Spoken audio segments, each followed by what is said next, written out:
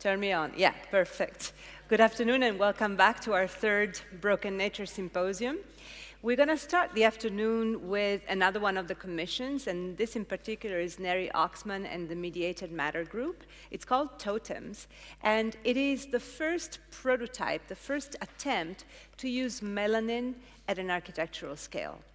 It is right now just a segment of a column, but in the future, hopefully, it will become a building. It will become a building in which melanin will be infused in the architectural elements and will change the skin of the building during the day as the sun peaks at its zenith and then comes down as the temperature changes, as people approach the building. There will be this mutability that is the same mutability that melanin has in our skin. Of course, it makes sense that the first example of this architectural building could happen in a place like South Africa. And unfortunately, I don't know yet if I can announce something great, so I won't, but stay tuned in the future because there will be an even, even more meaningful background given to the project. There is a lot of science in this project, as always in Neri's, uh, in Neri's project. And the reason why Neri is not here to uh, talk about it personally is because she's also undergoing a scientific transformation in that she's very pregnant and she has to stay in the United States. But um, pregnancy is a very similar, is a very um, great and, and example for what Neri and her group do in their real life because they build between, they build together uh, humans building with also uh, nature. If you go upstairs in the exhibition, you'll see not only totems, but also Silk Pavilion, which is another very famous project by Neri Oxman, in which she and her team studied the behavior of silkworms uh, according to certain conditions of light and temperature and architecture, and then they put them to work. So they created a silk pavilion using thousands of silkworms that simply made their thread, the one kilometer thread each, but made it so as to make an architecture. So this idea of building together with nature, of growing objects and architectures with nature is something that is considered by many architects as a very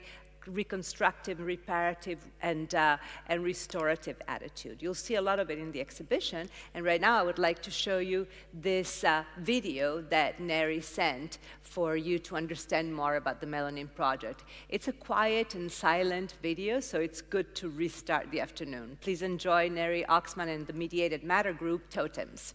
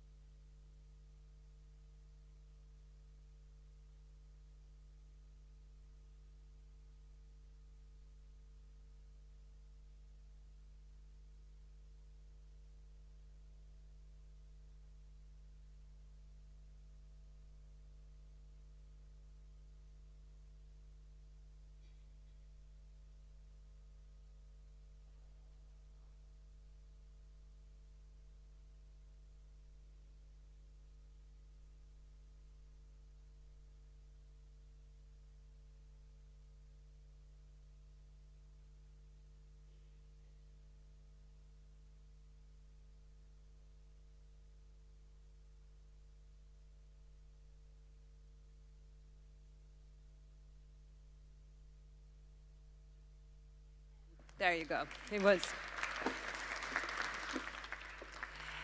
Okay. I would like now to call on stage another pillar of the curatorial team, Erica Petrillo.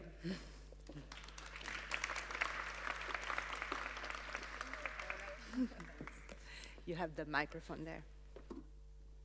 Uh, well, just a few seconds to thank and to call on stage Giorgia Lupi, who is here today with uh, Gabriele Rossi representing Accurat, which is a data-driven firm um, that is geared towards design and research with offices in New York and in Milan. So Accurat has realized for us one of the fourth commission uh, in the Impluvium, the first room that you encountered as you entered the exhibition space upstairs. And uh, Giorgia, please, the stage is yours.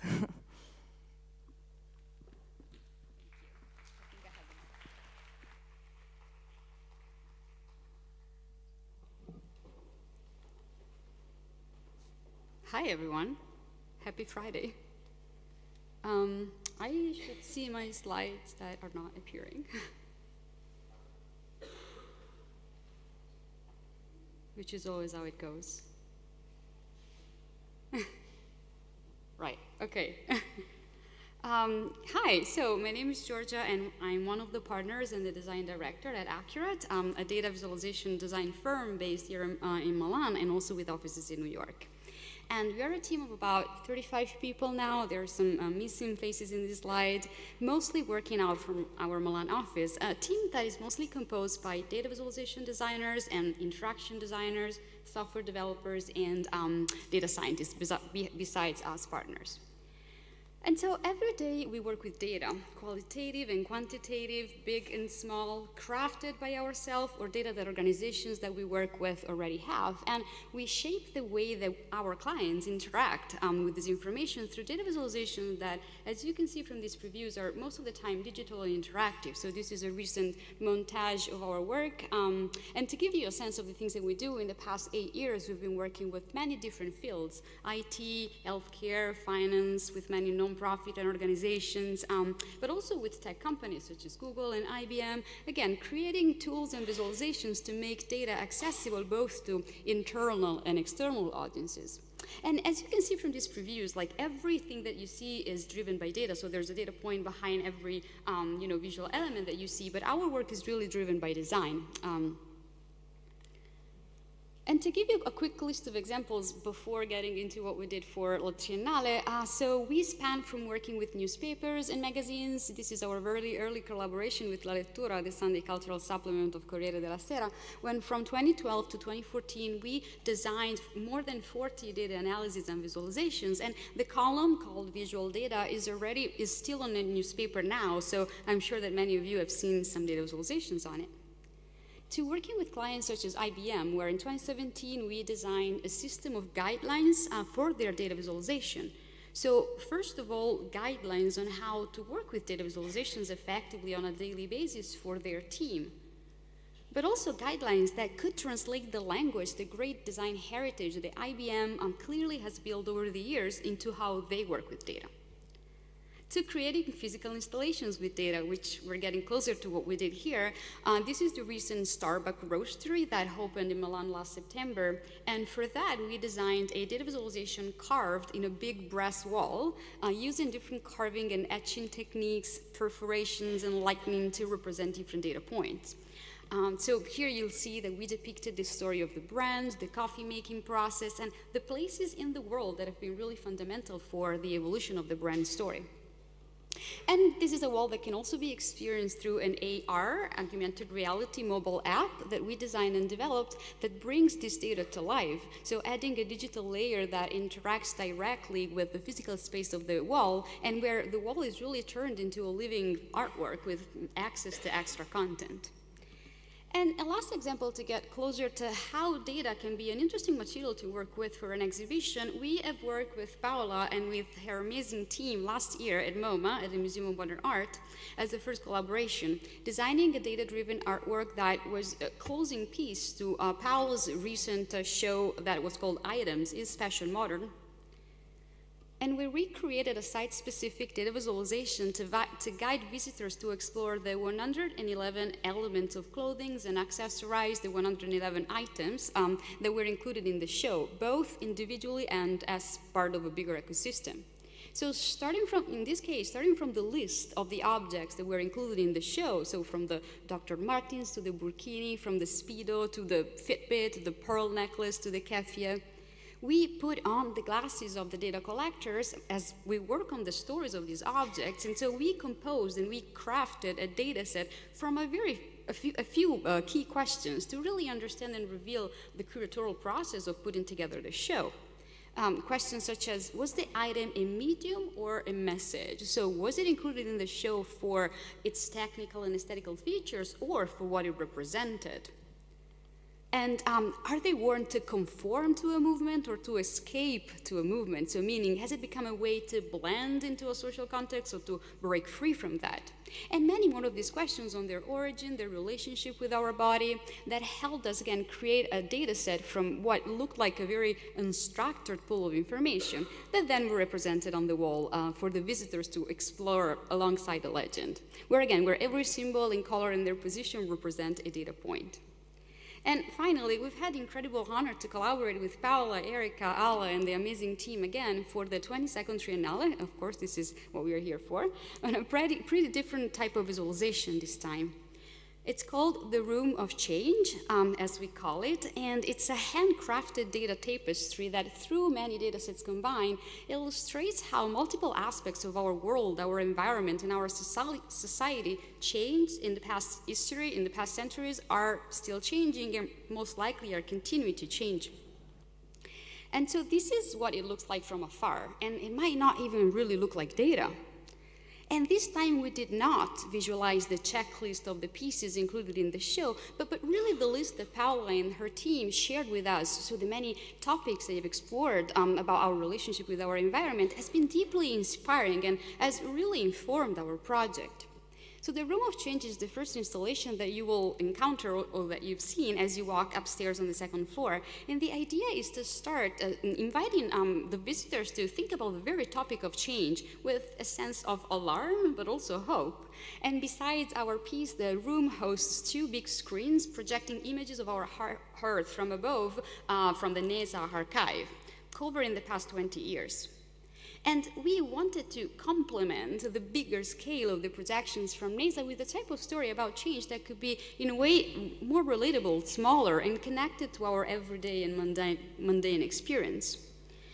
And so our guiding principle shared with Paola and her team has been the fact that change is subtle. It's really subtle. It happens over time in a slow, in a slow way, likely, and you don't notice it if you look too close you can only really see it from afar, only if you look at decades and not at our day by day. So our visualization depicts thousands of years of human history, and these that you see are approximately 40 overlapping data sets that, again, at a first glance, you might not even realize that there's data behind it, but indeed there is. And here is how it works. So from left to right on the three walls, time flows on the walls uh, through the visual pattern, covering our past, present, and future. And every square, you see them tiny here, um, is a time interval. And then each horizontal stripe depicts the evolution over time of a single story of change, and that, again, is told through a combination of um, evolving topics. And just a little zoom, so without entering into details, um, there's a legend that you can uh, really explore. All of the shapes, the pattern, the lines, the color, the position of the elements, their rotation are of course determined by a data point and indicates a numeric value raising or decreasing over time, so horizontally. And getting back to the concept, the piece revolves around eight macro topics, the organized information that are all related with our relationship with a, a, broad definition of nature. So the environment, our, the universe, our society, other species, technology, science, even ourselves, our identity, and even our hope for the future. Macro topics that reveal consequences that oftentimes affect us and also other species in the planet.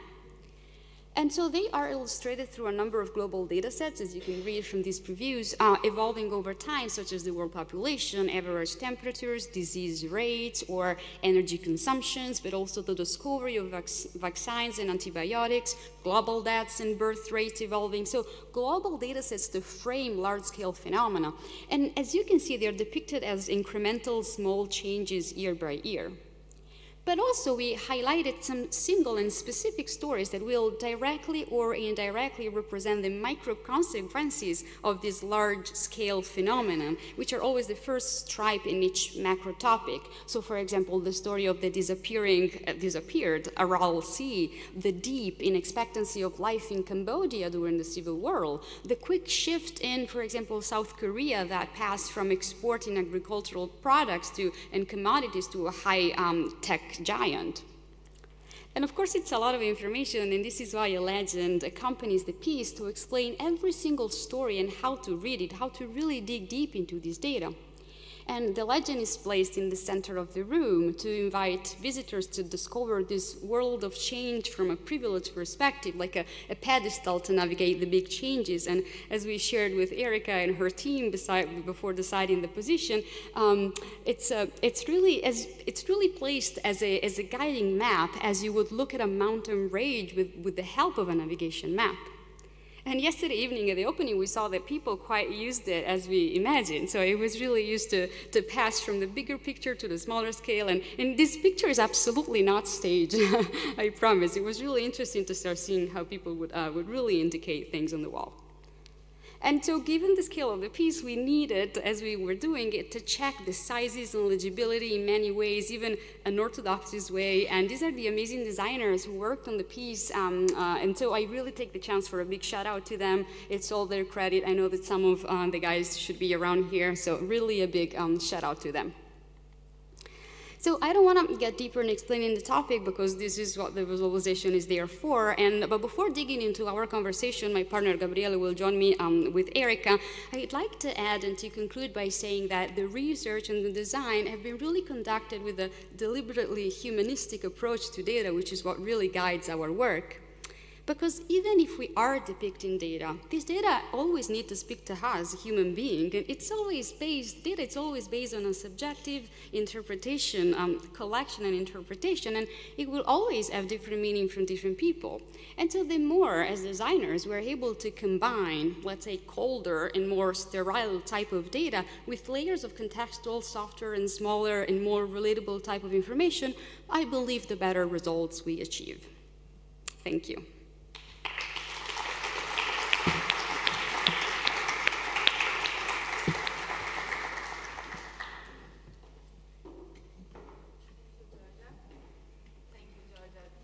That was really, really quite amazing. Um, so, um, I am super pleased to be with you here. Um, as Paola said in the past, uh, I have in front of me two great examples of elegance under pressure, where the pressure would be the pressure of big data, of data. So data are things that uh, oftentimes people perceive as very distant, very inhumane, dry, uh, whereas in fact data inform all sorts of aspects of our reality. They are really the bricks that our life is made of. I really look at them as a language where uh, it's just a point of finding a way to translate them, to find a key to translate them and to make them more approachable, which is precisely what your work is about. So you just mentioned, uh, ending your presentation, uh, the kind of philosophy that lies behind your, your work, which is that of data humanism. So I would like you to speak a little bit more about that. Sure.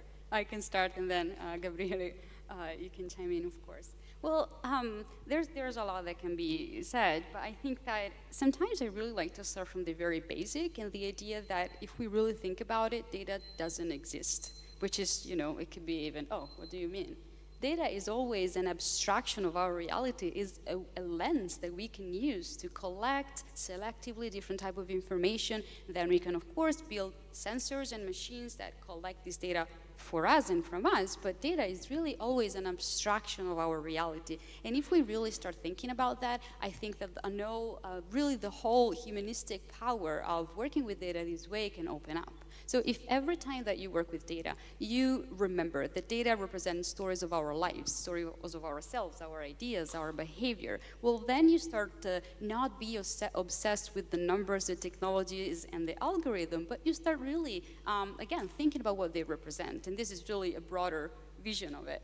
Yeah, and in general, I think mm, data is primarily human-made, so it's something we created to store reality somewhere and to use it to take a look at it, but it's something that humans created. And even if a sensor collected data, someone designed that sensor. So in a way, we already applied our filter in how we store reality. And there's this conception that data is like the ultimate truth and that is somehow objective, but it's not it, because it, every data set incorporates the biases that we have when we go looking for this information. So with a humanistic approach, what we want to say is that exactly as uh, for like literary humanism, um, the point was a shift from having God at the center of their vision of the world and shifting to a more human-centric vision of uh, literature. We think that in a way data is treated like a God. So sometimes it's, it's approached as the ultimate solution, but we want instead to focus on the human aspect of data to make sure that we can incorporate the imprecisions and the nuances that reality has and that data reflects. So, and this is the only way the data will really speak to us because we can relate more to imperfection than to perfect truth. So if you're really able to include empathy, imperfections, human qualities, again, into really even starting from how we collect information, uh, well, that will be a world where I think data will be more interesting to work with. And this is super, super uh, eye-opening. Uh, it's really kind of applying a shift in the way we, we look at something so important that really informs our, our life and the way we uh, perceive it. And it really reminded me of uh, another beautiful sentence that actually this time comes from you, um, which is uh, where other people see complexity, we see beauty. So um, I find this incredibly uh, inspiring, but also quite courageous, quite brave, um, especially uh, in a context where, um, as it happens oftentimes right now, um, complexity is looked at as something scary, as something to be avoided. So the tendency would be rather to aim at uh, not uh, simple, elegant um, destination, so to say, but instead the tendency is that of making things simplistic. So I find it quite courageous that instead you are uh, looking at complexity as a value. Um, yeah, well, if you just think about it, our reality, our day-by-day -day life is very complex, and the goal of a data visualization shouldn't be to simplify what we experience, it should be to, um, to make it more accessible. And so if we start from this point, well, I feel that um, a good amount of complexity can be introduced in how we shape our data visualization especially. Well, then there's, there's a lot that can be said. One thing that I like to borrow from Sean Gardner, he's a New York Times data journalist and designer, uh, that I always like to make this example, is that data visualizations and so the visual representations of data should always not always, but like oftentimes aim to speak at both a Bart Simpson of the world and the Lisa Simpson. So there should be a level of information, if you really layer it quite, quite well, that can speak to a person who only has a couple of minutes, who only want to give a quick fix, but then the same exact piece should be able to speak to a person who want to dig deep into details. Well, at least, I mean, again, there's no universal truth, but this is the way that we like to approach uh, data visualization. Yeah, and in, in our work, we often encounter the situation where uh, like a client asks for something that could be read and understood immediately. And there's value to that. So if you're piloting a plane, of course you need very quick information on how the plane is doing if you want to make sure that you're landing it safely. But in other situations where like complex decisions are involved, there is a need for complexity and there's a need to render this complexity and make it accessible. So we always uh, try as much as possible to use the tools that designers have, like creating something beautiful, for example, to promote a slower approach to data. And visualizing something doesn't mean making it more immediate. It could if you're doing specific type of work, but it could also just become a gateway to complexity, a way to uh, make complexity manageable and understandable. And that's what we try uh, to do to promote this slow approach.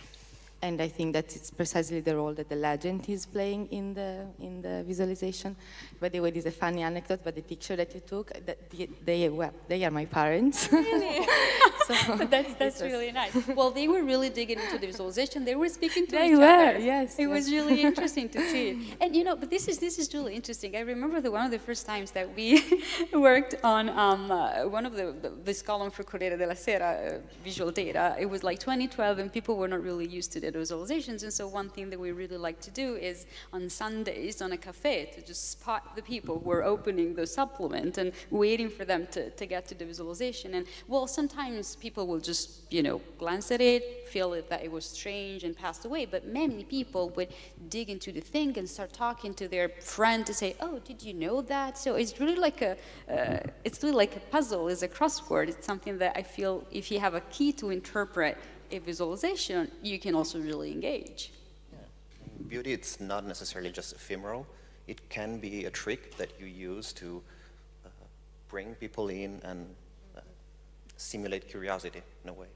Absolutely, and uh, I think this entire um, ambition, like the ambition of reconciling this, this broken bridge, in a sense, between data and humans, is precisely what Broken Nature is trying to do. So this is really the, the link between your work and the, and the exhibition Broken Nature. So in fact, my next question is going to be, where do you think it lies the restorative value of your work? Yeah, yeah I think it's, um, we tried to um, use data visualization on two levels uh, for, for this piece, both uh, to let people engage with the content on a rational level, so by digging into the legend and uh, reading, understanding, but primarily at an intuitive level. So we wanted to shock the, uh, the visitors by giving them a very clear sense of how you could perceive change uh, only if you look from different scales. So if you're too close to the wall, you might see the detail, you can perceive where everything comes from, but you're not really realizing how much things are changing. And if you take a step back, you can see how um, the evolution of these data sets that have been selected to be as, not objective, I would say, but as comprehensive as possible to depict different types of change all over the world. And by taking a step, step back, you should technically get a sense very intuitively of the scale of change and the rhythm and pace of change. And that's how we try uh, as much as possible to reconnect these uh, ideas of like, the role of human in the environment and in the system that we, we live in. Yeah, and also combining smaller data with bigger data. Everybody thinks that and I mean, th there's a truth to that, that big data can really solve problems, of course, if we approach it in the right way, but ultimately, we as humans relate to small data more. And so if we every time are able to, and that was the, the conclusion of my presentation, to include as aspects in how we represent data and how we decide to use data, what type of data we decide, that could speak to our mundane life. So really, something that people can see the consequences of. Well, I feel that then um, the whole thing is more relatable, and this is why there are in our piece, and we talked at length about it before, before doing it, there are global data sets, like again, climate change, the consumption of plastic in the world, or you know, the global population changes, but there are also stories of people, stories that people can really feel on their on their skin. Like again, there was a lake, the Aral Lake there is not there anymore, you know, or the bees population that is really shrinking. So something that, that can really be relatable to a mundane experience of things that you cannot perceive anymore.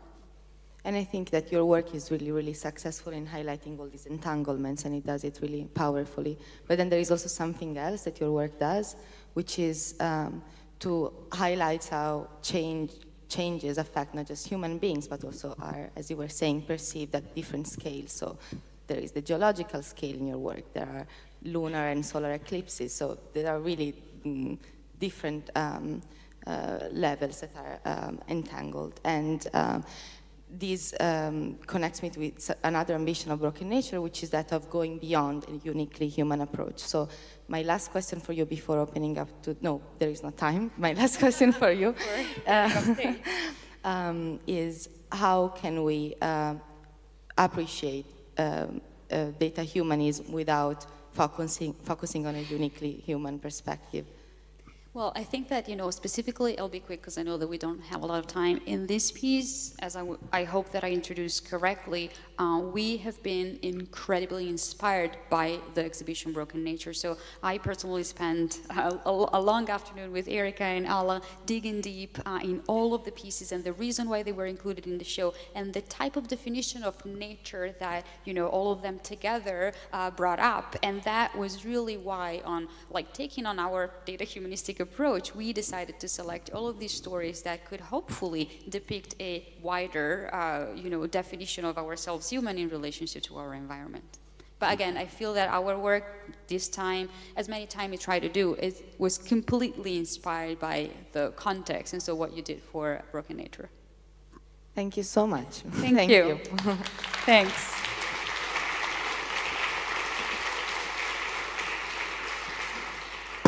Much, Erica. Yeah, don't jump down. Okay, these are the stairs. So it's a, really a perfect introduction to the next panel, which is going to be called Revelations.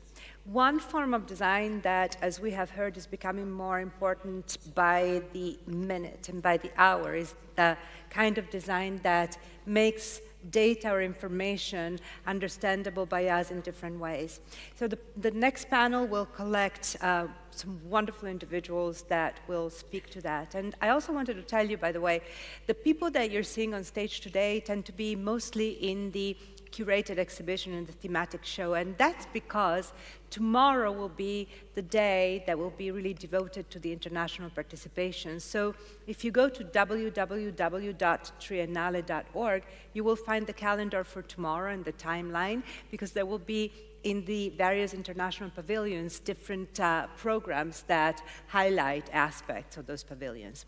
Right now, I would like to um, call on stage first Matt Clark, who will be, will have a duet with Bernie Krause. Bernie Krause, you know, Matt is a wonderful visual artist and designer and programmer and engineer and mise-en-scène expert, everything. But he's one of the founders of United Visual Artists, uh, a company that does amazing work with performance, with dance companies, and also with a bioacoustician like Bernie Krause. Bernie spent his whole life, well, first he was a sound expert in Hollywood, so, and then he decided to to trans, uh, to uh, move into instead bioacoustics, a field that he helped found. By walking and traveling and digging holes and hiding in bushes around the world, recording in very high fidelity the sounds of nature.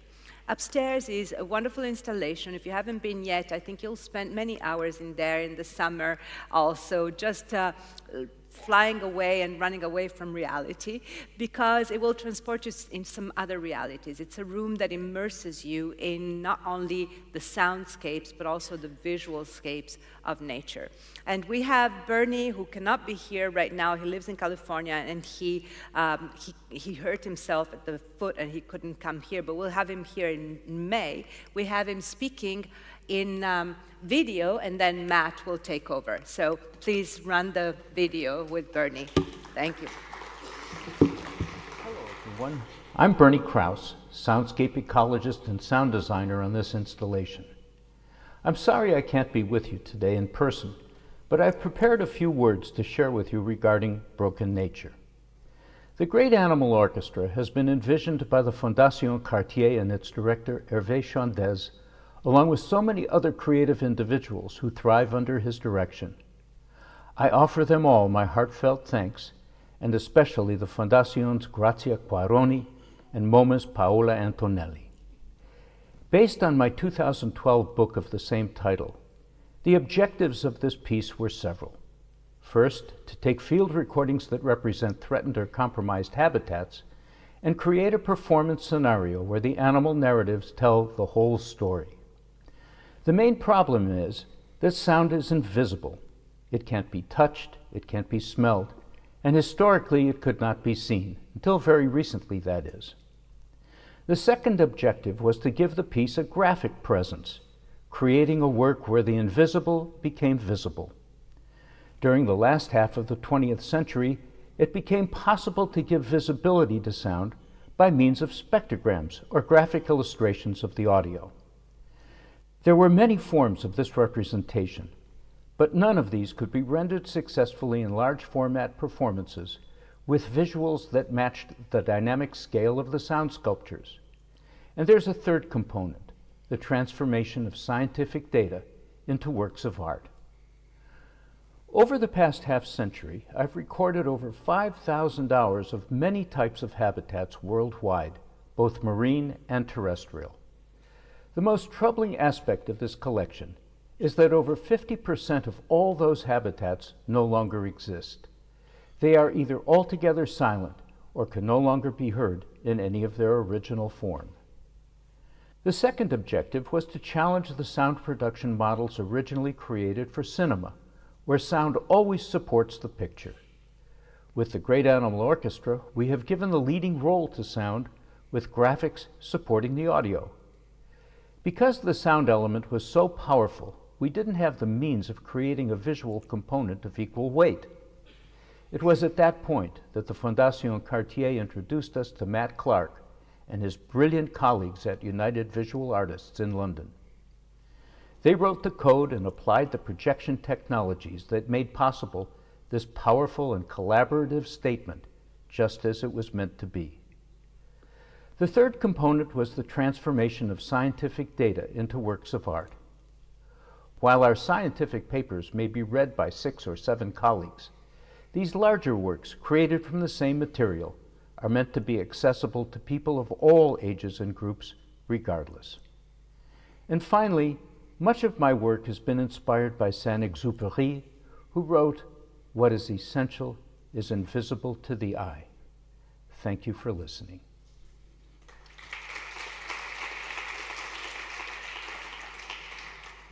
I could listen to Bernie all day long. Um, is this working? Okay. Um, okay. Okay. Okay, so before I uh, begin, I'd like to thank Paola and everyone at uh, Broken Nature for inviting us here today and for showing this work. Um, also, everyone at Fondation Cartier for supporting the work. But I'd also like to thank Bernie for trusting us to um, stage his work because it's very personal to him. And, um, and so, thanks, Bernie. Um, the ethos at UVA has always been a collaborative one.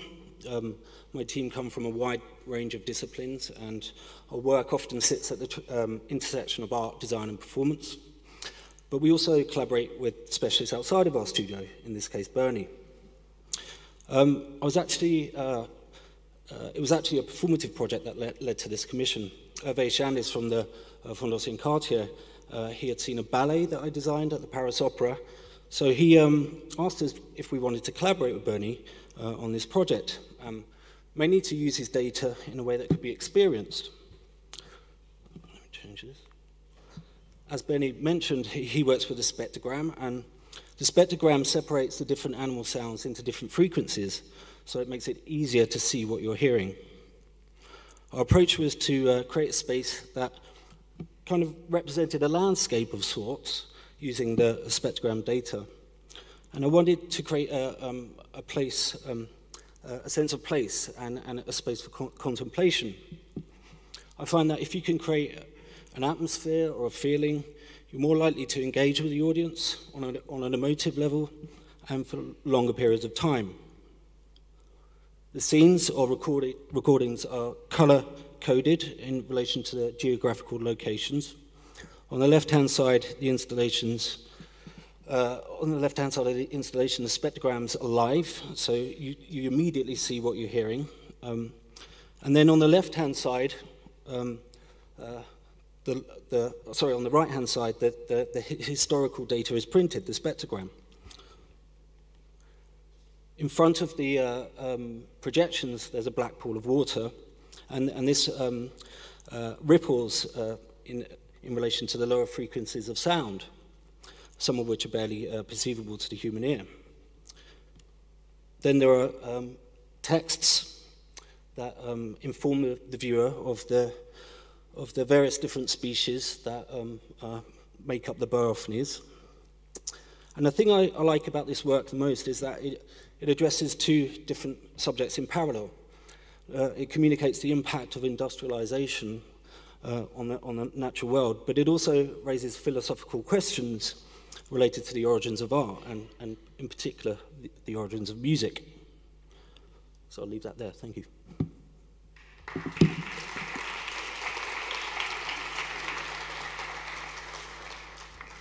Oh, thank you very much, Matt. The second person that I would like to call on stage, well, the third, you can go down if you want so you can look at the, just for your comfort. Um, I would like to call on stage is Christien Meindertsma, a wonderful Dutch uh, visual artist and designer. Here she is. And uh, uh, she has done a lot of work beautiful work, and uh, she has two pieces in the show, not only Pig 05049, but also Acoustic Fur. Uh, Pig 05049, however, is a book that touched me when it came out many years ago, and we also included it in the MoMA collection.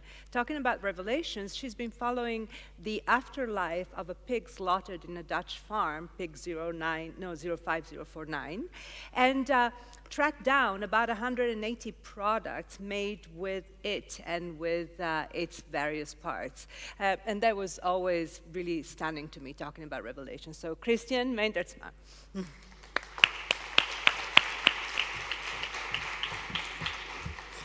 Um, okay, so um, yeah, I think this is not the right presentation because I added, I, there was one with the sheep starting, the one that I sent this morning. Okay, I'm going to. yeah, yeah, I checked. No, no, but it's okay. If, if this is the one, I'll go for this one. This is it? Okay. Um, so, um, I first wanted to say I was planning not to come today because um, I thought I felt bad for flying. And so I was just curious who traveled here especially for the show. And and and did anybody feel like, eh, like me, like I, sh I should? Yeah. So kind of yeah. So so uh, the reason I ask this question because I think that my talk is about uh, dilemmas and the complexity of the shared re responsibility uh, behind the data. Um, so the image that I wanted to show is an image of uh, lots of sheep furs. Uh, and I started in 2003 when I graduated from the Design Academy with a project called One Sheep Sweater, because I wanted to make industrial sweaters that would tell a story about where they came from. And um, it was an attempt to make an industrial product with a soul, so something that you wouldn't throw away so easily. Uh, and I was sort of intrigued by this amount of one animal and what you could do with it. And from this idea, one day I was sitting in a cafe with my best friend, and we were sort of thinking about okay, so what if we would follow one cow all the way into all its end products? And then we thought, well, if we would find 40 objects, that would already be really cool. And then I started to uh, research, and I ended up in an office of a very big meat uh, meat factory in the Netherlands, and uh, I was super lucky because I met a PR girl whose sisters went to art school, so she didn't think I was weird. And I asked her like, "Okay, so what's made of one cow?" And then she said, "Stop, stop, stop! I think it's more interesting to look at a pig." And then, um, and then she said, "Because cows, because of mad cow's disease, the gelatines are not." Um, used in so many project products, but pigs, they are everywhere. And then I thought that's interesting because um, later on I found out we have uh, 17 million people in the Netherlands, but 12 million pigs, and you literally never see one, except when you're like maybe driving in the highway and there's a truck passing by going to the slaughterhouse. Um, so I thought uh, apparently there are many of them and they're used in many products, but we never see them. And what's also interesting is that they are very close to people because pigs' heart valves can be imported into human hearts. They are not loved in many cultures. Um, so I thought there were many reasons to choose a pig instead of a cow. Uh, also, they are famous historically for being used up until the last bit, especially in Italy, I think. Um, so what I decided to do is I wanted to follow this one animal with number 05049 all the way into all its end products. I wanted, uh, I gave the book the subtitle one to one because I wanted to do a genuine attempt to as to make as unbiased as possible. I heard that data is always biased. I agree, but I really wanted to try to make the book as unbiased as possible to show all the end products that were made. So it was self-funded, and um, I uh, I didn't want to choose like a point of view from the animal protectors or from the meat industry. And I also didn't want to incorporate my own opinion in it because I wanted to make something that would allow other people to make up their own minds and have discussions about the, the book. Its uh, graphic design is made together with Julie Joliat. Um, so the book starts with a graphic image uh, of all the chapters of the book skin, bones, meat, internal organs, blood, fat, and miscellaneous. And together they weigh 103.7 kilograms. What's interesting about this picture, I think, is that the black part is the meat, and the not black part, that is actually all the byproducts. Um, so you never think that there's so much, I mean, of those 12 million pigs, the half of those 12 million pigs is not actually meat, it's another kind of material. And what's also interesting about that, I think, is that a lot of these um, these parts of the pig are also not used in food uh, products. And in food, it's actually you have to say what's in the food, but with non-food products, you don't have to say what's in it. So it's like nobody has a clue where all this material ends up in. Um, then I studied these books from the 60s showing uh, how a butcher would like use all the where all the parts of the pig would go to. And these 60s books were very easy to understand very simple. And i wanted to make a graphic image like that but uh, it just became a really big cloud of numbers. Um, then all the end products that i found some were so strange that i thought if i'm going to put this in the book nobody's going to believe it so i try to as accurately as possible um, show like how these different products are connected to the pig and uh, the specific chapter.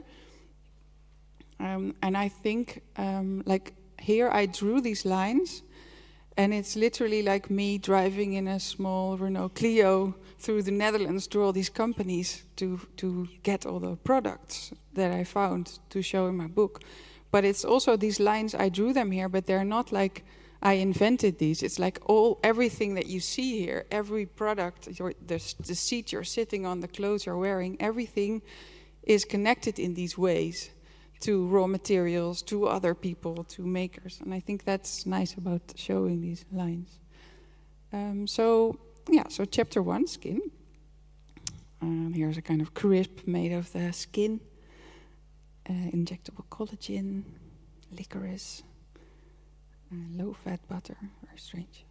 Beer. So the book is not a hand guide for vegetarians um, because there's no pig in this beer, but um, the gelatin is used as a sieve. So in the beer production process, they don't want it beer to look cloudy, so it's like poured through gelatin, and it also happens with wine.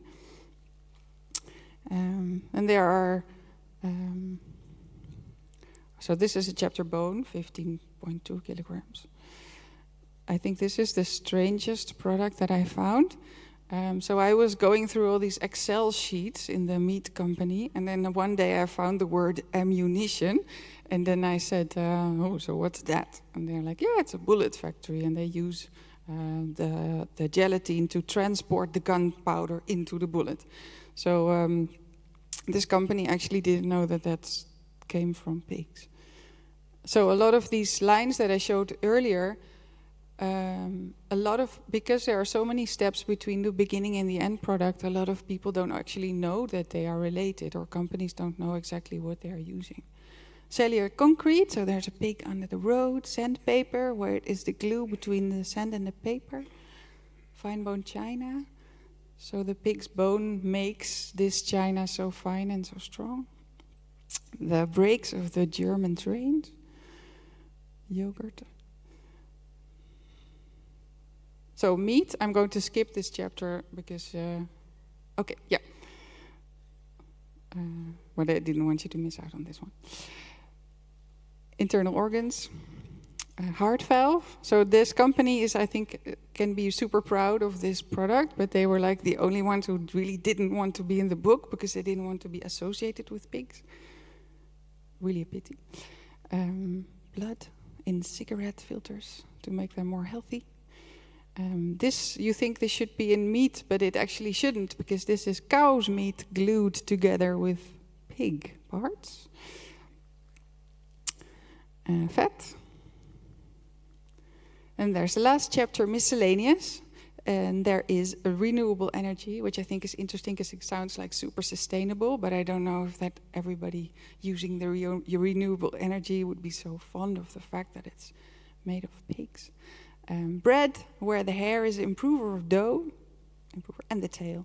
And then I didn't want to end up with a, this. Oh, oh, sorry. I um, I wanted to end with something else. So, so that was the end of the the book. No, no, no. I wanted to end with another project, but uh, it's in the other. Okay. So, thank you.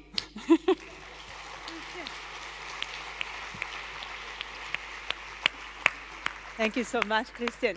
The next uh, video, because once again it's somebody that couldn't, uh, couldn't spare the footprint to come here, is Vladan Joler. Vladan Joler, together with Kate Crawford, designed the big fresco Anatomy of an AI. Uh, once again, it's about revealing. We use so many objects and we don't know where they came from and where they're going. In the case of an artificial intelligence project, we don't even know uh, where the brains and the, the kind of principles the uh, particular object is following come from. So Kate Crawford, who's one of the founder of the uh, uh Ethics and AI Institute at New York University, together with Vladan Joler, followed an Amazon Echo from beginning to end, both hardware and software. And the result is that really big fresco that you can see upstairs. And Vladan has sent a video for us.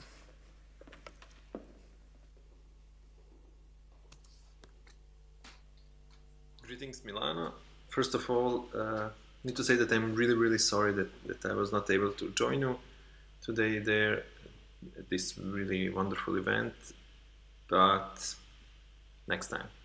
So here uh, at the exhibition you will be able to see uh, one really big uh, black map that uh, I did together with Kate Crawford from uh, AI Now Institute in New York. Uh, the name of the map is Anatomy of an AI system.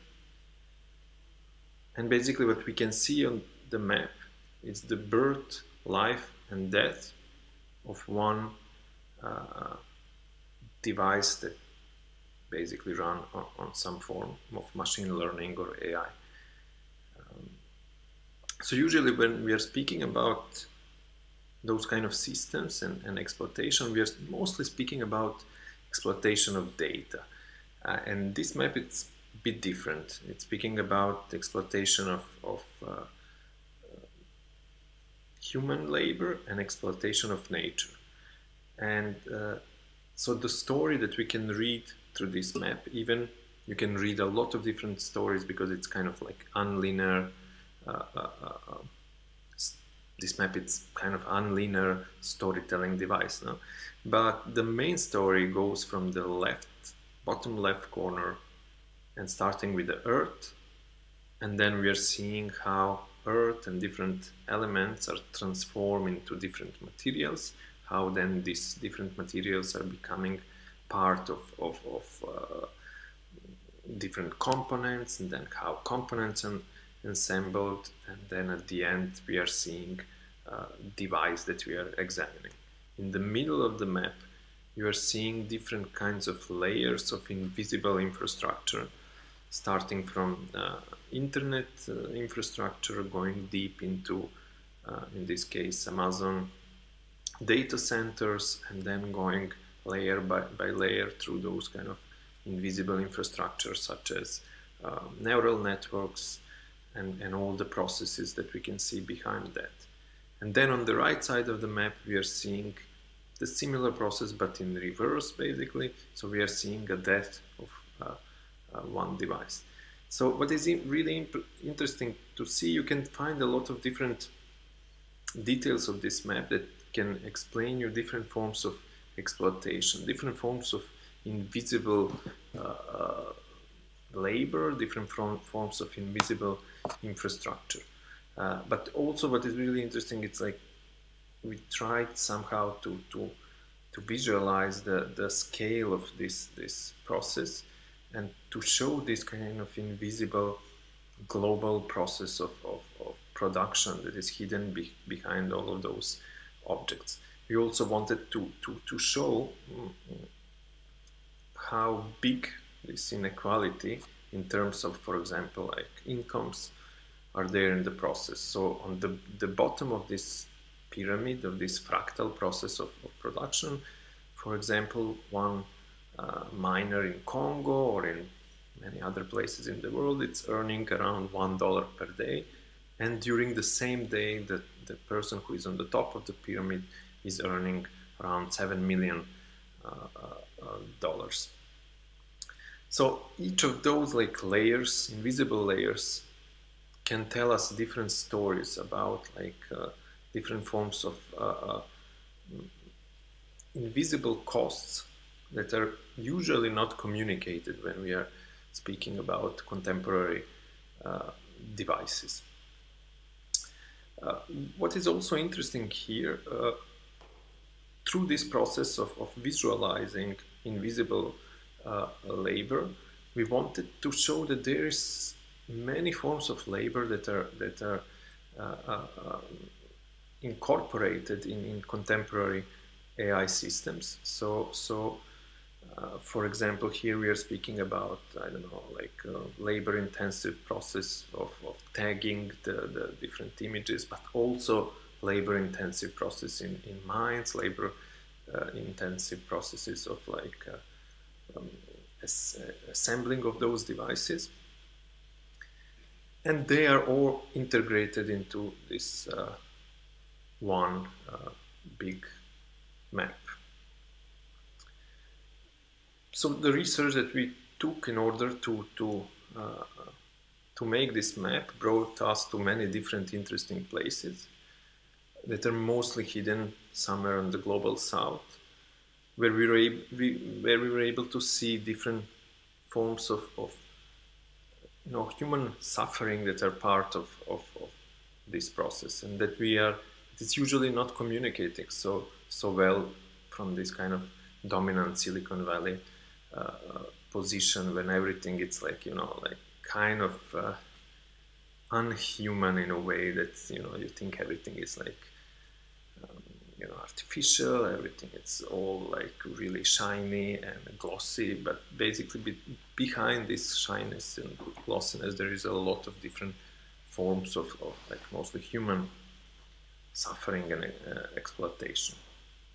There is a lot of way how you can read this map and in our essay, we just provided one way to, to read this story, but I hope that, that, that people who, who will have a chance to see this map in Milano will be able maybe to construct their own narratives around this map. Uh, one more time, really sorry that I was not able to join you and hope see you next time. Bye bye. Ciao Vladan. and last but not least, I would like to call to the stage Valérie Portefaix of the uh, MAP office in Hong Kong. Oh, here you are, Valérie, who uh, conducted a really interesting study about a community of women divers in the Ise Bay in Japan. Valérie.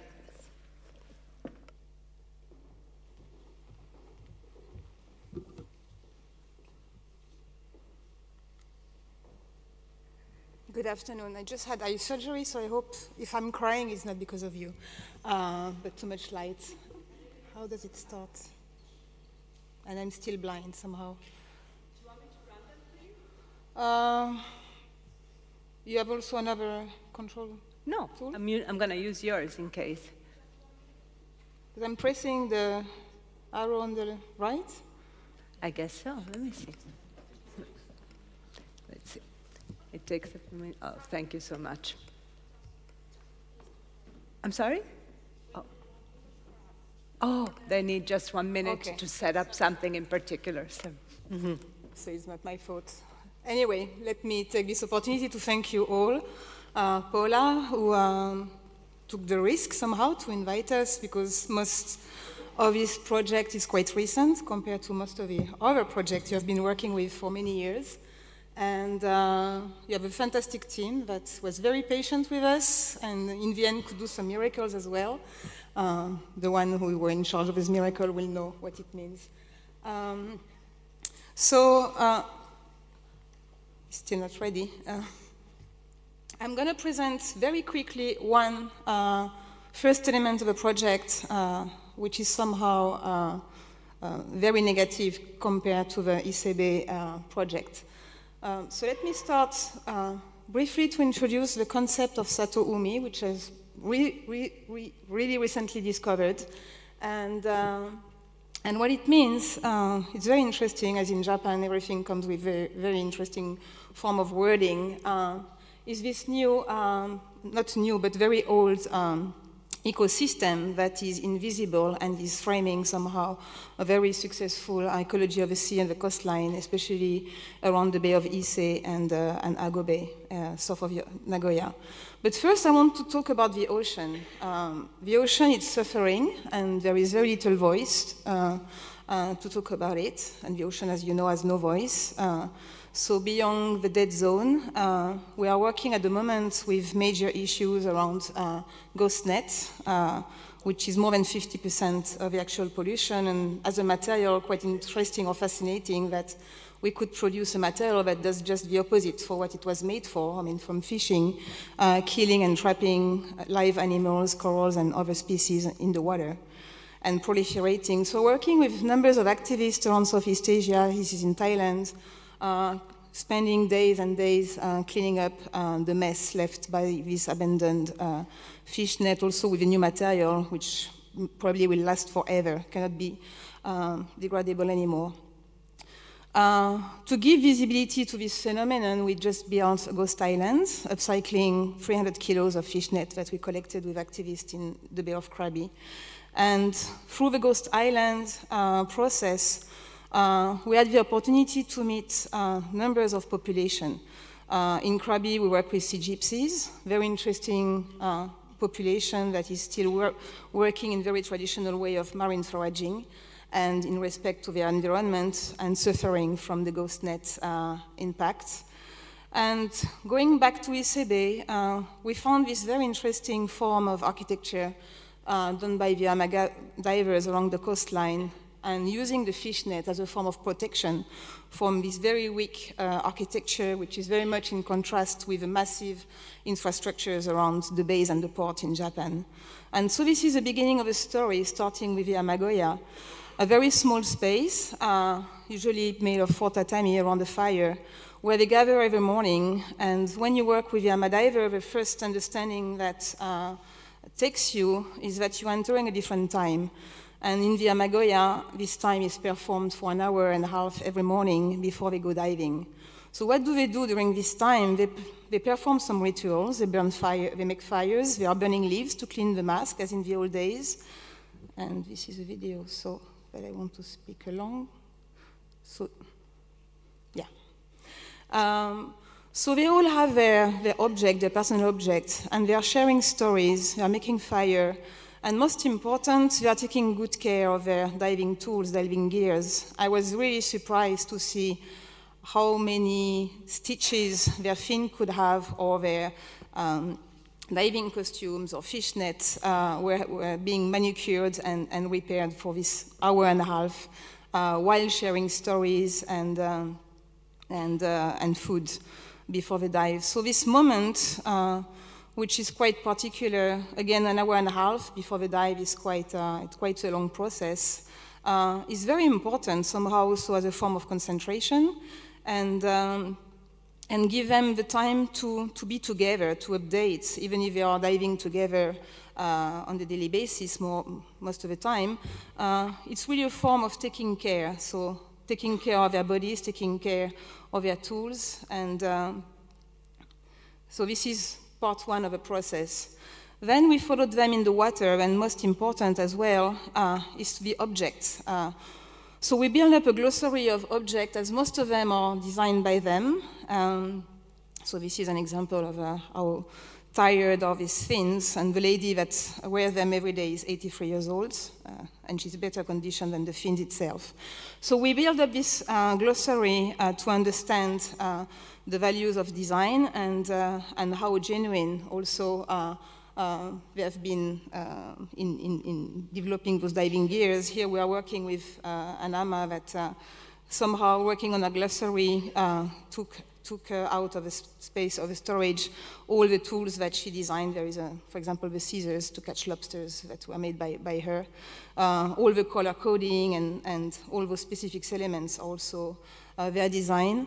It's very important also uh, relationship with new products. And here she's showing us uh, three types of goggles. Uh, when they were introduced in Japan in 1880s, 1880s, it took them 40 years to decide whether they will use it or not. And for the first 20 years, they were just taking one pair for the whole boat to be shared collectively, thinking that if they're using it, they will be able to see so well what they need to catch that they will exhaust the ocean. Uh, here she's showing us that no design is, is better than the one she's using since 30 years, and her skull is basically imprinted by, uh, by the mask she's wearing every day. Uh, it's not in the glossary, but it's also a beautiful story is that the, of a pink hat. Uh, at the end of the day, after cooking, and she will bring, she will take the pink hat and go and feed the birds. So this is also uh, a very long tradition in Japan that we could learn from uh, long collections of uh, ukiyo-e uh, and drawings from which we could get not only the mythology, but also an understanding of the coastline uh, in the Edo period, and doesn't much, change uh, in this perspective. Also, the story of the Princess Tamatori, who was retrieving the stolen pearl, the pearl in connection to the moon, to control an object to control the tide, is something very important to understand global warming today and who is in power to control uh, this pearl today. So we created a series of drawing, uh, also using a kimono, which we call the ocean kimono, and it has various uh, drawings, an octopus, uh, sea urchin, there is a whale coming, and, and, waves, as a vehicle to narrate the stories and to rebuild the story of Amanami, Amanami meaning the ama of the wave, and, uh, and retelling the story from diving to uh, this relationship that you can still see on the coastline with the amagoyas and, and the seaweed being hung going home, where gardening is also a very important uh, time of the afternoon, and also the seaweed are mainly used as fertilizers for the garden, of course, cooking, and the mythology uh, being back, and, uh, and the power of, uh, of the waves. Um, so also in relationship to the, to the first um, presentation and with the sound, uh, a very quick video to, to show you the, the sound that they are producing when they are diving, which is called isobue. It's a small whistle, and, uh, and this is to protect their lungs, not to have a huge uh, amount of air uh, each dive. Yeah, but I need the sound.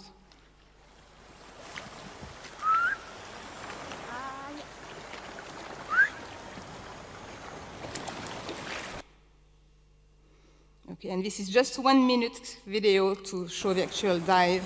Um, so I will finish after that, it.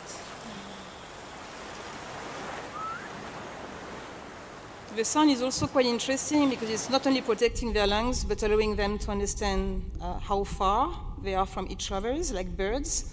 And uh, as the piece of seabed they are foraging uh, is quite small around them, it also avoids uh, too much conflict when they are diving. Sometimes they cannot see. I mean, we are diving here. That day it was two days before a typhoon, so it was quite dangerous with very strong currents. Thank you.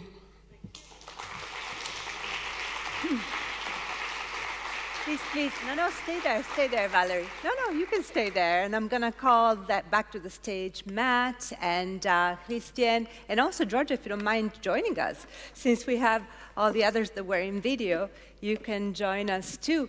And you know, since we don't have that much time, please, please, please, what I'm going to do is I'm just going to remind you what all these people have talked about, and then I'm going to start asking you if you have questions, because it's always so fascinating. So we have an architect with an office in Hong Kong that often does uh, unorthodox architectural work, but still, this is clearly um, an interesting foray that architecture takes. Then we have a visual artist, Matt, and then we have a designer, Giorgia, another visual artist, designer, Christien, and they have used very different ways to reveal um, realities that either we don't really notice or we don't know anything about. So it's about the power of design to reveal.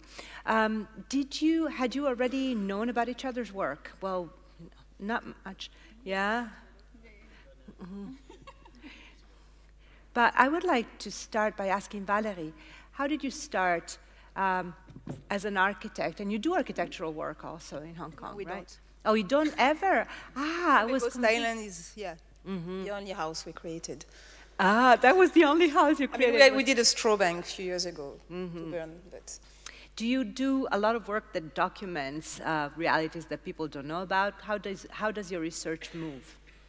It started with photography, moved to film, became drawing, and now it's taking everything because it's, uh, there are so many ways, and I think it's very interesting to put things in, into relationships mm-hmm. so that we collect objects, we draw them, we build up. I mean, words, text is also very important. Mm-hmm. And then using film as narrative is also what kind of we compose the whole uh, spectrum of ideas. So basically, anything it takes, which is interesting. Anything it takes to do what? What is it that, you, that what propels you?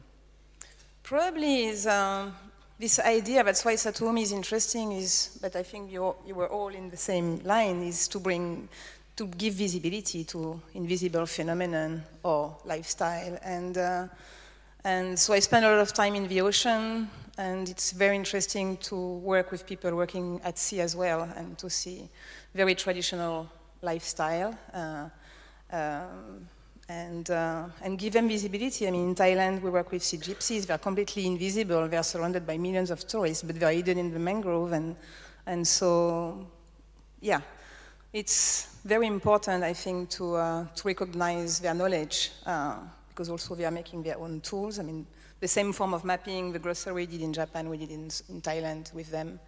And, um, and to understand also probably time, uh, different notions of time. And uh, in Thailand, when we arrived to, to, to, to build this film, a fiction where our friend will live inside the ghost island for a few days, his house was on the floor. And you say, why do you destroy your house? You're not going, you're not going to live in ghost island forever. And you say, oh, every two years I dismantle my house, and so I can make it better. Uh, so that is so interesting. So it but was like you, I was drawing. All the taxonomy of these objects were on the floor, on the in, floor. in the forest. That's so beautiful. But in your case, the, your subjects, between quotes, don't really ask to be revealed. And instead, Matt, in your case, they want to be shown, your performers, the people that you work with, want to be seen in another way, or they want mm. to supplement their, um, their actions on the world with yeah. your art. So, how does that work? Why do they do that? Uh, you mean the, the performers, the, the especially yeah. choreographers and well, performers like to be seen. yeah, exactly. On stage. Um, yeah, um, I think uh, it depends who you work with. You know, mm-hmm. in, in in what manner they want to be um, revealed and represented. Um, but I think you know what attracted me to this work uh, with Bernie is it, it does resonate with uh, themes that I'm interested in with my own practice, particularly the um, uh, the origins of art, you know, why we make art. And, and I just felt that was such an important um, subject matter um, to, to, do with the, um, the environment. It was just such a brilliant way of combining um, uh, two themes. Because I think, and I'm going a bit off piste here um, with your question, oh, it's okay. but I think, you know, with, with environmental issues, I, I just think it's so important to be able to um, engage with a wider audience. Mm -hmm. I think um, you know, people tend to put their head in the sand mm-hmm. and or you know pretend it's not happening because you know you don't feel empowered. And what I love about this this project in particular is that it it, it does uh, appeal to a broad, broader audience. Um, um, and and to go back to the performance thing, I think what we're doing here is we're putting the the, the, the audience in, in the center of the stage. And, mm-hmm. and, uh, and, and, that's what I like about this project mm-hmm. too. And uh, Christien, after PIG 05049, have you done other revelation projects? Ah, yeah, so sorry. What I wanted to show is that uh, with the Pig book, I felt it's very much revealing something mm. that you want, that at least I want to move against. And then mm-hmm. later on, I did projects to move with the current. Mm-hmm. So uh, the project that I wanted to show was a project called Bottom Ash Observatory. Bottom? Bottom Ash Observatory. Everybody's thinking uh-huh. bottom ash, what's that? Mm-hmm. It's basically our burnt household waste. So from 100 oh. kilos of household waste, 25 kilos of bottom ash is left. Bottom ashes, yes. okay. And, and those uh, are ashes you cannot reuse? Well, until recently, it was put on the road with lots of plastic around it so that all the heavy metals wouldn't leak into the ground until this Dutch professor, Peter Rem, discovered how many valuable metals are in there and also how to get them out. So now the biggest incinerator in the world in Amsterdam is every day 400 metals. Huh. But like, and I took one, I could take one container and I sort of cross-checked his research. I thought it would be nice to show. And so many valuable metals came out. I even found pure silver in it in That's so bucket. interesting because Forma Fantasma this morning with their ore streams mm-hmm. spoke about the fact that most metal resources are above earth right now, yes. and also um, so you know, Jonathan Gatto does the same upstairs with Geomerce. Uh-huh. So household waste is a richer ore than ore is, and but they are already doing this on a really big scale, taking out these metals, like Makes industrially. Sense. So it's uh-huh. kind of sad and hopeful in the Yeah, we'll segment. have a good surprise for the next presentation. That's perfect. And Giorgia before I met you in New York, you were working here in Milan and Accurat, your firm is still both here and there, but I remember that you showed me your work for Corriere della Sera, for um, Milanese um, outlets, publications, and it was about revealing but not really revealing, more giving like a, an ensemble bird's eye view, but the art almost interfered with the clarity sometimes, right? So um, when you talk about the fact that data are not objective, how much sometimes do you obfuscate them with your art? Interesting question. Yeah. You, Paola, provocative. Mm-hmm. Um, there's many things that could be said about it. Uh, I feel that in general, something that is beautiful, hopefully beautiful, and that is also unconventional. So something that is like, oh, I've never seen something like that, could be a um, really an important trigger for people to get interested in the topic. And so this is why we try it every time. And I mean, this is specific to my work and our work. We try to um, give a very important value to the aesthetic aspects of what we do. Um, I, that specific project, but many of my projects and our projects are very detailed, are very rich in information. And so, of course, also the way that you visualize it and the art that um, comes out of that, it's dense. Mm-hmm. I hope that that never obfuscates the data.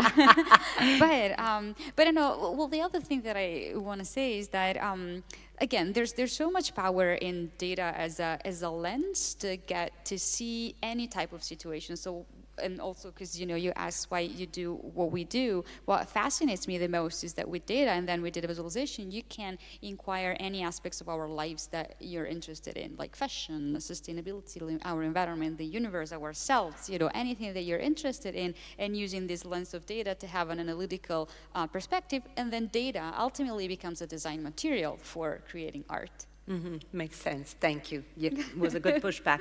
Any questions from the audience?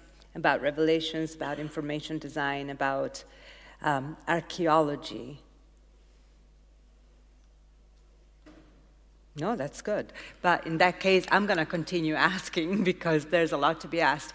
So um, I wanted to ask you, Matt, when you worked with Massive Attack and yeah. Adam Curtis, you did a big installation that was about violence and that was about um, what really goes on in the world. Um, can you talk about that? Also, your work that is politically charged in a very overt way. Mm. well, I've, I've worked with Massive Attack for 15 years now, and that, that was a, um, uh, one project that, uh, that I think you came along to in New York. Um, and I don't know if anyone knows Adam Curtis, but he, he creates incredible films that weave stories in and out of each other. Uh, some people think they're conspiracies, uh, some people don't. Um, but the work that we've done with Massive Attack over the years, I mean, back in 2003 was the first time that I worked with them. And, and really, uh, and to add to this, all of the visual sort of backdrop was just made up out of text and numerical information. And, and, and it was before um, social media, 2003, which I can't believe. Um, but it was really dealing with uh, information, misinformation, disinformation, and, and, and, and on a daily basis, we would um, localize uh, uh, news headlines from the day's news and, and mash up um, uh, broadsheets with, uh, with, with you know, the tabloids and make these pseudo news stories. So it was really about sort of um, playing with truth uh, through, through the means of data. Um, and, and it's just funny that in recent years that this has only become um, uh, a hot topic. But of course, we know fake news has been around yeah, no, since um, I think um, uh, the New York Post posted a, uh, a news article of these fantastical creatures that occupy the moon. And uh, I can't remember the scientist, but this serious scientist uh, posted these pictures and said it's a paper, and they actually believed it. And, and, but he was the only one that had this telescope that could see the surface of the moon, mm. um, and, and that caused chaos. So, yeah, I think work with Massive Attack is, is really um, playing around with those sorts of themes, and we've been doing that pretty much for 15 years now. Mm-hmm. And the Adams Show just adds a completely different dynamic mm-hmm. to it. So, yeah, yeah.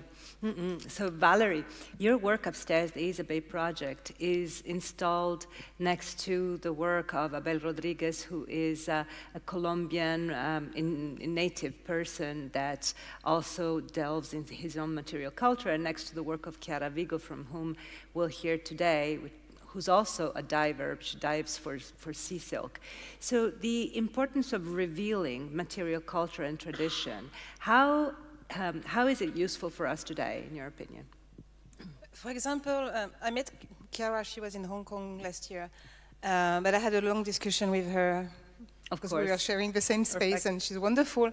Um, but I'm very interested in part of our research also, it's where we meet also in Korea, was, it's, it's about seaweed and, um, and seaweed as a form of medicine, which uh, is still used by uh, old people, uh, and this knowledge I mean, in Hong Kong and China is disappearing very fast.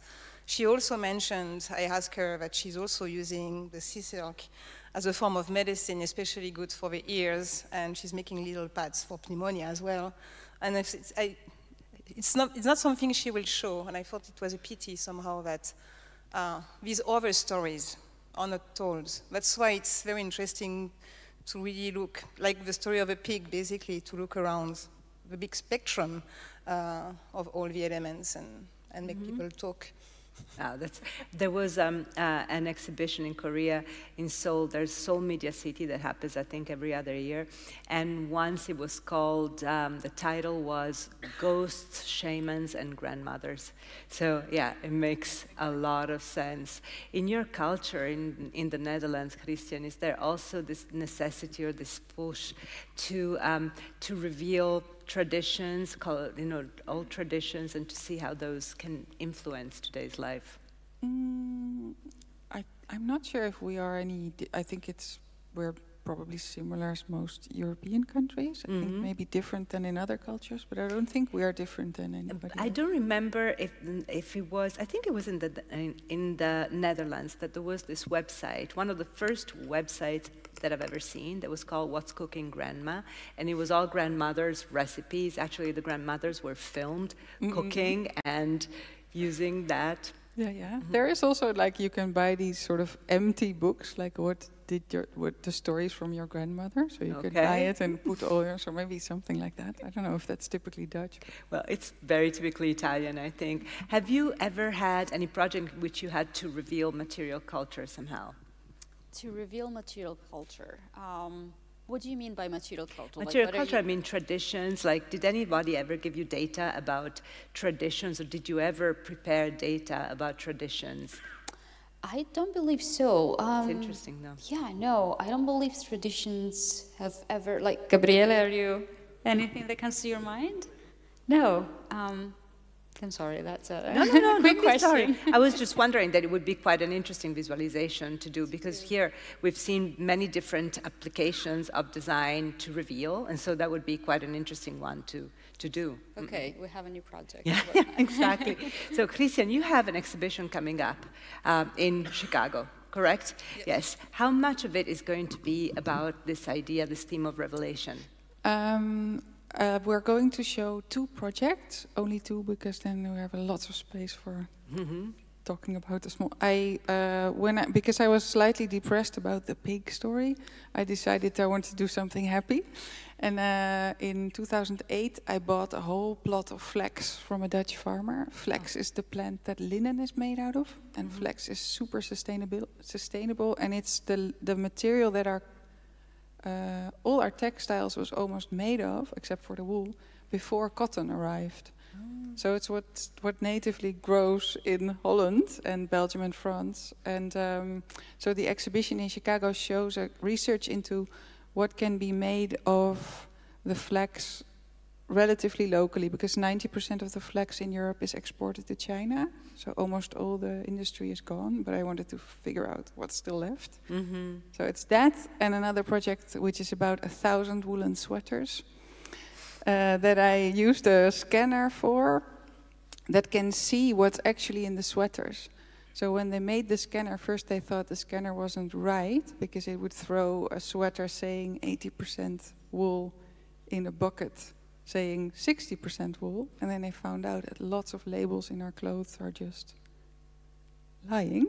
Lying? Oh, yeah, really? because there's nobody who checks. But, so it's and there's no regulation. Mhm. there is regu- but nobody checks what's actually in it. So then we took those thousand sweaters, sorted them, and then made something new out of it. Oh. Um, another project that is in the exhibition uh, is Wonder Water Cafe by Jane Withers.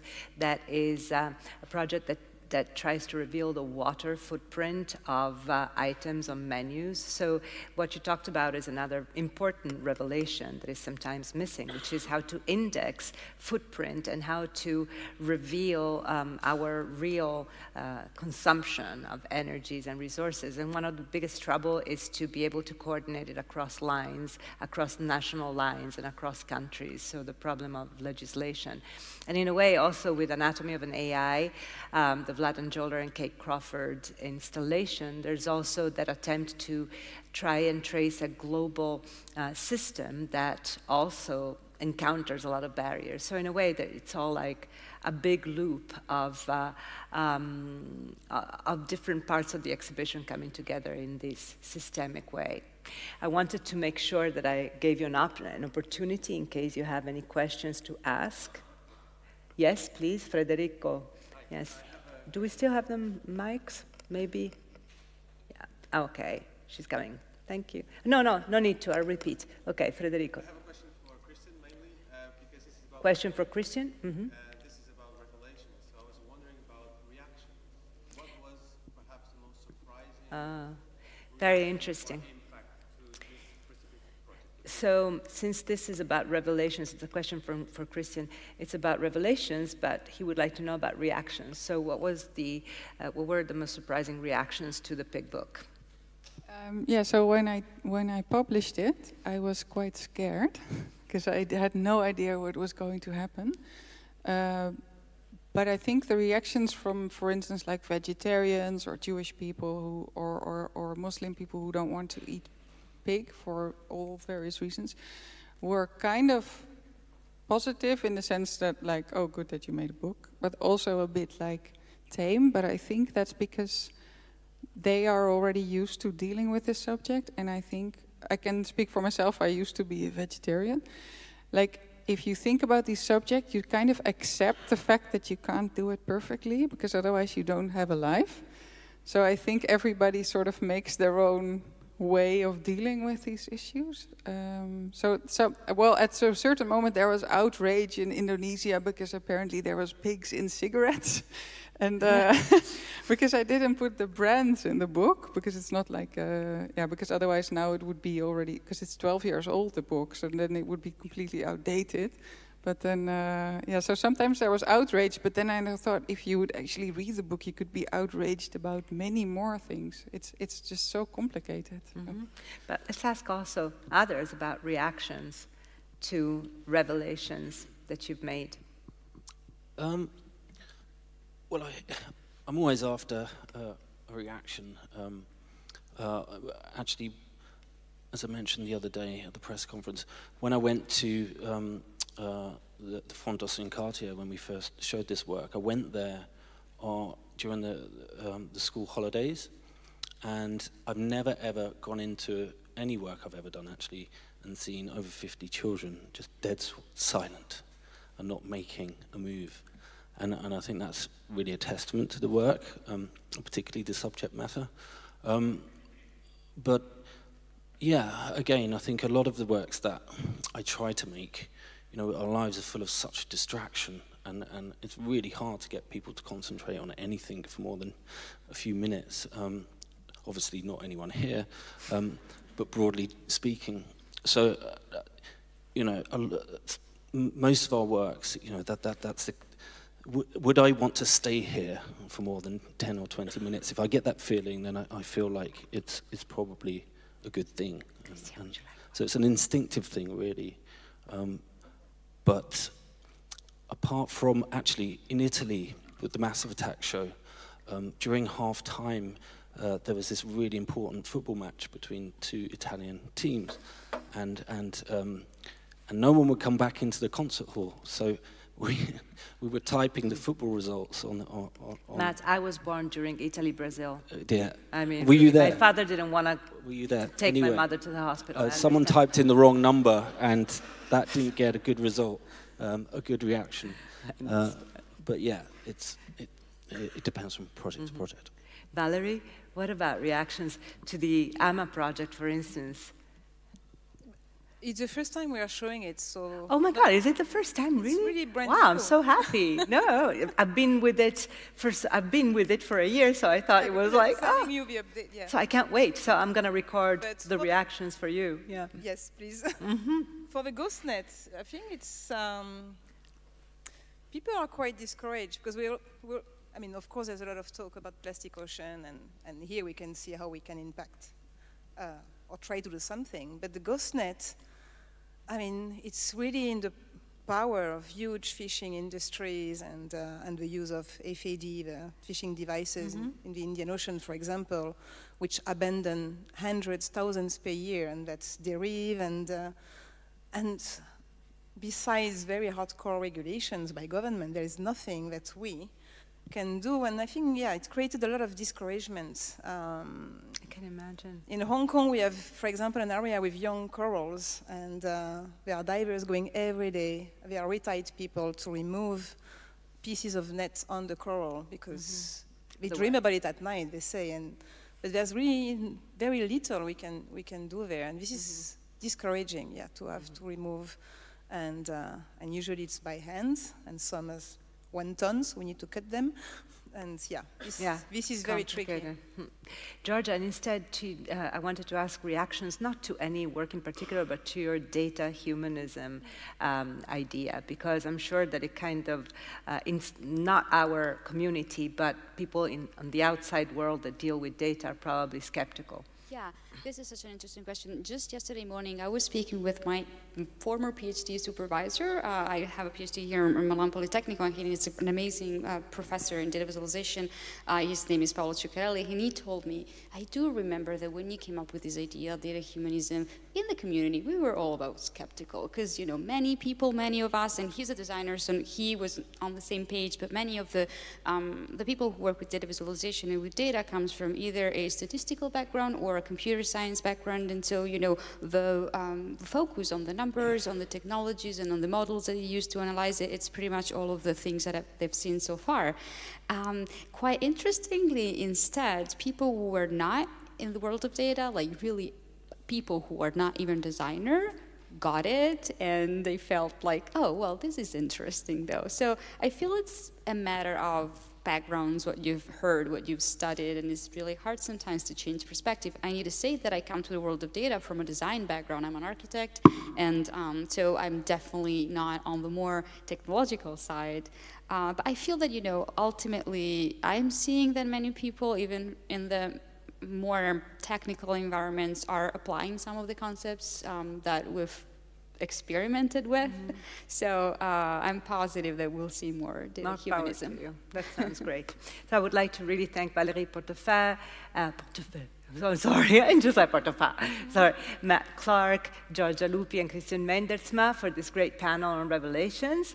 And uh, definitely. Thank you, And now um, we're going to go into our next um, gallery.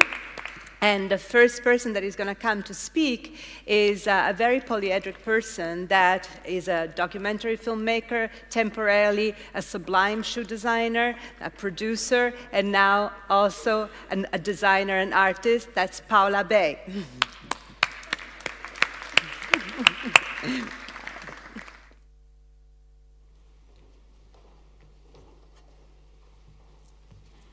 Well, first of all, thank you very much for everyone being here, still listening to me.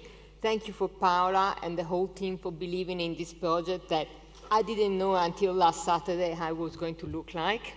So, thank you very much. And why the reliquaries? Because as we all know, nature is disappearing, we're disappearing, nothing is hopefully um, going to stay, and, and, and we, we are doing it.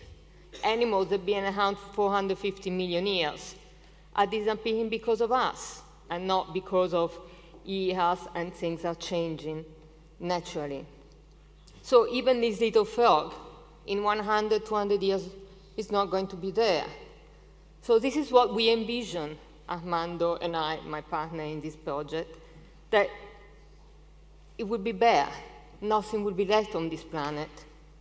So a little daisy like this, that we can see it every day, and we don't even notice it because it's there every day, it's not going to be there. And so the only thing we're going to have in our home that we will treasure, that we will treasure as the most important item in our life, it will be a reliquary, a shrine, containing a piece of nature coming from now, from these decades, that we don't notice because we see it every day. We give it for granted. I've been working in the last few years with the most amazing shamans in the north of Colombia called Mamos, and they are the ones who have been teaching me the importance of nature.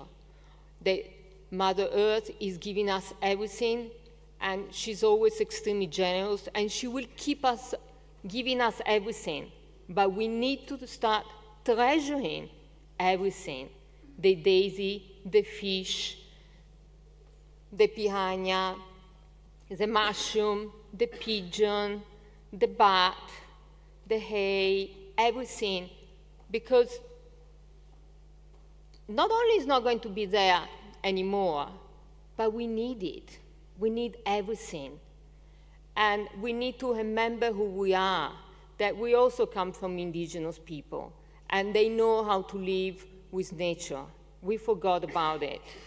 So the Reliquaries is an ongoing project to remind all of us that everything, as I say, is fundamental, and nothing should be taken for granted. Yes, we can take an extra flight, but let's be grateful to Mother Earth because it's given the fuel and the metals to build that craft. And, and also we need to remember that our future generation are not, they are not supposed to ask us, what were you doing when we were young or before we were born? I don't want my children and my grandchildren and so forth to ask me, Mama, what were you doing? Grandma, what were you doing? Oh, sorry, I was watching TV.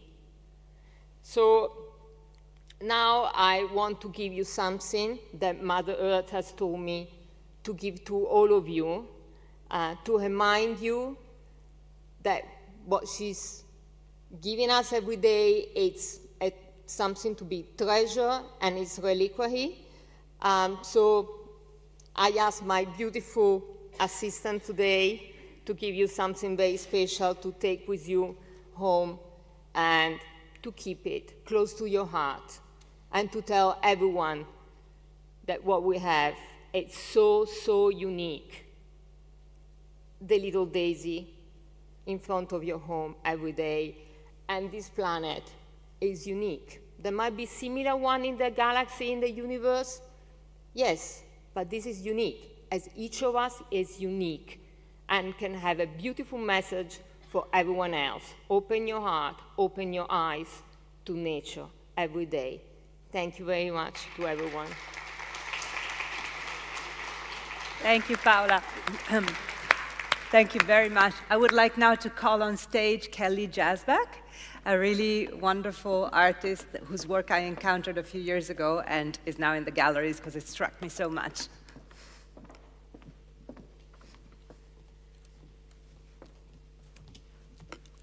Hi, everyone. Uh, first off, thanks. I'm honored to be in this remarkable exhibition uh, and to be here today uh, in this room with like, some like-minded individuals. Um, so my name is Kelly Jazvac. Uh, I'm a visual artist. And I'm here to talk about this project, Plastiglomerate Samples, which is upstairs on display. Um, but first, I have one bad news slide, if you'll permit me, just one. After that, I'll go into a story, which is much, uh, much more easier to digest. Uh, so what you're looking at here is a graphic of merged data from a paper by Jan Zalasiewicz uh, called The Geological Cycles of Plastics, uh, and they're used as a stratigraphic indicator of the Anthropocene. And I put this up here to just get a good visual of the, the way that microplastics are floating in the oceans, which I assume most people in this room have heard of the plastic gyres at this point. Uh, what is also pictured in this map is uh, those black dots represent waste available in countries to enter waterways. So there's kind of a doubling of information. Uh, the red areas in the sea represent 1 million pieces of microplastics uh, uh, recorded in a kilometer square. Now, the bad news, that's bad, but I'll get to the, the bad news. Uh, there's some things that this map doesn't show. Uh, so, one thing uh, that it doesn't show is how wealthier nations are shipping their waste to other countries, and that waste is still entering uh, waterways.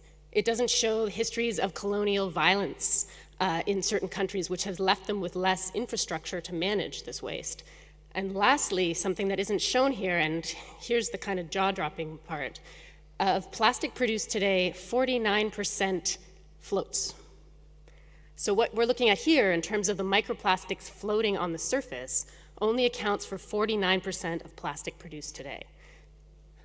Pretty staggering statistics. Uh, and the reason for that, uh, so I now I, I, have an art practice and I have kind of a traditional gallery practice, but I also collaborate in a collective called the Synthetic Collective, which I'll talk a little bit about later. And we focus on as much innovation as we can at the production end of things. And that previous slide I showed you is, is our motivations for why. Um, so these are my two collaborators with the Plastiglomerate Project. This is Patricia Corcoran, uh, who's a geologist, and Charles Moore. Uh, our collaboration started, and there was a question earlier today in the audience about uh, artists and scientists collaborating together. So I'd like to just take a moment to tell the story of how that came to be. And I apologize, I have a, I have a terrible cold I'm kind of working through, but uh, in any case, uh, I met Patricia because I went and saw a talk by Charles Moore. And Charles Moore is uh, an amazing plastic pollution activist. He was speaking at the university that I was working at at the time for free. He came in to talk about this cause. Um, and afterwards, uh, well, actually, during his talk, he showed a slide of this geologic phenomenon he saw on a beach in Hawaii that he didn't, he didn't quite know what it was, but his theory was that lava was erupting from volcanoes, traveling down to the beach, and merging with uh, plastic debris that was washing up on shore because this particular beach uh, was near an ocean current that delivered a lot of plastic waste from the plastic gyre to it uh, nearby. Um, so that's a pretty sensational story. Um, and he wanted a geologist to go and check it out. And so he asked Patricia Corcoran, who uh, worked at the university I was working at at the time, and she wanted to go, but she didn't have any funding, and she needed a field research assistant to go with her. Uh, and so after the talk, I, I approached her and said, I'm, I'm do a lot of research in plastic pollution myself. If you ever want to work together, let me know. And she said, can you pay for yourself to come to Hawaii with me and be my field assistant? Uh, and I said, yes, of course. Um, and so we went there looking for the sensational story, but what we found was not that sensational story. And that was immediately obvious by looking at the history of volcanic eruptions on the island. No, no lava was interacting with the plastic pollution as it was, waste, as it was washing up. The last uh, volcanic eruption in that area had been from the 70s, so that was clearly not the case. Um, so what happened on that beach was that collaborative moment between an artist and a scientist having a conversation of like, okay, well, what is this and what does it mean? And what we found from speaking with uh, our local guides, who I'll also talk about in a moment, um, is that this substance, uh, and that's it there, was not made by volcanoes, but it was made by humans. This is a, a, a, a super banal uh, birth to this substance. It's plastic uh, synthesized by humans, poorly disposed of by humans, and then melted by humans on campfires, by campfires in a very polluted beach where it's so polluted that if you were to have a campfire, you couldn't help but melting, melt plastic pollution. There's so many uh, small fragments of plastic in it. Uh, so we wrote a paper uh, citing that, because uh, this conversation on a beach, we started to talk about uh, the speculation of the Anthropocene and what that could mean um, and what the potential this had as a, as a signifier, as something significant for that. And what happens when that plastic debris melts and fuses with other sediment, like rock, sand, uh, wood, uh, it gains density. And because of that, it's able to enter, it's able to be buried, and its ability to be preserved is much higher, and thus it has a greater potential to enter the rock record of the future. So if a geologist were to take a core sample, uh, she might pull out a strata of plastic representing our time. And the other uh, two important people in this story is Ron and Noni Sanford. And they were our local guides, and something that I think is really interesting about this paper is that a lot of what we published, they knew already when we arrived on the beach with the authority of science behind us. Um, and to me, that's really interesting in terms of the way forward. Uh, uh, Noni is a second generation beachcomber. She has been looking at what's been washing up on the beach for decades she started to see a substantial change in what was washing up in the beach. Um, and she also, she also saw what was happening in her community. She saw people uh, melting plastic simply because there was so much of it, what else to do? Uh, and she was really worried about the perception from this spectacular story of volcanoes that nature was taking care of itself. Uh, not to worry, as the beach, if the beach plastic uh, washes up, the lava will take care of it, when in fact, it is she, her husband Ron, and the Hawaiian Wildlife Fund, which were uh, putting in unbelievable hours to physically remove this plastic from those beaches themselves. And lastly, I'd like to talk about uh, kind of where all this research went or is, is heading to. And something that both Patricia and I realized was really important to us was from the get-go of this project, uh, an artist or someone who's interested in culture was working with someone who was interested in science. And so we had conversations through the, the, the entirety of the research that was informed by each other's insights and opinions. And we thought that as a working methodology was really interesting. And so we formed, uh, along with a, a, a, huge group of incredible people, a collective called the Synthetic Collective. And our our simple premise is that we start uh, our scientific and artistic projects together at the, at the onset of the project. So rather than kind of the artist coming in and being asked to illustrate something for the scientist, or the artist really, uh, instead of collaborating with the science, kind of has a, a, project where they need a scientist to do their project instead of a collaboration, uh, that wasn't our interest. We wanted to identify the research topic together from the get-go. Um, and our latest project uh, is focusing on the Great Lakes, which is uh, in North America. It is a huge source of fresh water. 21% of the world's fresh water comes from these Great Lakes. Um, and we're looking at industrial pollution and how to uh, specifically target uh, post, uh, post-production pollution as opposed to post-consumer pollution uh, with the hope of changing policy over time. Um, but I'll end there. Thank you very much.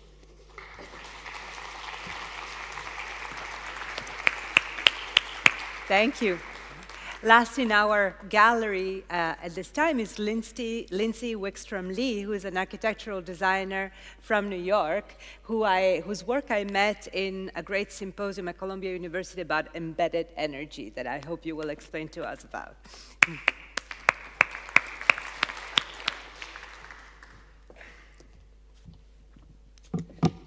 Yes, thank you for having me. I'm Lindsay. I'm an architect in New York.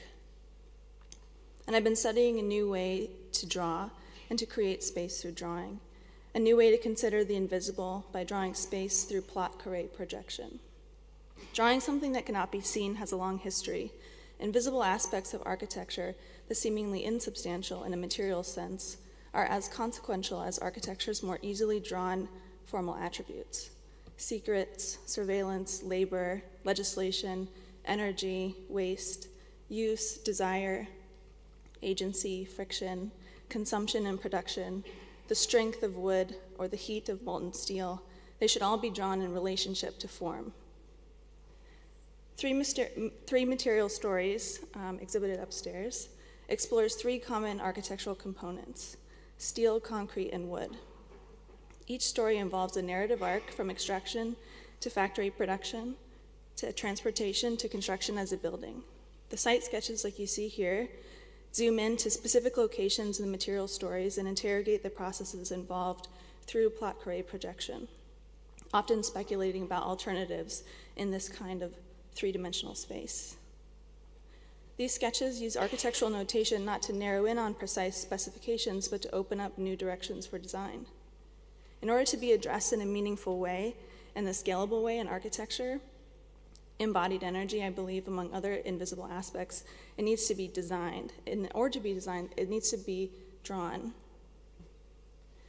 These drawings of invisible forces of architectural materials take the form of this special projection technique.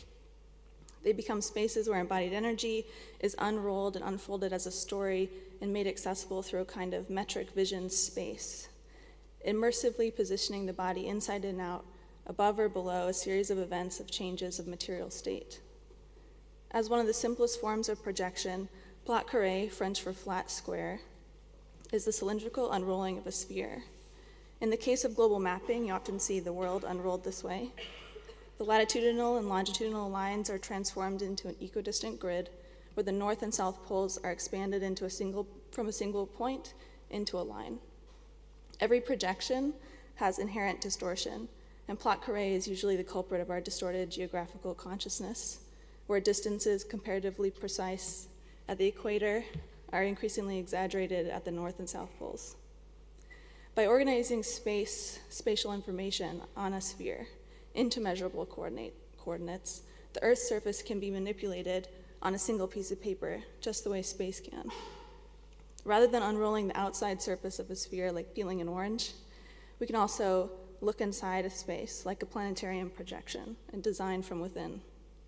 Imagine an observer ensconced in a sphere, his or her eyes at the center, with equidistant rays shot from the center of the sphere in all directions until intercepted by mass.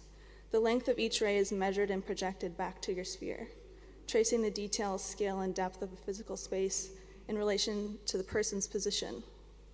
Unrolling the sphere into a grid, we find that each square maintains relationships between forms, describing what is visible in front of you and invisible behind you on a single piece of paper. The rules for drawing this space dramatically change. Straight lines become circles, curved lines become straight. The warping forms insinuate a new representational language. Immersive representation has the potential to transport anyone that views it from within. When the drawings are viewed this way, the body of the observer and the body of the designer become linked, as if they're looking through each other's eyes. Bringing a more four dimensional, first person point of view approach to the design process. When you go inside these images and you look left and right and up and down, it allows different parts of the drawing to pass in and out of view. And scale especially in the material stories upstairs. It allows scale to become relative to the viewable area. So as you look at these drawings, different steps in the material process can become rearranged, reimagined, redesigned. In the case of this uh, project, many drawings come together to form a space, like you see on the screen. Transforma transformation becomes linked to your movement, and the spatial sequence is no longer linear but associative, collapsing a story into a more empathetic experience and allowing the space of steel, concrete, and wood to be redesigned. Because we don't see 360 degrees at once, maneuvering through the world requires eyesight to work in tandem with memory. For a visual scope to be useful, we must assume a certain truth about the space outside our view, a space based on past events, the space that's without, uh, just one more sentence, the space that's hidden behind us. Thank you. Thank you.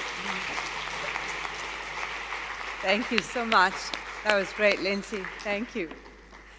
I would like now to introduce on stage a fourth member of the curatorial team, uh, the only one that, is indigenous to the Triennale, but, well, not the only one, almost, Laura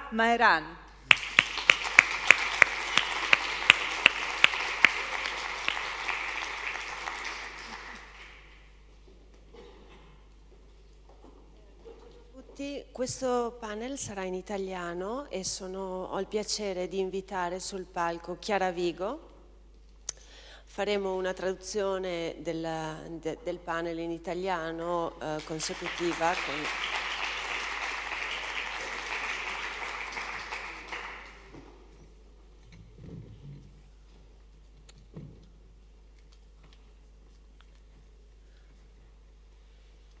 È un grande piacere per me essere qui e presentarvi Chiara Vigo. Chiara Vigo è un maestro del bisso, altrimenti detta la seta di mare, e questa tradizione antichissima proviene, ha una storia appunto molto antica che viene tramandata di generazione in generazione nella linea femminile eh, attraverso una, una, una trasmissione soltanto orale. Chiara infatti è, eh, trasmetterà il suo sapere alla nipote che continuerà la tradizione della, ehm, della raccolta e della tessitura del bisso, della seta di mare. Questa, questa mh, tradizione ha eh, appunto delle origini antichissime, infatti si trovano 46 passi biblici in cui viene citato la, il bisso e questa cultura e come diceva ieri Paola, eh, anche, in, anche, in, questo caso la, questa tradizione è una sorta di enzime, enzima che come il design può sviluppare processi positivi. E, e è importante che venga, che, che venga, che venga mh, mm, eh, proseguita nella, nella sua storia e per questo vogliamo sentire da Chiara un, uh, il, il, racconto del, del suo lavoro. Good afternoon, and it is a great pleasure to introduce uh, Chiara Vigo, a great master uh, of Byssus, the work of Byssus. This is a work that has very ancient uh, origins. Byssus is otherwise called sea silk, and uh, it derives from a very old, ancient tradition orally transmitted from generation to generation of women. Only women, from woman to woman, it gets carried on. And in fact, uh, her mastery will be passed on to her niece, who will learn how to collect, um, spindle, and weave this fantastic um, material. As Paola said yesterday, tradition is a sort of an enzyme something that design can develop, something that can be developed in design, like a positive process, uh, which is very, very important to carry on. This tradition is so ancient that we can find it for in 45, 46 passages in the Bible. Volevo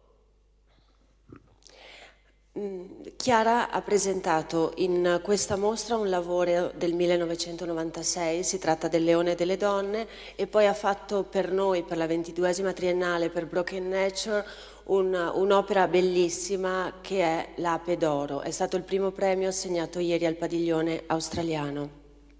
Una cosa importante da dire del bisso è che non si acquista né si vende, è soltanto un dono che viene appunto tramandato come il suo sapere di generazione in generazione.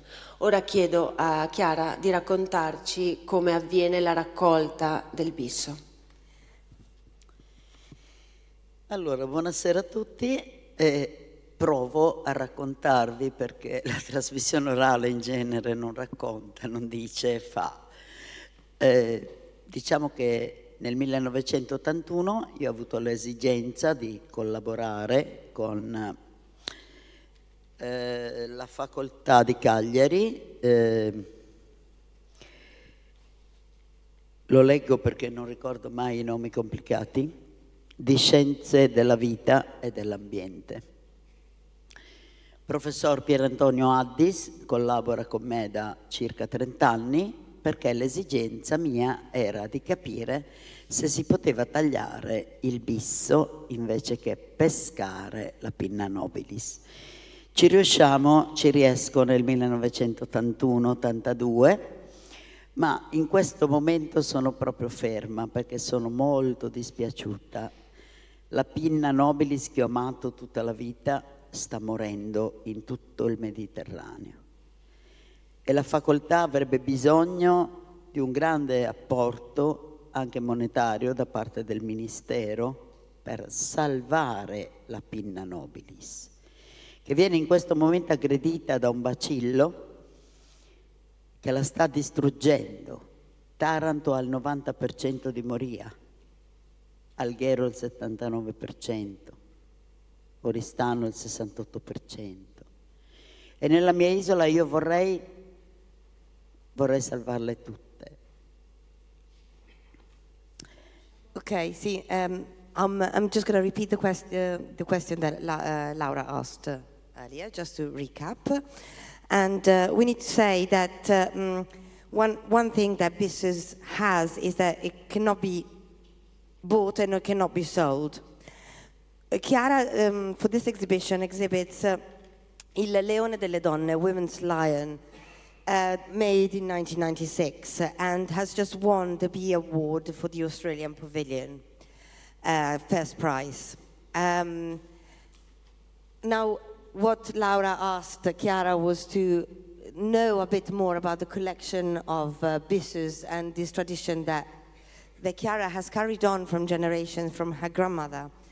Um, basically, in, uh, she, she wanted, uh, Chiara wanted to find a way to actually collect bissus by cutting it rather than fishing it, because obviously this is a very rare type of uh, clam and it's uh, on the way to ex- extinction. If we have to give some numbers, Taran- in Taranto, 90% of uh, bissus clams are dying, in 70% in Alghero in uh, Sardinia, and 68% in Oristano. So it's something that needs to be safeguarded. It needs to be um, money needs to be given by the government to safeguard this precious, precious uh, um, history that byssus carries with it. In uh, 1981, since 1981, Chiara has been working with Professor Piero Addis from the Department of Life and Environment and Sci- Science. Science. And uh, with, this, mm, with this department, they made experiments to see uh, whether they could still fish or not fish um, this, this precious, precious clam. Allora diciamo che a tal proposito vi, do- vi posso dare il risultato scientifico della sperimentazione di taglio della seta marina. Allora, in 100 immersioni, se visitiamo un banco di circa 2 ettari, col 40% di animali adulti, possiamo ottenere un regalo di approvvigionamento senza disturbare l'animale di 250 grammi di grezzo che diventano 30 grammi di pulito che diventano 21 metri di filo ritorto sufficienti a fare il regalo al mondo come a Broken Nature. Um, the, the experiment that Chiara um, carried on with the Department of Life and Environment and Sciences, Science um, actually gave some numbers, and without actually collecting the whole fish, but just by cutting pieces from the sea, from 100 immersions, we can collect 250 grams of raw materials, from which we can gather 30 grams of clean material and 21 meters of twisted yarn um, twisted with a hand spindle. And in this way, uh, people like Chiara can still be able to donate things such as the ones she donated to Broken Nature. Allora, Chiara, abbiamo capito che la, la, raccolta del bisso in questo momento è interrotta, infatti tu utilizzi molto spesso il, il, il bisso che viene ancora da tua nonna, che ti ha trasmesso, ti ha trasmesso questo sapere, Leonilda Mereu. E anche con, con questo stesso bisso um, della, della, nonna hai, hai, tessuto la nostra ape, che è stata tessuta per noi in, in una, in una in un tessuto di lino che, che viene anche questo dal tuo patrimonio familiare. Eh, ci rendiamo conto da quello che ci dici che anche questa, questa tradizione è a, a in grave rischio, come abbiamo dimostrato con tanti progetti che sono presentati in mostra e speriamo che anche questo serva come monito per, per svegliarci e non perdere un importante sapere come quello che tu stai tramandando. Ci piacerebbe anche sapere come avviene um, dopo la raccolta del bisso in mare, che al momento stai facendo molto di rado, eh, come avviene poi invece la fase della tessitura. Um, uh, we've understood for now that the, the collection of bissus has been interrupted because the, the, species is so endangered. And in fact, uh, uh, Chiara, you use, still use uh, the byssus that your grandmother, Leonilda Mereu, had collected so many years ago. And with that same byssus, that same silk, you then wove the, um, the piece that you donated to, uh, to Broken Nature, uh, our bee. And, um, and for us here, uh, this is made with a linen cloth that is also coming from your family. And uh, and we realized that this work is at risk here, like many others uh, that are exhibited here at Broken Nature. And now we would like to know what happens after the byssus is collected and uh, how it then becomes the marvelous cloth you make. Allora, una volta venuta praticamente la pesca, se così vogliamo chiamarla, fra virgolette, ehm, abbiamo un, un, lunghissimo processo di lavorazione perché abbiamo, viene dissalata per 25 giorni, avendo cura di cambiare l'acqua dolce sia di giorno che di notte ogni tre ore. Fatto questo lunghissimo processo, si procede alla cardatura, quindi all'eliminazione delle tantissime alghe che sono appiccicate diciamo, alla seta e dopo questo la seta va nel formulario che non è altro che un concentrato di macerazione di alghe, di cedro e di succo di limone, quindi un acido citrico che incontra un acido tanninico, che incontra un collagene cheratinato come il bisso. Poi viene armato un telaio che ha circa 2000 anni e quindi ha un ordito completamente tirato a mano che passa attraverso un pettine di canne dove le unghie creano il disegno. Raccontarlo così è un po' difficile. Ma vediamo dietro di noi alcune immagini in cui si vede Oppure venite a Sant'Antioco. Uh, after byssus is being collected, there is a very, very long process of spinning and then weaving. In fact, uh, uh, this is a very ancient uh, procedure, and it requires a lot of patience. It requires 25 days for uh, the desalting of the byssus itself.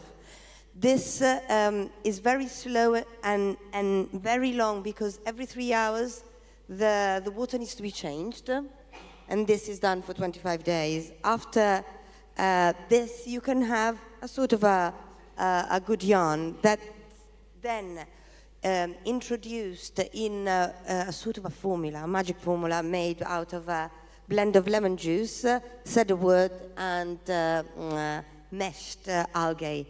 Uh, this compound allows it for the, um, the actual byssus to then become a little bud and then be spinned uh, by hand and uh, uh, then actually applied onto a loom that is 20,000 years old and the warp is totally stretched by hand. And uh, thanks to the collagen of the byssus, this, uh, this magically comes into being as uh, a cloth. Si we can see images at the back. Si tratta effettivamente di un lavoro che coinvolge non solo la manualità e le unghie, come ci dicevi prima, ma anche i canti. Le vibrazioni sonore dei tuoi canti che accompagnano tutti i momenti della tessitura sono importanti tanto quanto la lavorazione perché incidono nella, nella tipologia di, di- di bisso che si crea. Ci piacerebbe se potessi farci sentire brevemente qual è uno dei canti che vengono, ehm, che, che, con i quali accompagni la tessitura del tuo bisso. Um, now, this uh, very long procedure of spinning and weaving byssus um, that involves uh, obviously manual work and nails working together with the loom and the spindle and, and everything to create this cloth would not be um, the same and as magic if they weren't accompanied during the weaving by some very ancient chants. Now, would you like, please, to share some of these chants with us, Chiara? Allora niente accade senza vibrazione. Oggi i giovani studiano le vibrazioni, tutte le cose complesse. Sono millenni che si usa la vibrazione per qualsiasi operazione che sia di tipo manuale, perché diversamente non stiamo tessendo, stiamo muovendo il telaio, sono due cose diverse. Tessere per amore e perdono a tutto il mondo è molto più inebriante. Quindi io preferisco tenermi quello che mia nonna mi ha insegnato, e cioè il suono.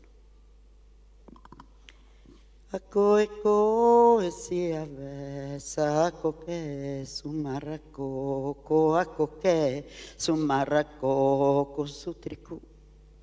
E su tricù si ataoto e iso, gli ammesube pro e pro, e si avesse pro e pro. Si scollava, sa schiu, che pepazzulla, schiu, che pepazzulla formava.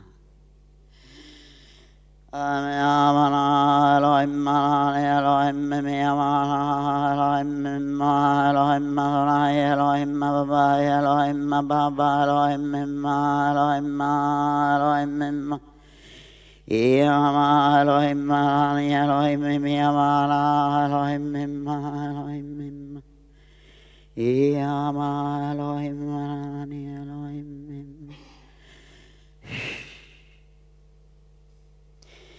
Sono molto arrabbiata. Sono 40 anni che chiedo che la mia, il mio arcipelago sia dichiarato area marina protetta. E il professor Addis mi è sempre stato a fianco. Non riusciamo ad avere la marina protetta di un arcipelago nel Mediterraneo e questo è molto grave. Grazie.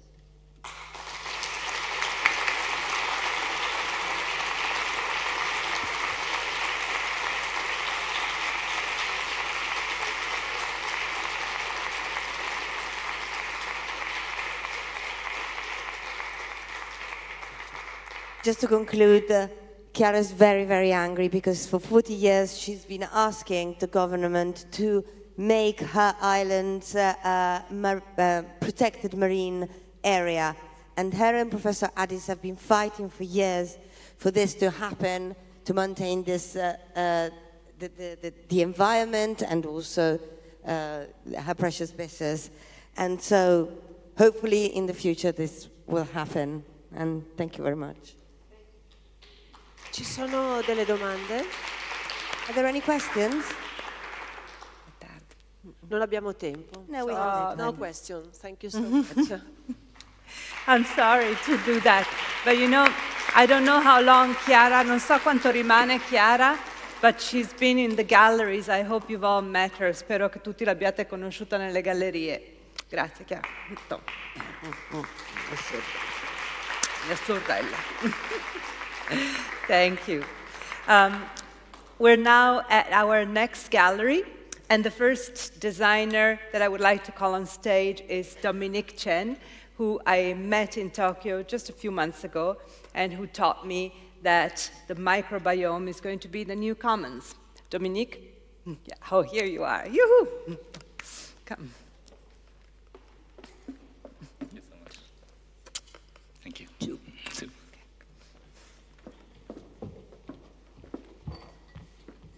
Okay, so here's a click. Hi everyone, uh, good afternoon. My name is Dominique Chen, and I'd like to present our new project called uh, NukaBot. Uh, here we go. Uh, first of all, I'd like to thank again, sincerely, Paola for inviting us uh, to this wonderful exhibition.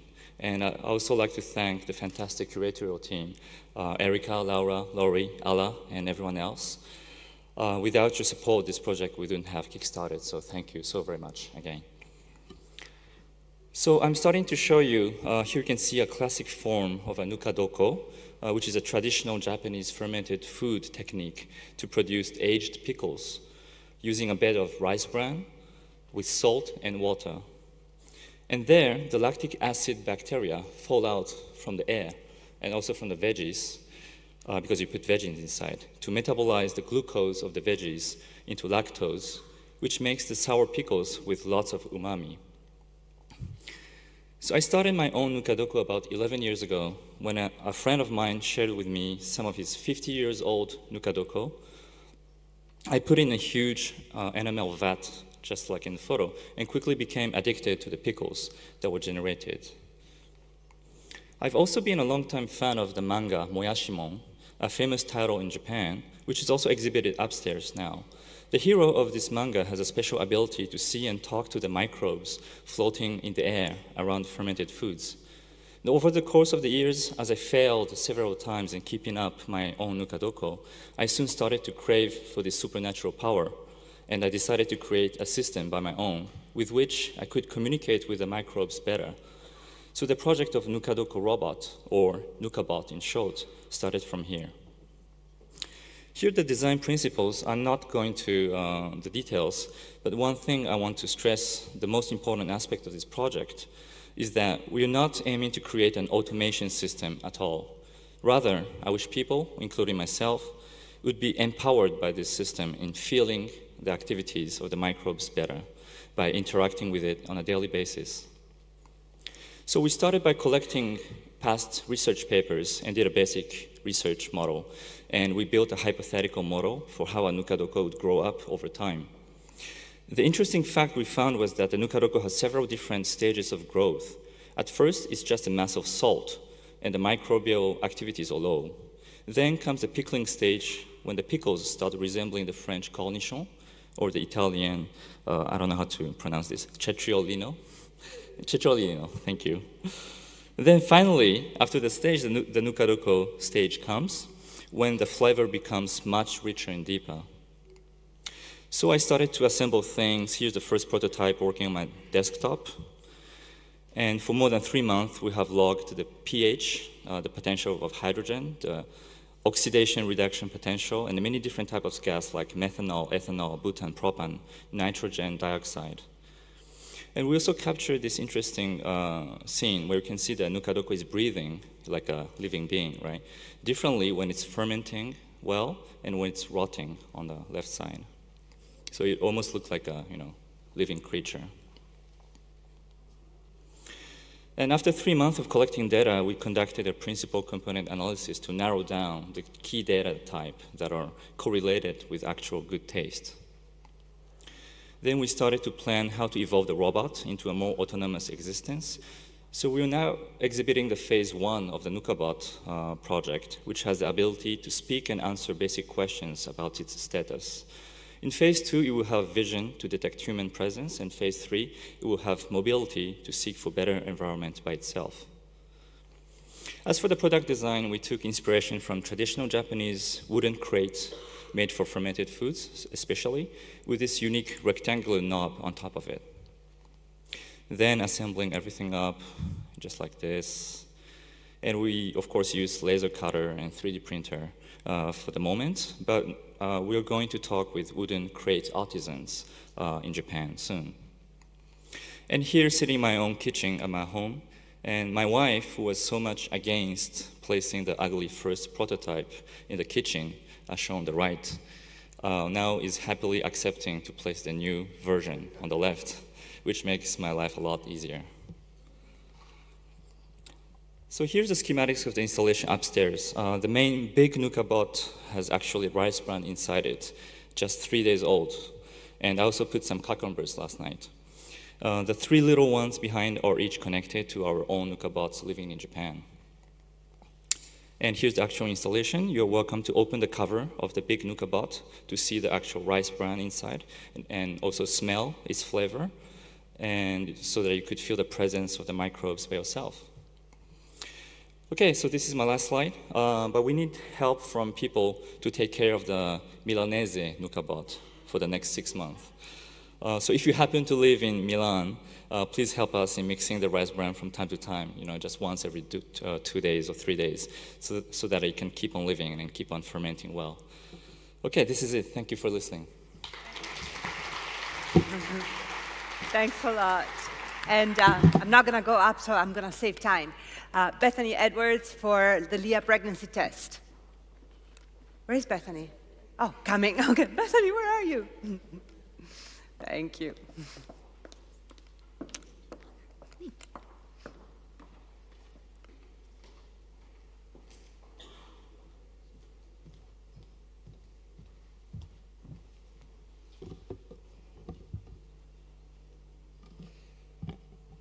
Hello, everyone. I'm Bethany Edwards, and I'm pleased to be presenting to each of you today. Having my work and my company, Lia Diagnostics, featured in Broken Nature is a true honor, so thank you. My fascination with nature, design, and engineering began at a very early age. As the daughter of a man who chose to design and build with his own hands his family's home into a countryside hill. I learned early on that common conventions could be broken and that the world holds a special regard for those who forge forward with such ingenuity and dedication to working with the natural environment. This ingrained desire to blend these disciplines has driven me to transform Lia from a sketch in my notebook to a tangible, efficacious product that it is today. Lia is the first FDA cleared, biodegradable, and flushable pregnancy test. It has been designed to provide women with an added benefit of privacy, as well as an eco friendly alternative to plastic landfill bound tests. In 2015, I co founded Lia Diagnostics to build upon my research and challenge the status quo of existing pregnancy tests. We set out to redefine the very object itself to rethink and re engineer everything from the pregnancy test's antiquated 30 year old stiff plastic form factor that provides little privacy to their bulky pink and blue boxes that infer a plethora of social connotations. Lia stands as a stark contrast from its ultra thin form and its use of new materials to the very product name. Lia purposely was chosen to evoke a less clinical, more human quality. Even Lia's retail packaging, a slim envelope style that boldly encompasses all emotions, invites the user to decide and provides a way of empathizing with one's wildly varied emotions during testing. The initial inspiration came from questioning the use case of all single use diagnostics. So, not just pregnancy tests, but all single use diagnostics. Single use diagnostics are only used for a few minutes, but the materials that they're made out of far um, you know, are made from glass fibers, synthetic fibers, and plastics. They far exceed the life cycle of the product. And so, in addition to questioning the design of the single use diagnostics, it was also this quote from Richard Fry The idea of temporality and designing a product to not be recycled, but rather engineered in such a way that the product seamlessly goes back into nature, spurred our dedication to making the device compostable and able to biodegrade within 10 weeks in soil. To achieve this meant combining techniques and materials from the paper and textile industry with those used in medical devices, ultimately creating a brand new category of diagnostics that biodegrade and disperse like two ply toilet paper, all while maintaining over 99% accuracy.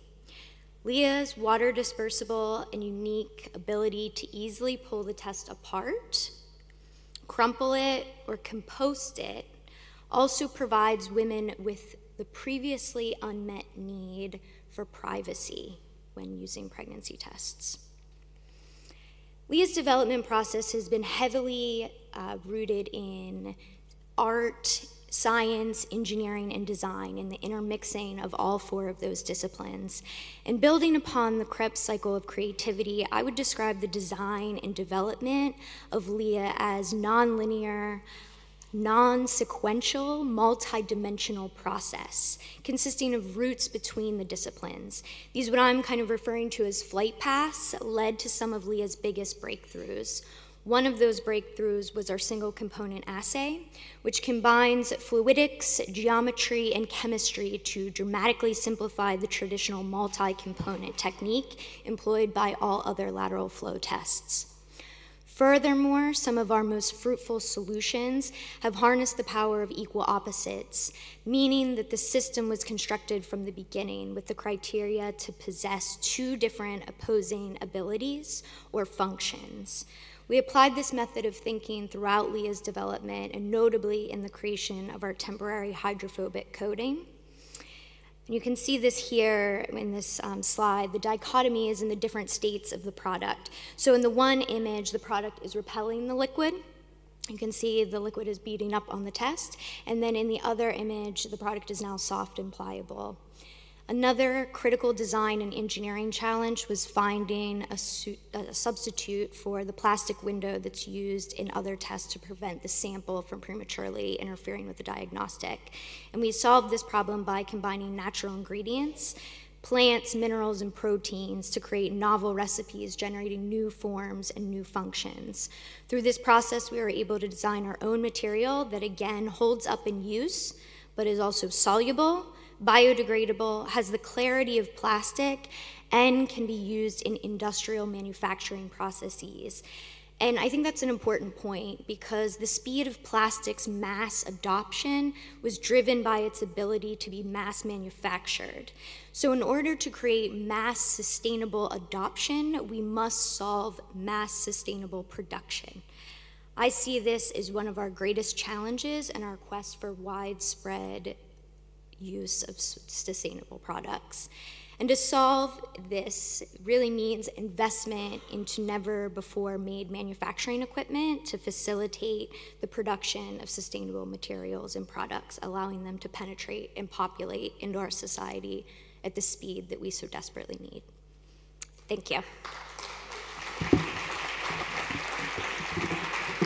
Thank you, Bethany. Um, about a year and a half ago on The New Yorker, I saw an article about a photographer, Laura Aguilar, and my heart melted. This is a woman that used to take self portraits of herself in nature and say that she identified with a boulder. She was living in Los Angeles, and I decided that I would try and go meet her, but I didn't make it in time, and she passed away last April. But her work stayed with me, and it ends the exhibition. This idea of real love for nature in all its forms, animate or inanimate, really stayed with me. And today, to talk about her is a person that really helped us get Laura's work here. Her name is Xaviera Flores, and she's the librarian and archivist for the UCLA Chicano Studies Research Center in Los Angeles. Xaviera, please come. Thank you. And thank you. Mm -mm. Yes.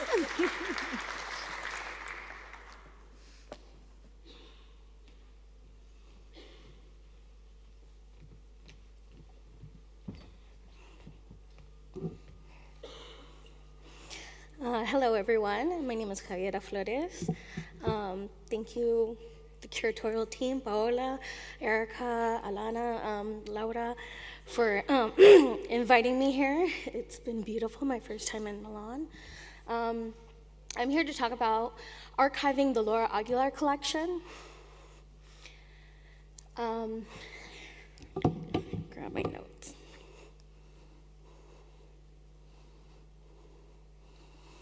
So, what I do as the archivist and librarian is really about preserving and providing access to the communities, the Latino community's cultural heritage. Uh, this includes art archives such as the Laura Aguilar papers and photographs.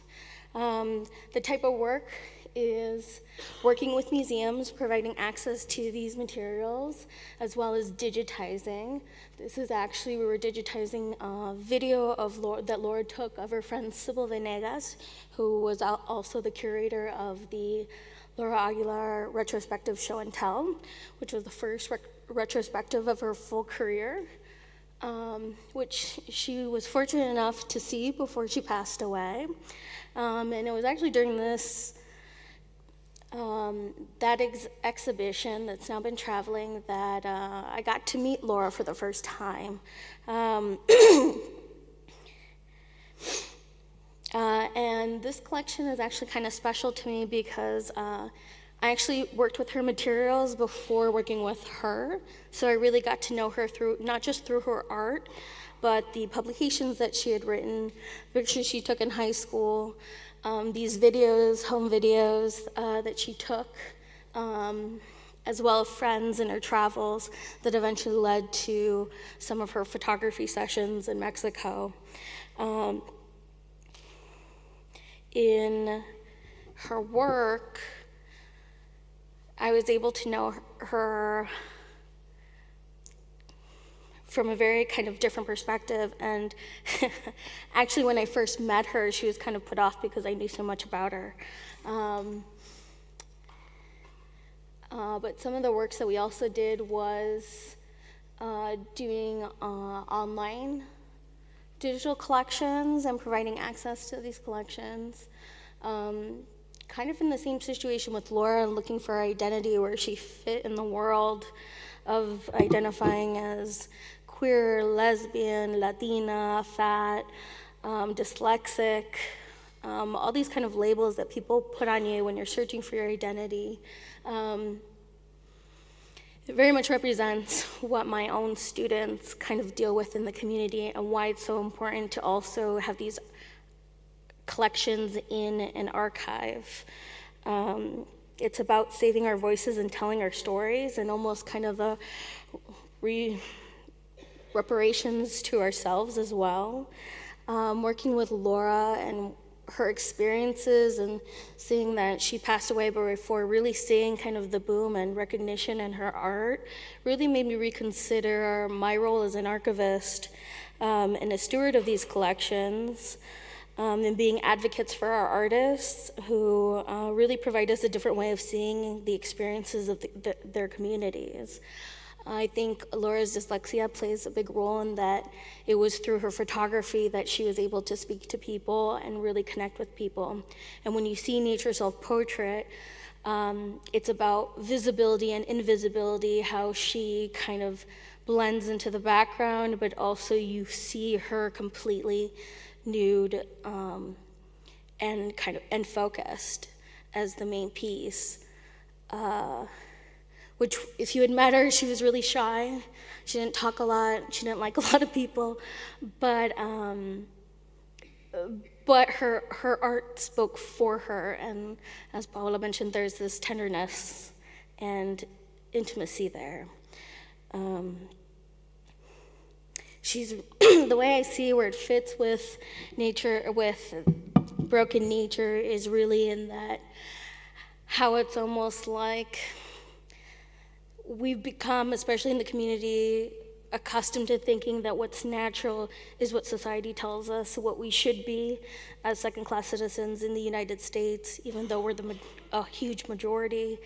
And so she really breaks away from that and finding and going into these natural spaces, uh, these landscapes, And she always talked about how she felt more at ease in nature and um, more herself. And it's almost breaking away from all those social c- constructs of what it means to be queer, what it means to be Latina, what it means to be fat within our society and, and politics. Um, and here in this, this PowerPoint, I really just wanted to share some photos of her kind of in her last moments. This was the opening of the show and tell.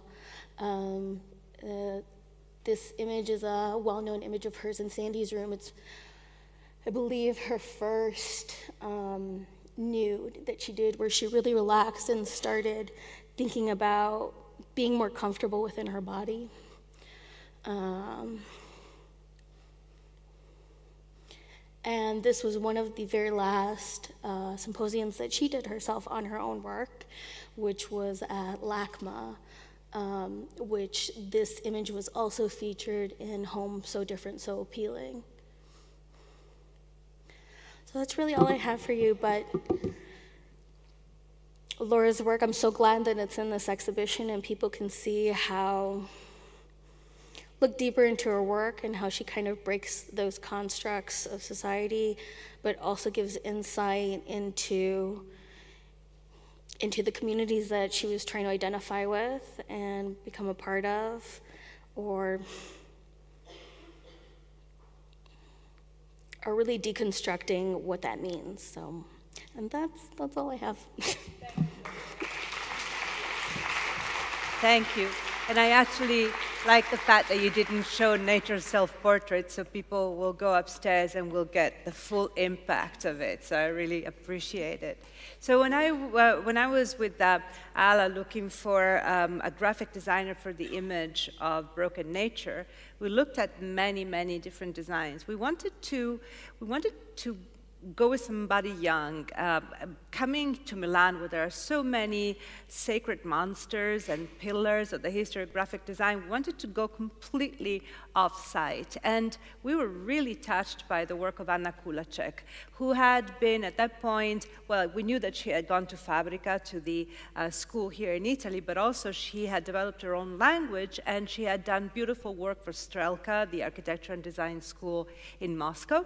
So we just called her up, and uh, we thought she would, was living in Moscow, but instead she was stranded in New York, and uh, because her visa, all these visa destinies. So here is Anna Kulachek. Thank oh, oh, thank you.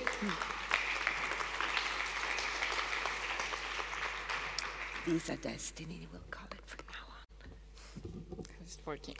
Hi, everyone.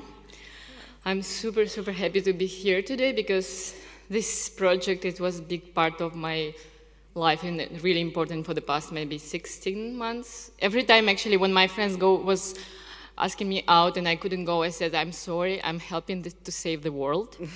so, and um, I think all of you uh, receive this kind of emails. I mean, you win $1 million.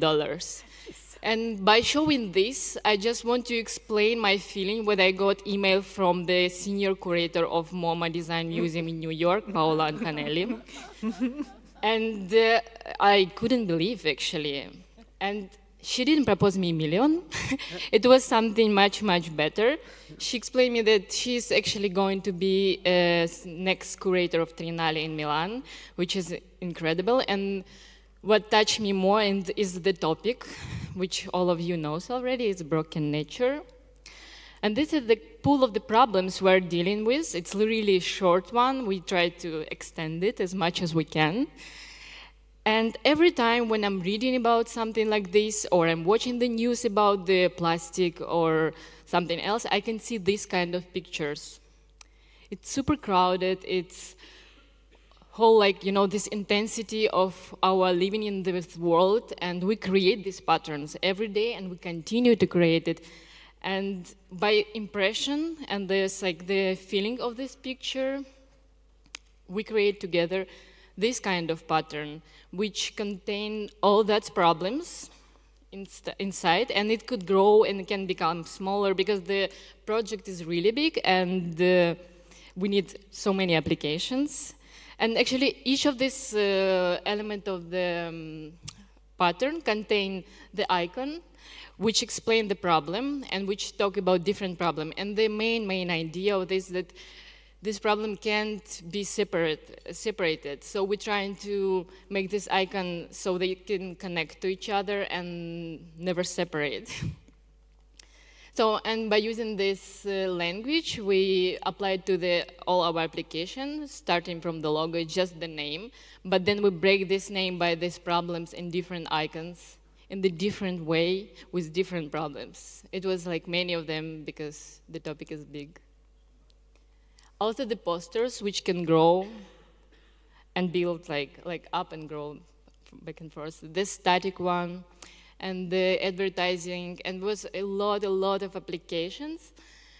And it seems like really easy done and like few lines on top of the destroyed typeface, but actually it was a lot, a lot of work with many um, like, like many consultations like and changes and colors like many of them and just like really like 10 part was like with hundreds of calls like because we was everywhere like new york milan moscow and oh, we connect in the different i'm sorry for the faces we was like I, was, but i think i just want to thank to all that family which i have for the past year. It's laura and ala and of course paola and uh, all the Triennale, Alessandra, Dario. Really, it was like connecting, like really, how to say, global project for me.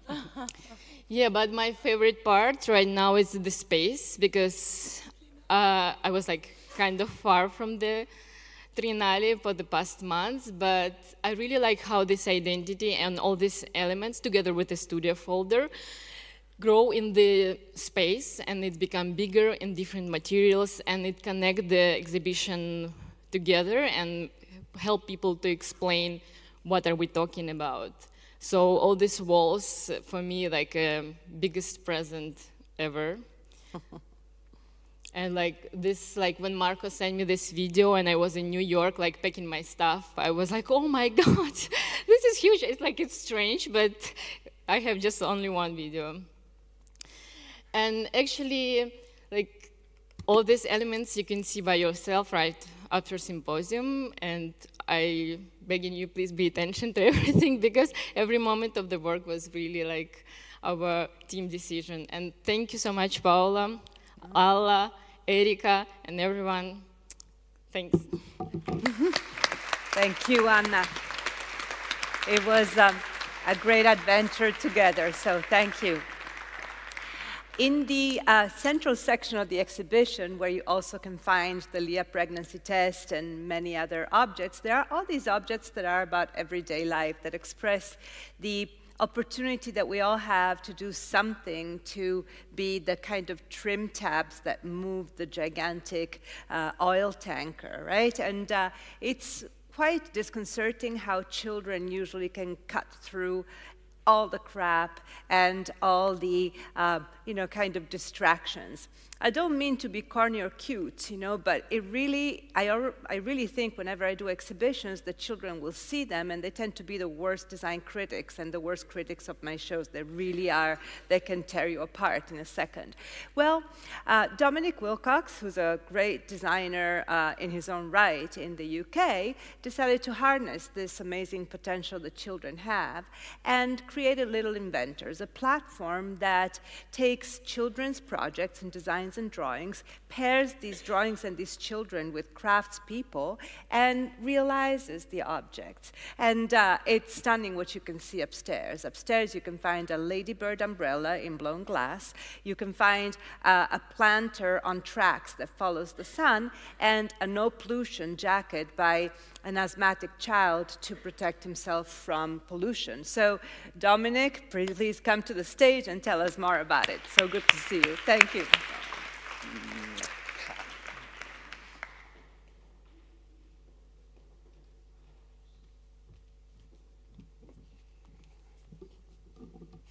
Yes, um, so I work between the worlds of art and design, and I've spent the last 20 years trying to think up uh, interesting ideas. And about three years ago, I decided to ask another group um, of creative people uh, to come up with ideas themselves. And I, I think um, I've really asked the, the world's largest group of creative thinkers. It's not artists or designers, it's children with their wonderful free imagination and their natural inquisitiveness. And when you bring those two together, it's quite powerful. Um, so I started a project which is now an organization called Little Inventors. And as Paola said, we ask children to think up invention ideas and draw them down. They could be crazy, bonkers ideas, or they could be practical solutions to everyday problems. Um, there are no rules. And, and then we ask local makers, manufacturers, craftspeople to really take seriously the children's ideas and turn them into real things for exhibition, etc. Um, so we've got three, three objects in the exhibition. Now, we, I recently reviewed all of the uh, ideas that children have uploaded to our website. Now we've got over 10,000 children's invention ideas. And the number one uh, theme is the environment in the, the, the big themes that we've picked up. Um, so this is a positive news for the future, I think. Uh, this is Griff. He lives in London and he suffers from asthma. And um, so he doesn't like the pollution in London. So he designed a pollution protection jacket, a no pollution jacket, with it, which would completely cover his whole body. Um, and we worked with a. Um, this is great. So this is the children are coming to save the day, I think. And uh, so we worked with a local maker, and we also went to the Institute of Materials, um, who uh, imbued the uh, fabric with um, titanium dioxide, which protects from pollution. So it's really taking the children's ideas seriously. Um, oh, you can see, this is him in the park. he, we can't get it off him whenever he gets it on. You can see through, there's some uh, air filters. Um, this is another example, again, uh, on the theme. At this time, it's by Arthur, aged eight. And Arthur is passionate about gardening. He knows all of the names of all of the plants and when to water them and when not to water them. And he actually wrote a letter to the, television, to the BBC and is now on, on BBC television talking about gardening. And his idea was um, something that would move plants or flowers to the sun. So to put it onto tracks. And um, this came out, that's Arthur there on the television. Oh, sorry got a little video there. So this is, this is in the exhibition. And we worked with a, a local model railway society. So we're really uh, connecting different types of makers together with the children's uh, brilliant ideas. And this one was actually from the very first project uh, that we did in Sunderland, where I come from, uh, in the northeast of England. Simply a ladybird umbrella. So it's, it's uh, Sophia who really cared for this, one of the smallest creatures, those little red beetles with the black dots, um, to protect it from the rain. And we worked, and that's Sophia there. Um, the children go to the workshops and they learn how things are going to be made. They explain their idea in more detail. Um, so this is from the first project. I did 19 workshops in uh, two weeks and got 600 invention ideas. Um, these, these are the sort of sheets we, we, we, we designed. So it's a, a place to draw it and then questions, what is your idea? How does it work? Who does it help? Um, they visit the, um, the makers with, the, with, the, with their idea. Then we present them to the highest standard we can. Um, the object, the drawings on the wall, the objects in the center. Um, and the, the exhibition is really important because this project isn't just about children, it is about inspiring people of all ages um, to start thinking creatively and out of the box thinking. And the children really um, surprise and, and kickstart people's ideas. They start to talk about the possibilities. Um, we've got a website now. We give positive feedback because confidence is very important to creativity. So we give positive feedback on the children's ideas to try and boost their confidence. Um, we've expanded now around the world. So this is in China. This is in a remote Chinese village doing the same project. Um, And finally, we now we've got a book, so this extends our reach, which is now going to be uh, translated into Italian um, the end of March, I believe. And this allows us to spread the word that, to encourage everybody, children and adults, to gain a passion for creative thinking and hopefully make the world a better place. Thank you.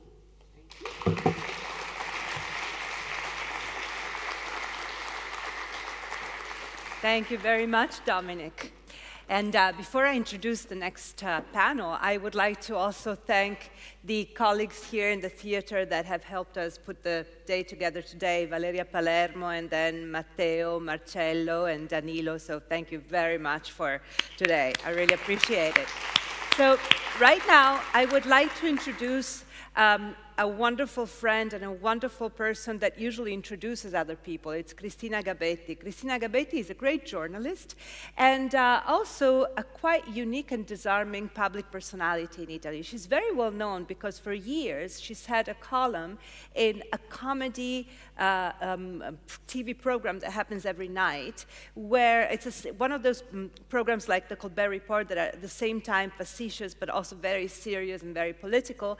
And her disarming charming qualities is her absolute dedication to making sustainability and responsible behavior normal.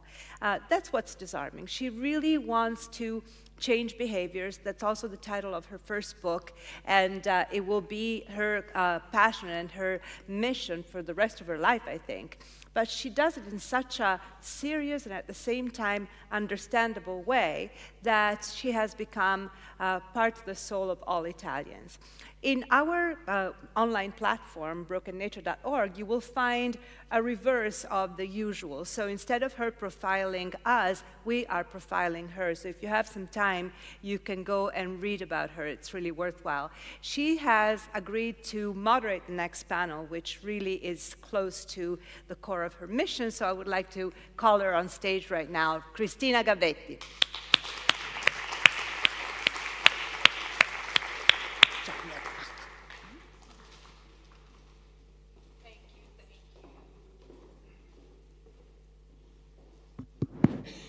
I'm touched. Really, thank you, Paola, for allowing me to contribute what is really dearest to me.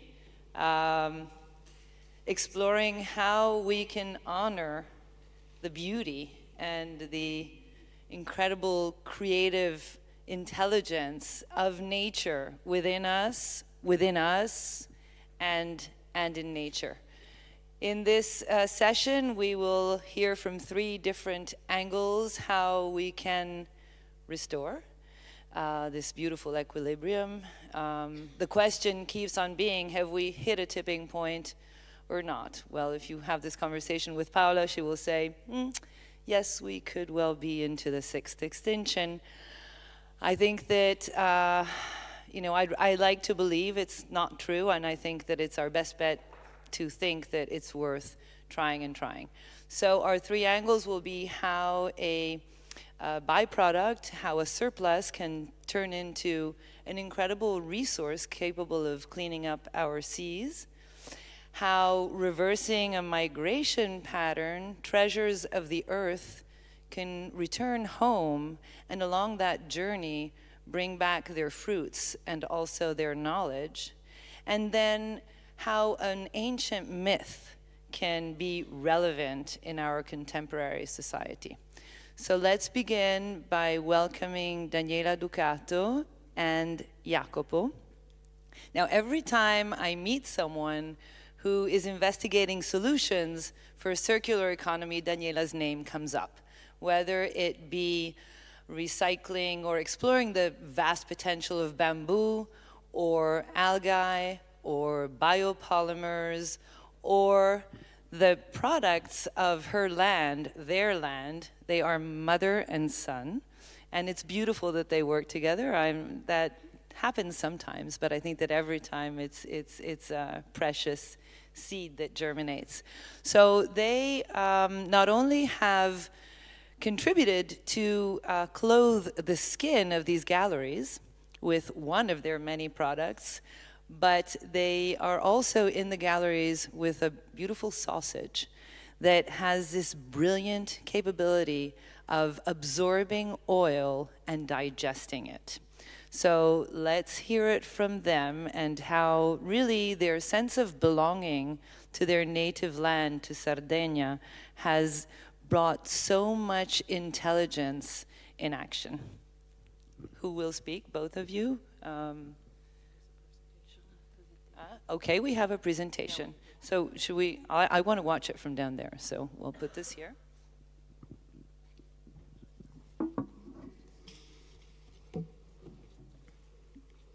Okay.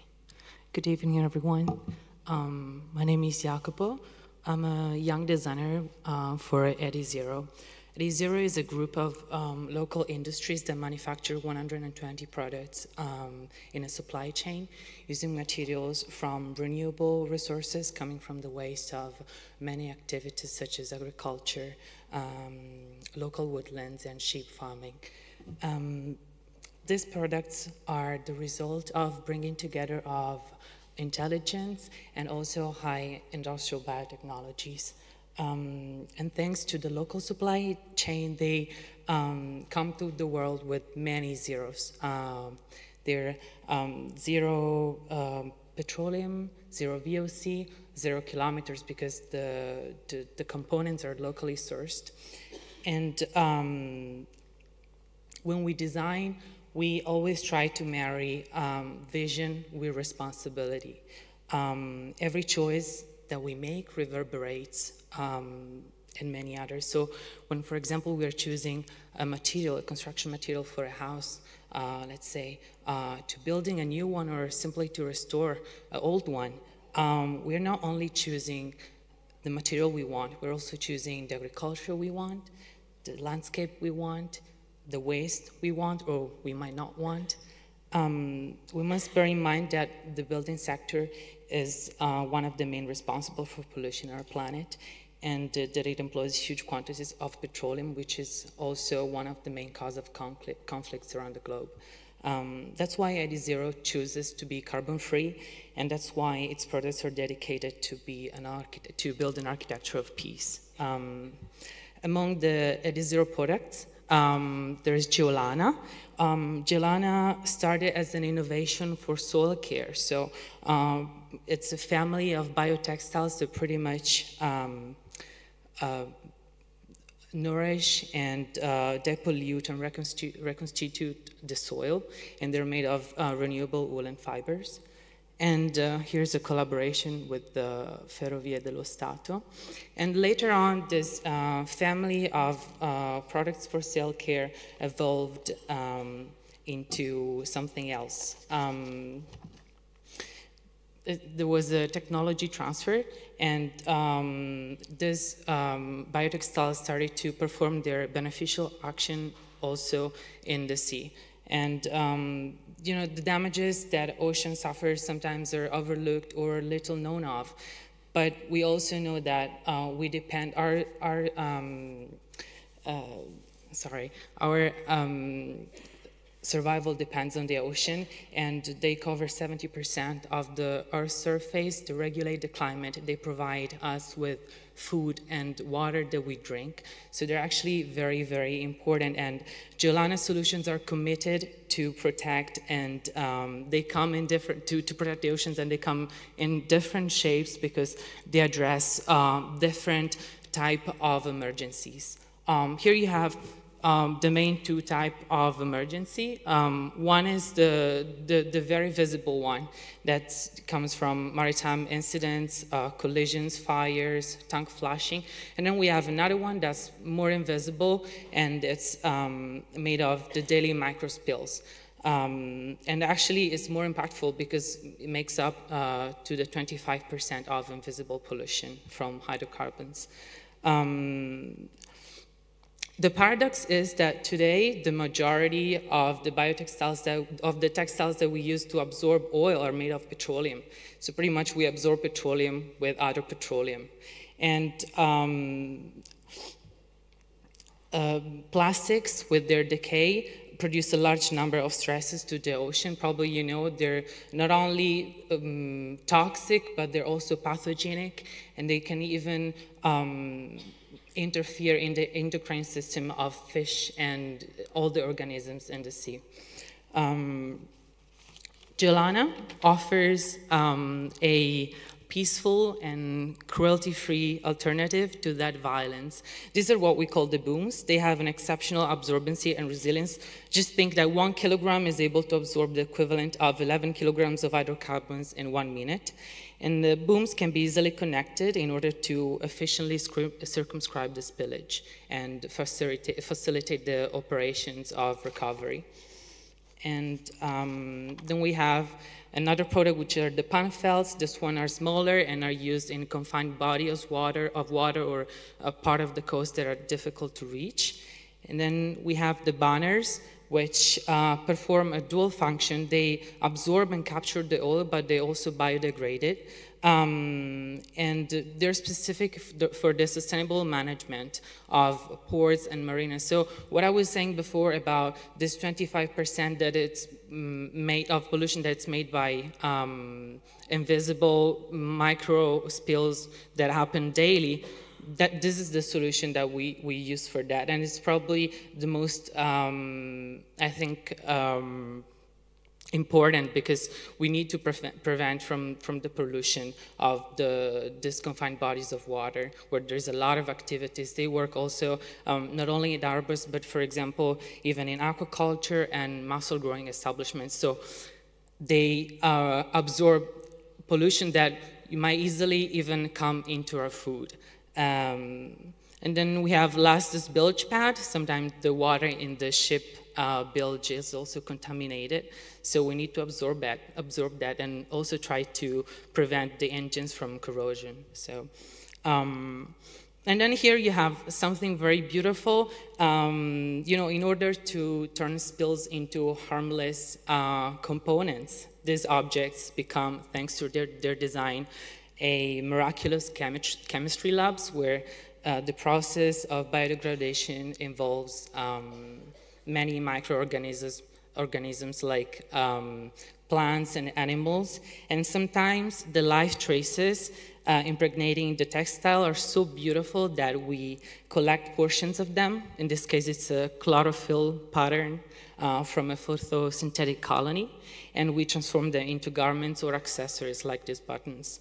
Um, nature is a source of inspiration, of course, and inspiration comes from close observation, and that translates into our product solutions. Um, but I have to say, the fundamental ingredient is multidisciplinary uh, cooperation um, because it's um, the baking powder of innovation. Uh, you know, if um, we want to create innovation that is fair and is democratic, um, we need the contribution of everyone. And uh, we can use innovation to unite the world, but also unite the world, you know, the world of not only humans, but also plants and all the many beautiful kingdoms that exist in nature. And uh, one of this world is the insect world. Here you see one of our mascot is a grasshopper. Um, its lungs can hold great quanti quantities of air in a small space, even in the driest and most uh, droughty environment um, that is the same quality that we look for in insulation material. And then um, there's another remarkable uh, creature, probably Paola, you will like it. Uh, it's an octopus. It's uh, actually a female octopus. Um, her eggs have a stem-like connection that works as a strong adhesive uh, to resist constant wave oscillation. The adhesive, of course, of course, has to work underwater, is irreversible, and after hatching, of course, it just becomes a thin layer on the rock surface. Um, the oblong part, of course, is you know eaten uh, by the other sea creatures, and it gets dispersed in the sea. Um, and there's no waste. Uh, it's um, what we should look for in any innovation, you know, minimum existence and great performance. And it's incredible to see what tricks uh, loving mother is able to pull out to uh, guarantee its offspring survival and ultimately its species survival. And that's also what we try to do. We, when we are in need of a wider angle of view, we simply look at the world through the. Thank you.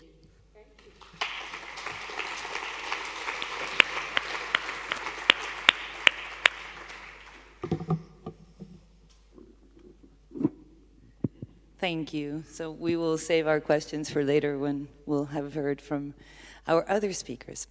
Now, how do theory and practice come together? And how do they then in turn become action? Now, isn't that one of the biggest challenges we have today? Amy Franceschini is uh, one of the most interesting minds to dig into uh, in order to explore this. Uh, as an artist, she spans across all mediums. She has taught at Stanford University and then the Art Institute of, of uh, San Francisco. And uh, she's here with Seed Journey. Uh, uh, they are here with Seed Journey because uh, these are all collective projects. And as we hear, they really bring together so many different forms of intelligence. Now, through a reverse migration, these seeds, which are ancient seeds, are so threatened now more than ever uh, because of industrial food production, which entails a huge series of problems from pollution all the way to the degradation of soil and uh, massification. And that not only means a loss in biodiversity, that is also a big loss in terms of our human experience. Uh, you know, you can find that when you go to an old uh, to, to a farmer's market and you bite into an apple that looks different and not only looks different but tastes different and brings different nutrients than what those three or four types of apples that we find on most uh, in most supermarkets. So by um, bringing uh, by bringing upon uh, or, or, creating a reflection upon this, the action is quite fascinating, and it was created through a reverse migration, which we would like to hear about directly from, from Amy. Thank you very much.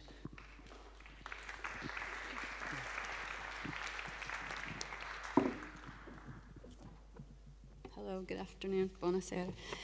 Um, Paola, thank you for always keeping up with our work over the years. I know it changes a lot. Um, I'm here today with Lotte Vranken, who will join us in questions and answers, who's um, a collaborator in Futurefarmers. And I'm going to try to get organized here. Let's see.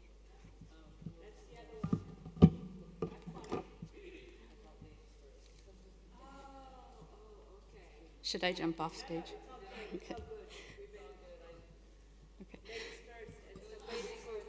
Okay. No problem. Um, but I'm sure Valeria can handle it.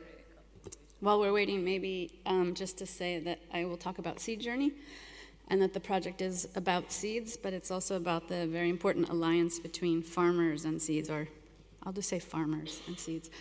Um, so Seed Journey, um, if we can play, there's a little sound playing in the background. If we could just play that for a second.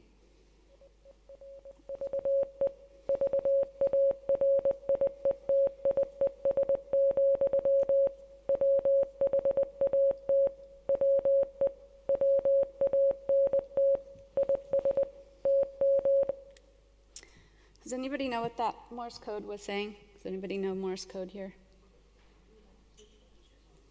Codice Morse. Okay.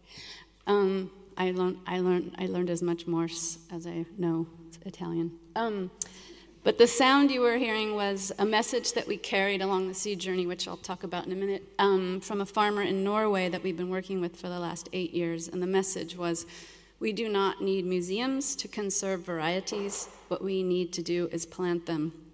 And it was a, a kind of mistranslation uh, in English. He meant what we don't, what we don't need is gene banks uh, to preserve varieties. While he does believe in the preservation of grains in seed banks, he feels that it's very important to get these seeds out of the banks into the ground, into local um, situations where they're adapting. Um, so the seed journey was really about trying to um, amplify the voices and acts of the farmers who are doing that. And when we would travel, we would collect um, messages from each farmer from Oslo all the way to Istanbul. And when we would come into harbor, we would translate these messages into Morse code and then into smoke signals off of our boat as an as a announcement of our arrival. Um, I'm part of, oops, I'm part of a group called Futurefarmers, and we are a constellation of people, places, and projects. And we are, I would say, the kind of confluence of interests is around the preservation of the commons through the activation and exercising of our rights to have access to those commons. So that might be public space, land use, knowledge production, uh, electromagnetic spectrum, and so on. Um, but our, our work is really about seeing the breadth of what those commons are and trying to keep them alive through the activation of them. Um, our work serves in a, in a material, but also a very social way, and I would say that what it is is kind of a prop. Our work supports things. If we look at the etym etymology of prop, we know them as a theatrical device. We know a prop as something that holds something up or in position. And I think we often enter into a situation and we just kind of act as a prop of something that's already there. Um, our work serves as propaganda to spread uh, knowledge through print, publication, and web design. Um, also, our work often serves as a proposition for something that gets carried on further. And also, there's a common interest in the idea of property. What is property on a social, economic, and political level? The seed journey kind of wove together this idea of propagation and broadcasting. So there's a there's an agricultural metaphor of broadcasting seeds, and then there's a radio metaphor of broadcasting messages. There's an agricultural metaphor of propagation. We propagate seeds, and from one comes many. And there's the idea of propagating radio waves with information. Um, so radio works comes into our, our work quite a lot. So seed journey. Seed journey was as you were told, a reverse migration of seeds that were, were coming from the very north, this is Oslo, Norway, through a project uh, that we were invited to do in the waterfront redevelopment of Oslo. So we were invited to do a public art project in a common area within this area, which a gray, desolate construction zone. Um, 150 years ago, there was a farm in this area that was run by the king for the port and the king's palace. So all the all of this port was actually a boat building um, marina. So we formed a very um, civilized board of advisors, and we called ourselves Flatbread Society. And we drew really high-tech schematics to propose a use of this kind of desolate land in the midst of this construction zone um, to really embody this idea of the commons. Um, we installed ourselves in the summer of 2015 in this temporary construction called a bakehouse, which is a very common structure in Norway in rural, in rural towns where people gather, they mill their grains, they bake together, and they share gossip. So we thought Oslo should have a space like this. We worked with the local um, bread oven builder to build these three ovens in one kind of mothership, um, thinking that maybe this flat bread that we could bake here could be a common currency between different cultures. We built props, I'll call these props. This was a rolling pin uh, telescope because we felt like we needed to look to the future and see what we could find, but also have a functional tool. It found its, it finds its ways into the, actually into our projects as they happen, and then also exhibition is a really big part of amplifying the work that we're doing. Um, we built a canoe oven and rode around Oslo and also walked around Oslo to pollinate this proposal that we would build a bakehouse and a farm in Oslo.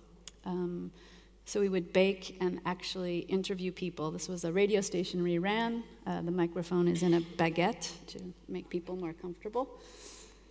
Um, so we got access to this land for 10 years, and we, the land had no soil. So we proposed to invite farmers from all over uh, Norway to bring a symbolic amount of soil to put on this land as a symbol of really supporting the peri-urban agriculture around Oslo. The city gave us um, some plots um, for allotments, and they weren't really excited at first. They said, no one wants to farm in Oslo. It's a ridiculous idea. We said, let's try it. So 4,000 people signed up for these 150 plots which activated the city to take urban farming seriously. So now they've incorporated uh, support of urban farming in their green policies. They've hired three city farmers, and um, many of the parks now have areas for food production. So this group activated themselves. They're called the Glory. We worked with the 52 farmers who agreed to come into the city and bring their soil. We had a gathering and we wrote together a oops, we wrote together a declaration of land use for this space that it would be a cultural institution within this waterfront development where the Munch Museum, the National Library, and the Opera are all neighbors. Um, this was signed by all the people um, at this gathering the farmers, the cultural minister, and the Ministry of Agriculture. Um, what we wanted to do was really embody this idea of the commons. So we planted six different varieties of ancient grains, and I would say most of the farmers call them peasant grains. We can talk about that in Q&A. Um, we built a meeting house called a bakehouse. Um, this is a, formed after an 1895 sailboat called Christiania, which was a rescue boat.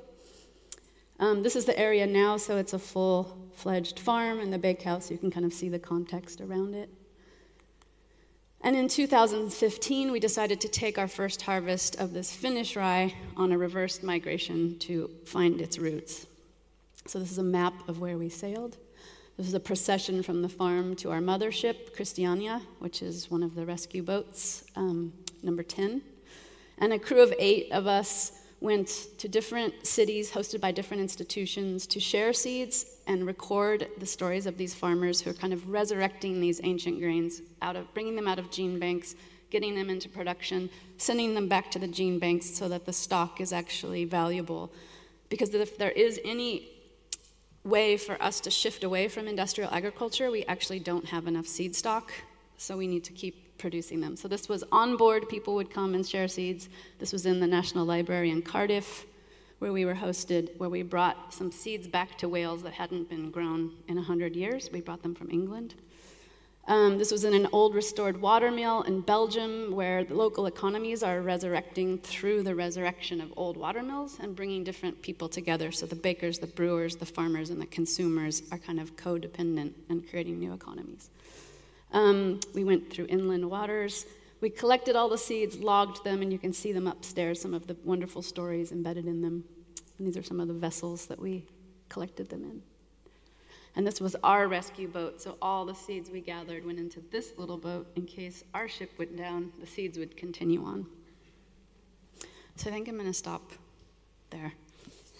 Thank you.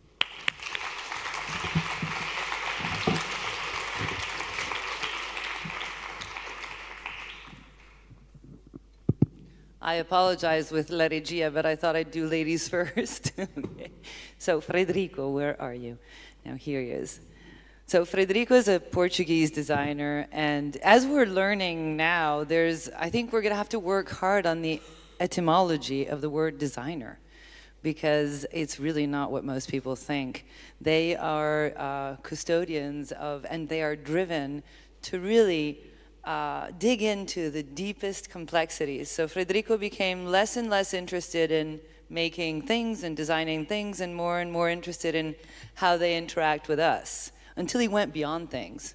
And he went into a substance, it's a lymph of life, and to a myth, which he will now, and it's challenging because it's a wonderful myth which is published in the catalog, but he's going to have to narrow it down to the key points because it's a very interesting metaphor. It's a very interesting uh, lens that we can look through to uh, understand how uh, we can move forward and what we really would like modern civilization to be. So, welcome, Federico.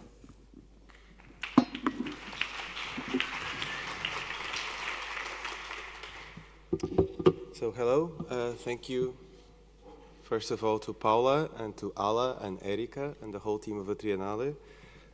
Um, so yeah, so this is, uh, I'm Federico, I'm actually, I was trained as a designer, I'm also a design critic and curator. I was part of the first uh, class of the design criticism MFA at the School of Visual Arts where Paola was one of my professors. So uh, it was a great pleasure and she, I must say, she's, she is a mentor to me.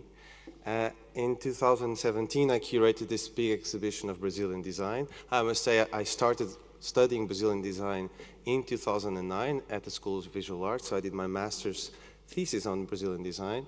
So, and, and I've been, I've stayed with the topic ever since. And so I did this big exhibition of 50 projects and 50 books in Lisbon about what Brazilian design is today, or what Brazil is today through design. And I have had many different projects and many different perspectives of uh, how is it like to live in Brazil and how designers are reacting to changes, but also to permanences of Brazilian life. So from research projects to, to consumer products, from furniture to graphics, from a documentary to uh, electronical um, building material. So one of the projects I featured was the only project I featured around food. I actually got in touch with the designer because she designed a social currency. And when we had our first uh, Skype talk, she said, you know what, the social currency didn't really work. But I'm working on this really uh, incredible project about uh, native bee honey. I was like, hmm, what's that? Uh, tell me about that. So she told me about the Melipona bee. The Melipona bee, or the Melipona genus, is a genus of 244 bees that exist in Brazil of over 600, 600 species of bees. They are stingless bees. That is, they don't have a sting. And so far, the, the, the, the honey or the product, we may call it or not honey, because that's in, it's in itself a Eurocentric uh, perspective, is not even recognized in legal terms. So I'll get, I'll get to that. So Brazil is literally a country built on sugar. That was why the Portuguese, when they first discovered it in 1500, that's why the Portuguese made it the first biggest, their first biggest colony was to produce sugar on a massive scale. I'm sorry, the, the, the captions are swapped on these two images. That's also why they started the, the slave trade. The transatlantic slave trade started to uh, make through enslaved African labor and American conquered land and European um, investment and expertise the first global commodity, sugar. 500 and so years later, sugar is a global epidemic. And Brazil is very much a part of this epidemic.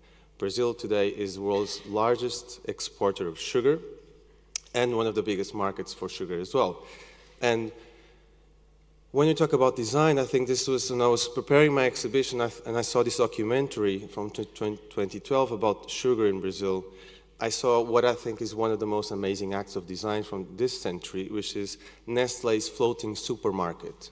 It's a supermarket that Nestle, Nestle designed and built to take sugary products and processed foods to the indigenous populations of the Amazon forest. it sailed from 2010 to 2017. I welcome you to, I suggest you to saw this documentary. It's sad, but it, more people should see it. So this is, a, a, in, a, in, a, way, this is what sugar and in, industrial and uh, industry and capitalism, in a way, has done to us and to our bodies, and only Brazil is an, an example.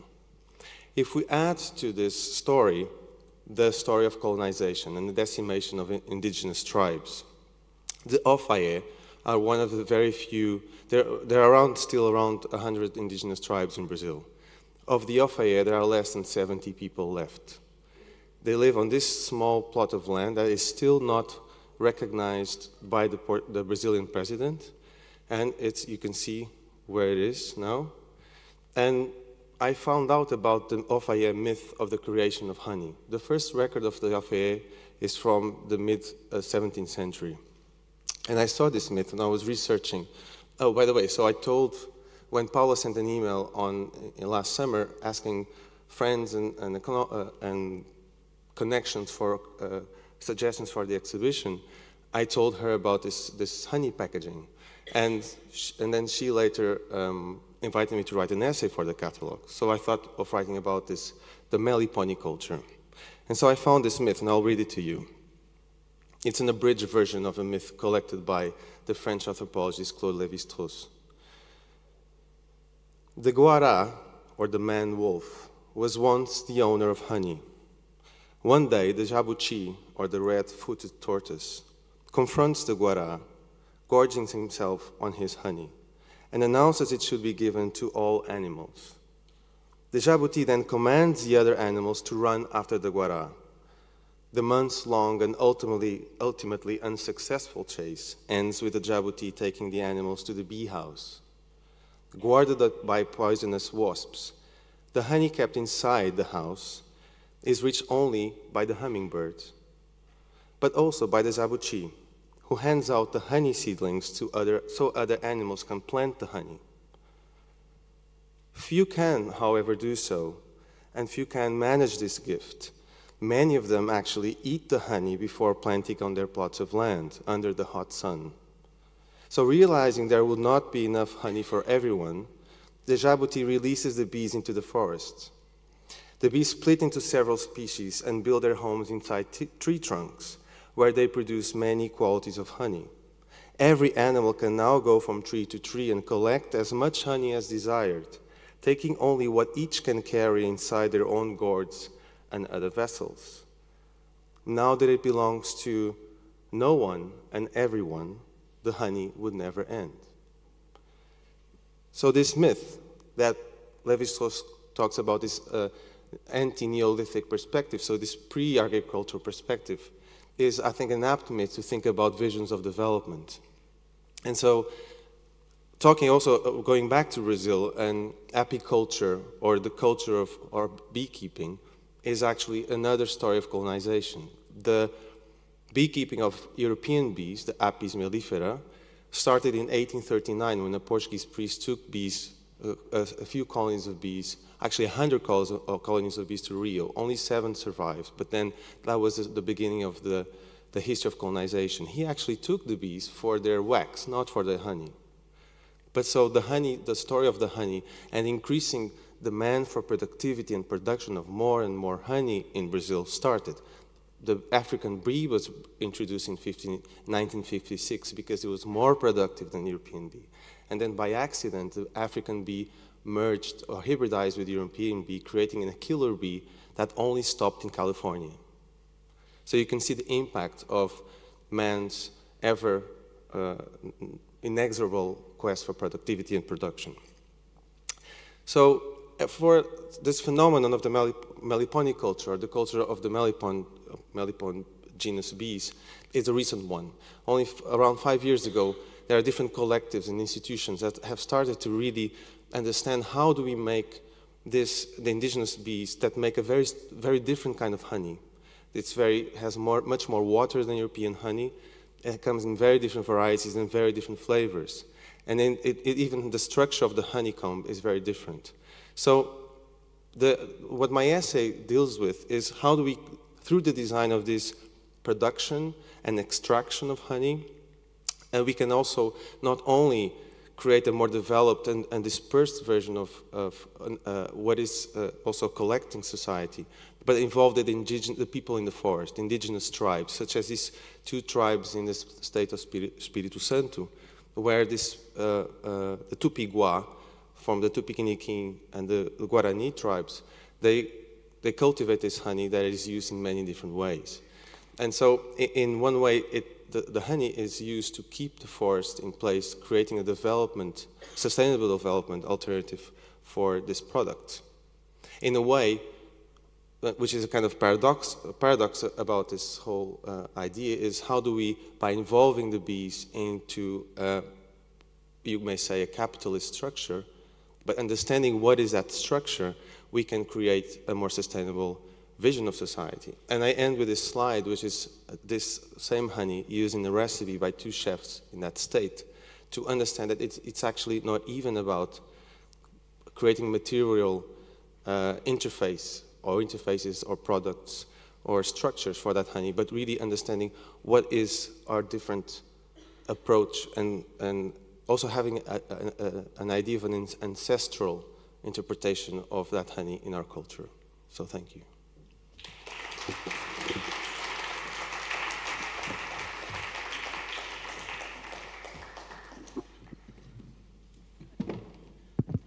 Thank you so much. Uh, so, mm, let's start with, now, Daniela, would you like questions in Italian? Ti, ti faccio le domande in italiano, preferisci? Eh? Lei traduce al contrario. I can do both. Um, So, as the first thing, come prima cosa, Daniela, raccontaci un po' velocemente di come avete rivestito la pelle di questo bellissimo edificio. So, how, how, how was there, what was their intervention in actually creating a new skin uh, for Triennale to host Broken Nature? Ah, um, okay.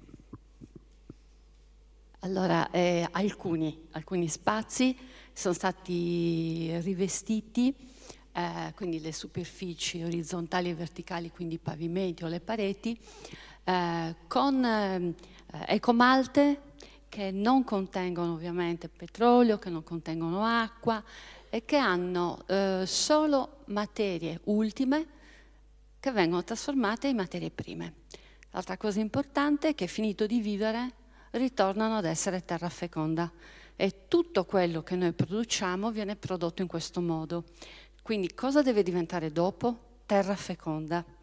E quindi è molto bello che ci siano degli spazi, quindi la pelle, come giustamente l'hai chiamata, perché è riveste, è proprio come la pelle, anche respira, traspira, prende eh, restituisce e quindi avvolge anche eh, di cose buone, eh, perché spesso eh, noi pensiamo che l'estetica eh, debba essere petrolchimica, invece la salute e la bellezza si possono coniugare e i colori sono gli stessi colori della terra naturale e del mare.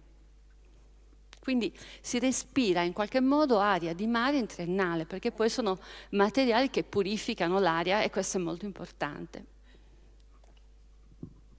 Uh, some spaces have been covered and vertically here in Triennale with eco-mold without petrol and uh, with just uh, what Daniela says are finished materials uh, that are turned into raw materials. And so things that have finished living come back uh, into being fertile land. And everything we do, uh, we try to turn it back into fertile land. And uh, the skin covers takes, um, breathes, and gives back and envelops nice things. Aesthetics um, needs to be without petrol, and it can be just done with the colors of the sea and the earth. And here we can smell the sea in Triennale. What a beautiful act of coherence with the value of broken nature.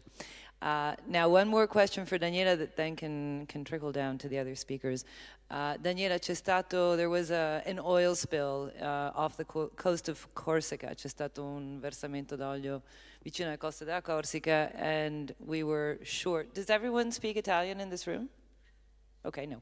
So, uh, so I was sure that they would use Geolana to absorb the oil, and I was kind of reaching out to you going, okay, we're going to document this and how it's going to be cleaned up so locally and so well. Now that did not happen. Why? Hai capito il versamento di... del versamento di corsi. Allora, ehm, bisogna dire questo, che eh, ancora eh, ci sono, sono scelte di chi poi, dei decisori, quella di utilizzare materiali petrolchimici oppure materiali di fonti rinnovabili. E questo è un momento di transizione in cui è necessario avere molta pazienza. Eh, ci sono molte amministrazioni, molti decisori che stanno passando all'utilizzo di, di, prodotti fatti di materie rinnovabili, eh, ma non in quel caso. In quel caso è stato usato appunto eh, materiali fatti di poliestere eh, per eh, assorbire, quindi abbiamo provocato più rifiuti in qualche modo. Però bisogna avere molta pazienza, ripeto, un momento di transizione e noi lo osserviamo così, e, diciamo, oh, siamo felici però anche de, di, di, che la, la mentalità sta cambiando e quindi anche quello che prima sembrava normale usare il petrolio dappertutto, ora vediamo che invece le cose stanno cambiando e allora bisogna avere pazienza. Certo la Corsica è vicino alla Sardegna, però certe volte le cose più importanti succedono nei posti più lontani. Uh, we have to say that many things, uh, even today, are still decided by decisors. And uh, so whether to use renewable sources uh, and materials or chemical materials, it's always up to the decisors. This is a transitional period, and many are moving on to using um, renewable materials. But in the case of Corsica, unfortunately, no, they used polyester. Polyester uh, actually uh, microplastics, so it polluted as well as absorbing. And, uh, but we need to be patient because this is a transitional moment and uh, we know that the world mind is changing and we just need to be patient enough to wait for them to change. Thank you. Uh, there is one of the many, many important, influential aspects that design is addressing is that of making very complex and therefore in that complexity tricky pieces of information very understandable and clear. I'm having a very complicated time explaining to the general public the concept of biodegradability because it allows biodegradable products can actually have a large portion of non-renewable elements in them. And people then think, okay, you're gonna have pieces of that matter left over. No, you're not. But one has you know, anything that's not renewable has taken millennia to come to us. And it's just a quantum leap that people can't grasp. So uh, let's spend as much time as we can in these galleries understanding these things. There's a lot to digest, there's a lot to understand, and there's a lot to translate into our daily lives. Uh, so going on to uh, Amy. Well, as a first thing, be fascinating to know uh, what encounters and also what resistances you found along your reverse migration because uh, it, I can imagine that at every port and that at every stop, uh, there, must have been a lot of spontaneous knowledge being shared. But is that where you stopped, or is the ambition to really have resonance with uh, bigger influencers, and therefore that's, I imagine, where you would meet the resistances? I would toss this to you, but I don't throw too well, so I would risk creating harm. Um, I think the most striking thing we encountered was um, smog in the North Sea. Just the amount of uh, goods traveling on our waters um, and learning about that migratory uh, system and how huge companies, um, it's cheaper that for them to keep their products floating around on the oceans than to have them on land. I think like that was just something that was interesting. In terms of going into harbors, um, what was the most, I think, striking was how uh, grain, in particular, is creating local economies. I mentioned the one in Wales, but um, that the kind of rebuilding of, of windmills or water mills becomes this um, stronghold in a community that brings together consumers, um, farmers who are growing grains that aren't accepted into large mills, aren't even um, actually legal to be sold, so they have to be kept in a very uh, small community. And that builds resilience in many ways, social, economic, and, and environmental. I don't know if you want to talk about resistance. No? No? Okay. I think um, what's interesting is um, one of the farmers talked about, in Belgium, talked about bread as a currency of resistance. And I think that's kind of the the statement that would come out of that question? Uh, there is um, there's a grain, an ancient grain uh, in Italy called Senatore Cappelli, and now everyone has discovered its nutritious nutritious power. And I must say that I'm a big consumer of it, but uh, where is there a tipping point? Meaning, can an ancient grain uh, be de denaturalized? Can I mean, is it a good thing that we're reproducing this ancient grain at an industrial level? Um, I, have kind of, kind of always wondered whether ancient should have, you know, does it have a tipping point? as, as maybe other plants do, because we've had this, for example, with the slow food movement. When you become, when you're recognized by the network, then everyone wants your product, and then all of a sudden you're hitting tipping point, you're buying that product from other people because you don't want to give up a sale. So I wonder whether that pertains to seeds as well. I'd rather have a farmer answer this question, but to represent some of the farmers' positions on this, I think the farmers who are growing the ancient grains are never aspiring to be industrial farmers, and um, that if the seeds do get in the hands of the large companies and monopolies that have them now, it's um, there will always be a population of grains that are very localized. Um, and that the farmers are act that we've met are actively trying to grow mixed fields, so they mix different varieties to get a, a new variety every year. Yeah, in fact, of course, because otherwise you'd be stripping the soil from its its uh, nutrients. What about Futurefarmers in Italy? I didn't see Italy on the map. but we are we are here uh, with the American Academy of Rome.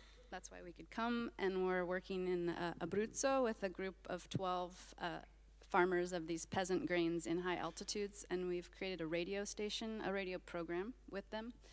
Um, they're fantastic storytellers. They also consider themselves an endangered species, so we're trying to collect their knowledge uh, while they're still alive and working. So we're here to do episode two with a radio group from Florence called Radio Papesse, and the radio station is called Radio Instabile because the farmers always talk about the instability in the region economically, socially, and politically, and that we need to find a stability within the instability. So that's we're so we will put that on our radar. Thank you very much. Federico, uh, so how can design help the Meliponica uh, culture? Um, and in fact, how can it, how can it help it be recognized as honey? We were talking about semantics before. It sounds like such a contradiction in terms. And, and why is that actually happening? Why does it not have the honor of being called honey? Well, um, the conspiracy theories aside, because one of the reasons that uh, the the Melipon bees are in danger is the the dwindling populations of bees, of any bees, but specifically of these bees, they signal deforestation, even if that deforestation is happening many kilometers away. And so many of it, that, many of those instances are illegal. So one of the reasons that the success, successive governments have resisted to recognize the production, uh, sale, and consumption of this honey is because of that, um, as uh, some of the people I've, in Brazil I've talked to defend. One of the reasons I forgot to, to uh, um, uh, add is, for example, Brazil is the seventh biggest producer of honey, of European kind of bee honey, but it's because Brazil has one of the most lax legislations on pest pesticides. Its bees populations are one of, already one of the most endangered in the world that is probably not going to be improved with this current government, unfortunately, in Brazil. But we hope at least these new um, kind of uh, actions of collectives that include designers. And I'll give you some examples. So one uh, example of how design can uh, uh contribute is, for example, 3D printing being used to design the beehives in, in areas where uh, wood is scarce, because not all bees uh, live in the forest, in different biomes, and also, for example, in strengthening what is called strengthening the value chain. So designing packaging, for example, the packaging I included in my exhibition is quite pedagogical. So when you, you get the packaging, it's 40 grams of this honey is worth around 10 euros, so it, you can say it's a gourmet product, but it tells you, and it's actually sold in very many, not many shops, because again, it's illegal. There, the, the sale of this kind of honey has only been recognized in two states in Brazil and has not been yet recognized on a federal level. So it's actually illegal to export. Um, and so this is slowly, some of these actions that have been used to, to set the agenda for this kind of honey because it's really one of the, let's call it crops that can um, defend uh, a sustainable economy in order to keep the forest in place. Also, we haven't mentioned this, but bees are essential for the pollination of many different crops, including crop, crops in the forest, which already have already been recognized for their values, such as acai and guarana and, and other different crops. So um, that's only some of the reasons how, or, or ways how designers can help. And uh, so how are we going to actually, mm, what can we take home from this myth in our lives, not only as consumers, but also as influencers? Good question. I think in the end, it's about we don't have to grow. It's questioning development, growth is because I think what is interesting about that myth is when when the animals were not able even to plant because uh, according one of according to the indigenous myth, uh, the honey could be planted and so it would be they couldn't even plant; they would eat it right away. So it really has this uh, this um, it's a lesson for our own the whole relation we have with nature. Is do we have to consume our resources, or can we, by relinquishing them, can we keep them for future generations? It's also about controlling our intake of things that are good Absolutely. so, which I think is the bigger challenge, even because uh, it's hard to stop when something's good. And in that case, it's hard to stop here when something's good. But if you all agree, I would like to take five minutes from our conversation to invite a woman who I met through Paola, Paola Bai, because as Paola Antonelli quickly understood, as much as I think we've seen each other about a total of 10 times, there is something, there, there is quite an interesting connection between us. And uh, not only the fact that we're both in white, uh, but also the fact that um, we both feel very strongly about the fact that in order to really harness uh, everything we can from this exhibition, from um, and from this challenging time we're in, right? I mean, we really do want to restore as much as we can in the course of our lives. Uh, it's a matter of not only knowing, but of feeling. And uh, so we would like to share a little experience with you, and in fact, not only share, but invite you to take part in this little experience. Uh, Paola will start, and I will finish. But really, I, I, we strongly think that, or feel that, uh, we have to re- be coordinating all our levels. And going back to Paola saying that empathy is an abused word, yes. Now, the, the definition of empathy is feeling with others. Um, I interviewed Professor Rizzolatti, who actually discovered the mirror neuron, and this interview is in my book, which is in the bookshop. I don't want to advertise my book, but this conversation is a pretty rare one because often you don't talk to scientists about applications of their discoveries. And so we're wired to feel with others, but we've disconnected this natural ability. So, or some of us have. And so we would like to both act as connectors.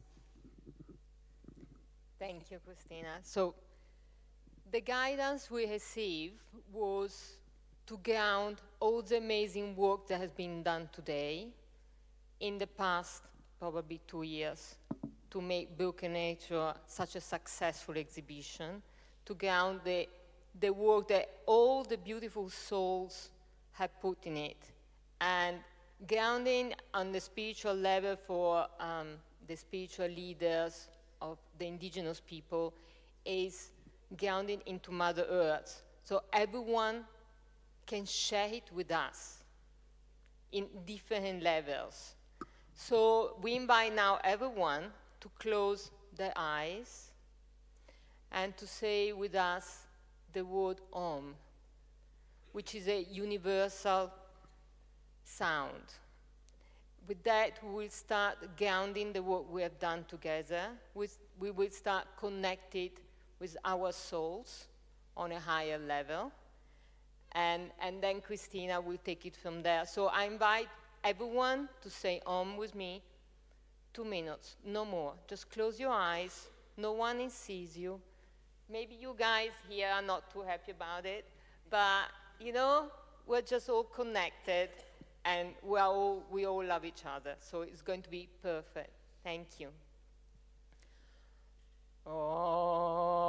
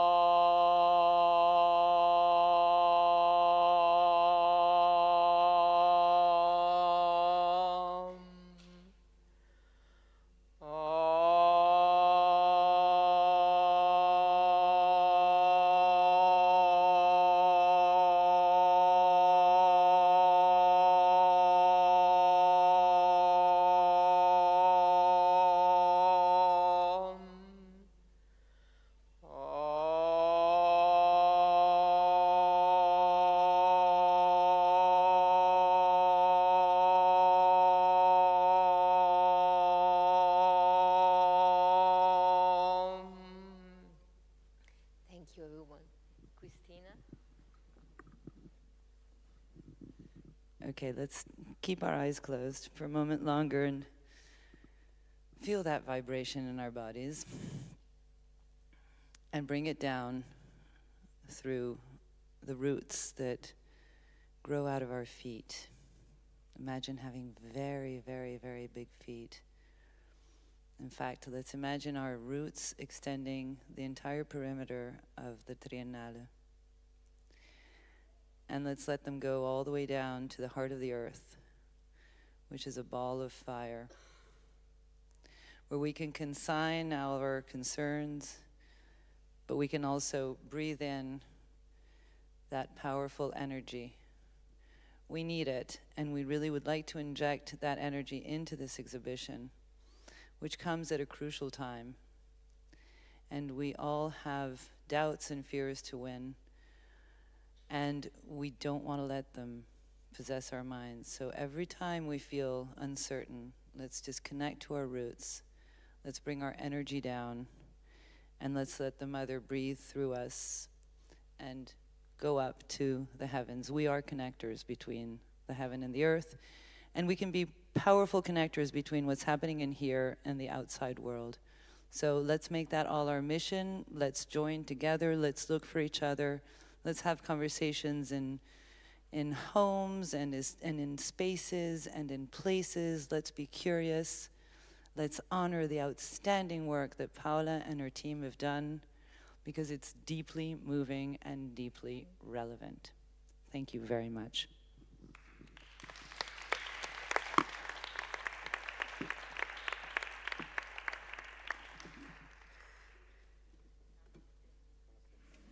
Thank you.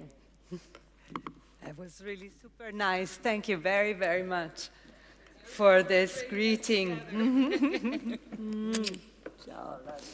well, we have gotten to the last gallery of the day. But before we get into the gallery, I wanted to also remind you about tomorrow's programs that are uh, all listed in the Triennale's, um, in the Triennale's website, the ones that are all promoted by the different national participations. It's going to be quite interesting. And once again, you can go to www.triennale.org. Hey, come here. You can come in, on stage and tell us all about it. No? Okay. and they're going to be all available to anybody who comes to the exhibition. Also, I would like to thank our big ambassadors to the world that are Laura Agnesi and Marco Sammicheli. They dealt with all the international participations, and I cannot tell you how complicated that was. Sometimes as designers, we think that politics doesn't really uh, concern us, especially international politics, but not at all. Actually, with this particular triennale, uh, while soliciting the international participations, we had to deal with all sorts of governmental coup. I mean, at some point, the Sri Lanka participation was in doubt because there was a coup d'etat in the nation, and then finally it happened, thank God. And then so many others elections that were happening. It's quite fascinating. But uh, Laura Agnesi and Marco Sammicheli were our heroes in this kind of international diplomacy. Our last gallery features uh, the last designers of the day, but not of the exhibition. There are so many others that I hope you'll be able to encounter along the way and get to know more. But the first that I would like to invite here to speak are Jared Laucks and Bjorn Sparrman that are part of the self-assembly lab at the MIT, at the Massachusetts Institute of Technology. They work together with Skylar Tibbits on a great uh, project to rebuild the sandbars of the Maldives. They're working together with the Maldives government, so this is no speculation, it's reality, but it's a very ingenious and non-invasive way to apply architecture, engineering, and simply intuition of nature to a real life problem. So please come to the stage. Oh, it's only you today? Well, you, you, you're like five of them. Yeah, so.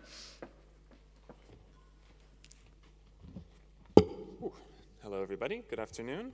Um, my name is Bjorn Sparrman. I'm here with Jared down in the front row, representing. Um, he's here, but we have five minutes, so I'll just speed through this.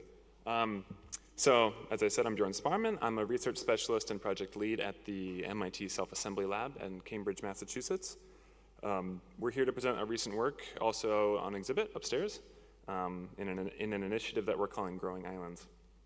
So the Self-Assembly Lab itself, it's a design and research group at MIT, and we focus on the principles of self-assembly, programmable materials, and novel fabrication approaches that leverage material properties and the forces of nature. So the, the project um, Growing Islands addresses the impacts of sea level rise as a function of global warming by providing new tools for synergistic coastal engineering, a method of working with as opposed to against the absurd energy of the ocean.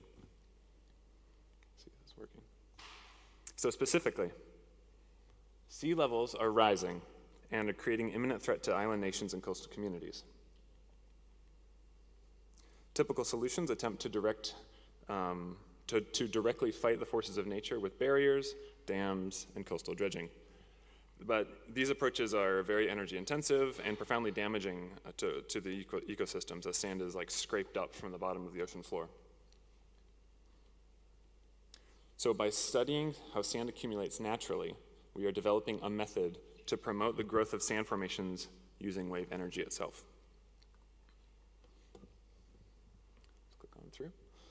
So in this study, we've identified um, several distinct ways in which um, sand uh, is moved by wave energy. Um, here are kind of four um, diagrams. There's um, a wraparound effect, what we call the ramp effect, channel effect, and just pure linear shear stress upon the ocean floor. In effect, the deposition of, of sand is a function of water movement against existing landforms. So by studying and observing how sand naturally moves, we found ways to, uh, ways to control the sand movement and deposition by temporarily altering the topography of the ocean floor. Let's see if I can get us to play. So here's tests in our lab using a, a relatively small um, tank, wave machine. So this video shows, um, sorry, by conducting scale tests in the lab, we've identified possible geometries for creating these effects. In this case, we've used a ramp geometry to accelerate the wave motion, causing it to break. This in turn agitates and deposits the sand down current, as you can see here. In the side view, we're able to accumulate, yeah, you can see the sand goes all the way up to the water line. Uh, then this next one, this is from the uh, top view. Uh, it shows uh, the motion of the sand, sand ripples moving forward from the ramp. And this is more in like a beach condition. So you can see here, well, it's kind of cut off, but as a beach here, it's a way to push sand that's kind of gone out into the ocean up onto the beach. Let's see that go. All right, click along. So the way we do this is we have these, we, we're using um, underwater geometries which are made from large-scale sand-filled bladders which are sewn out of just biodegradable canvas. And they can be easily folded up and transported and filled on site. So you kind of show how we can fill them here, and then actually in, in this case we're showing how we can actually fine tune and tweak the actual geometry with different straps and folding techniques because it's just a very simple um, canvas.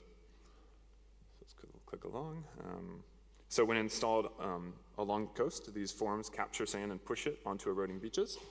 When placed in the open ocean, they can be used to coalesce sand into protective sandbars or even into new island formations. So here we are in our lab with our team using these really massive rolls. It's like a heavy, heavy duck canvas, almost like for, um, for tent materials. And it takes like five of us just to sew them. They're so heavy. So there's the team. So we've been working with a local group from the Maldives to identify several sites for positioning these underwater geometries. And we've conducted initial full-scale tests within the Maldivian reef. The Maldives is a nation particularly affected by the um, um, uh, seasonal sand movement. It's also a nation with the lowest average elevation. It's a mere 1.8 meters on average, and is thereby particularly susceptible to the effects of climate change. So this is the particular site which we're working on. This, you can see the open ocean, and then this reef, and then the island actually in the middle of the reef. Throughout the year, wind, current, and swell directions change, causing sand to move around the reefs. And we're creating techniques that work with these seasons, requiring, but this really, really um, requires a close collaboration with the local experts um, and a very, very careful study of historical weather data. And we had, had the, um, the great luck of being able to work with um, a local team um, and have been able to interview a lot of locals who have been doing um, beach reclamation for many, many years. Let's click along. So here's a clip of us installing a full scale. So using a large barge lowering. This is the, one ramp piece out of one out of four pieces which are put together to create this, this, this underwater device. Here's kind of the front side of this underwater device. And then on the backside, you can see how it really is just turning up, turning up the sand and then kind of pushing it um, down current. And here it is from the top with some friendly stingrays.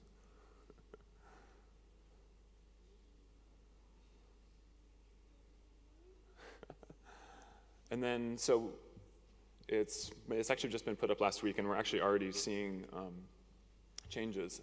So here you can see day one and then day three, and you can kind of see the ripples, and I've gone ahead and, oof, um, kind of increase the contrast, and you can really see this dark section just, just above the ramparts really actually carved out this quite significant section and deposited it in this, um, this um, building um, kind of berm right um, in front of the, the device.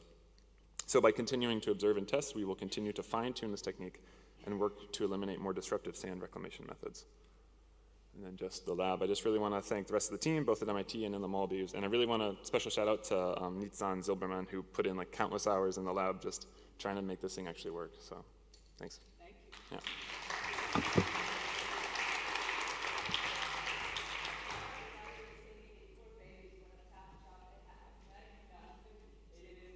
Maldives are not so bad.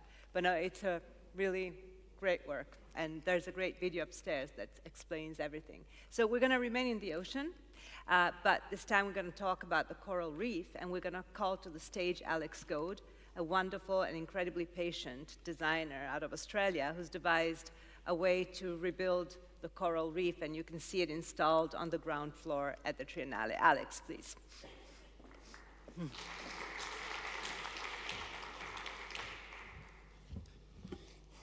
Thanks. Thank you, Paola.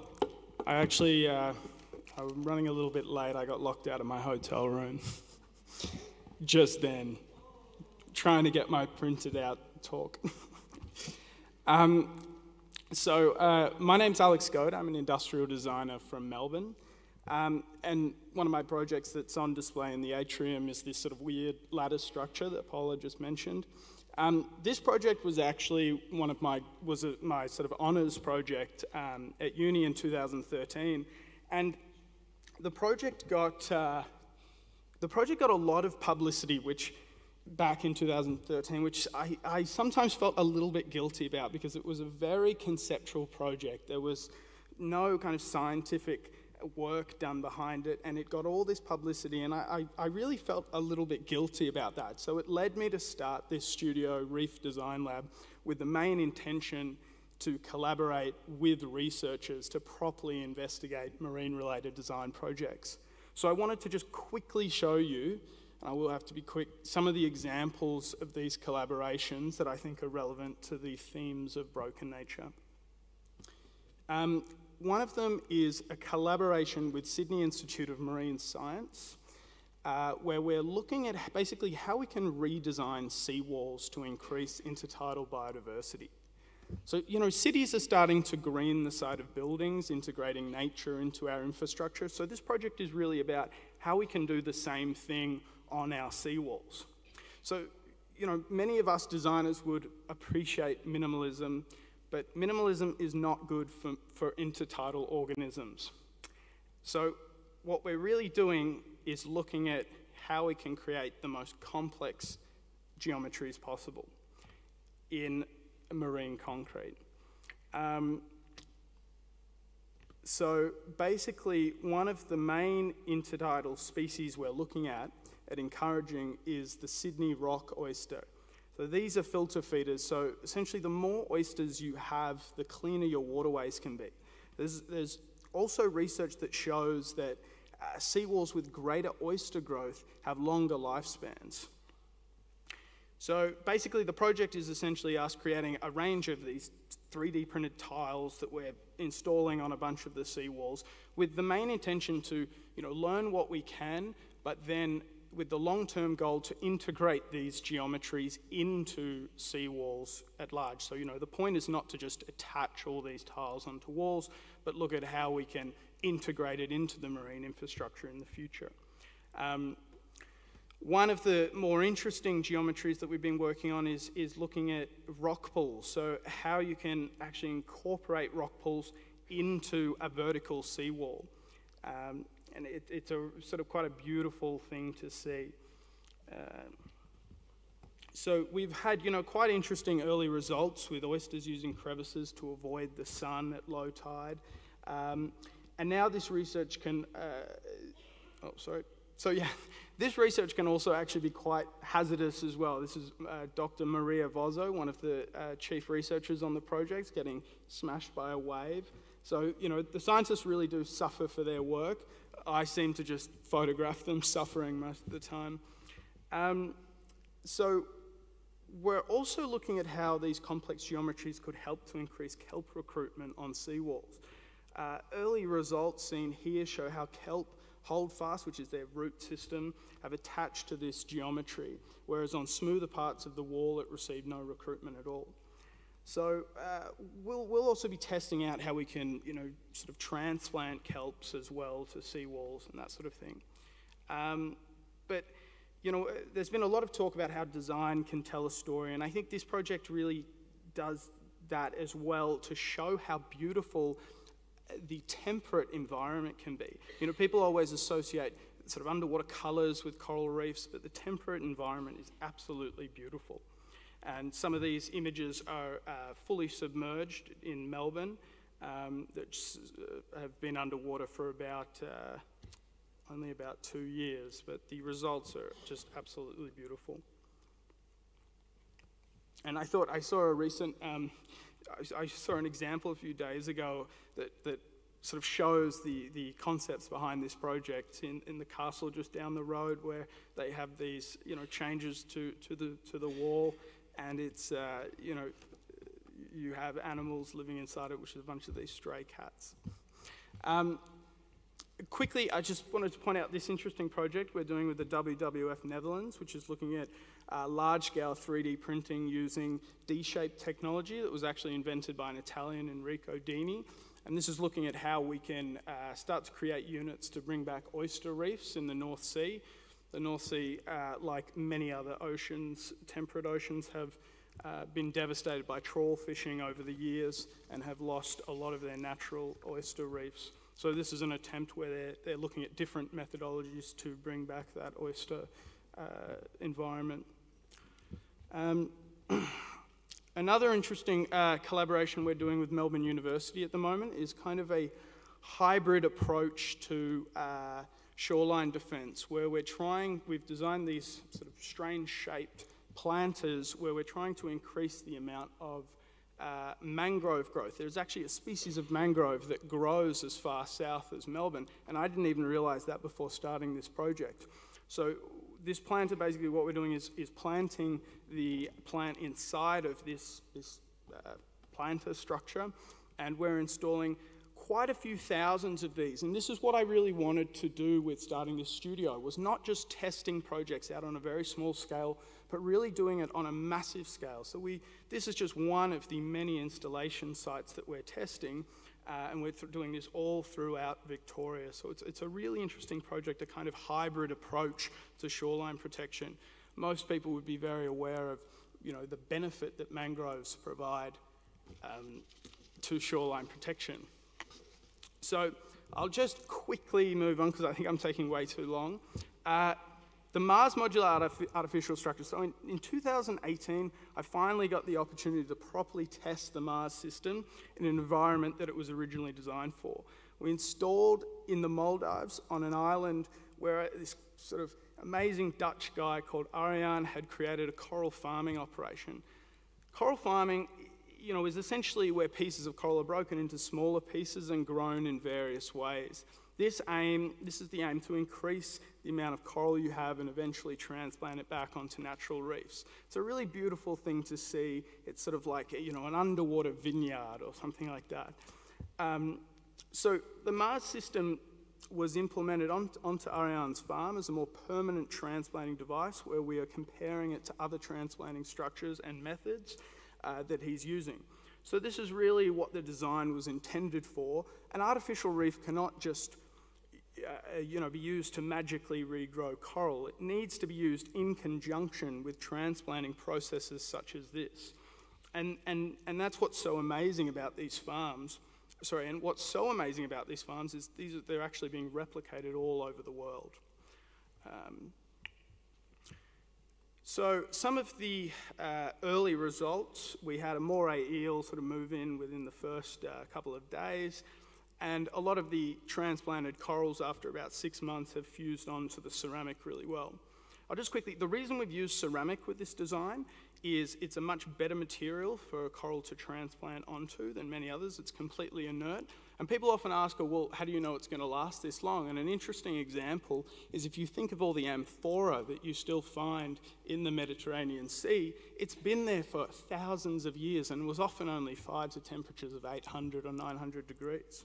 So that was kind of one of the concepts behind the material use. Um,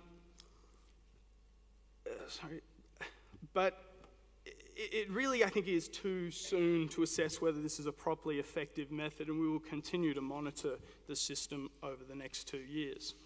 Um, but, uh, you know, these projects are all, I mean, they are all very small interventions. And in the grand scheme of things, I, I do personally sometimes wonder if these projects are really worthwhile without a serious reduction in emissions, population growth, and a shift to renewables, we obviously are heading for a grim future. But, but I do think this is why broken nature is so interesting. It highlights small interventions and gives them a platform to be discussed and shared with others, because it's always small concepts and small ideas that big changes are built on. Uh, so, just to sum up, uh, Whenever I come to Europe, you know, I'm always excited to visit the historic architecture, but not for the obvious reasons. I'm really interested in the different techniques that engineers and builders use to stop these buildings falling apart. You can see this gargoyle with a steel collar and leash to stop it falling down. So, you know, these techniques may not be as glamorous as the original, but it displays a considered attempt to maintain reuse, and restore what is completely irreplaceable. And I think, and I think many of the projects in this exhibition display that same kind of approach to our environment and society. So I'd like to thank Paola, Laura, Erica, and Ala for including my work in this fantastic show. Thank you very much.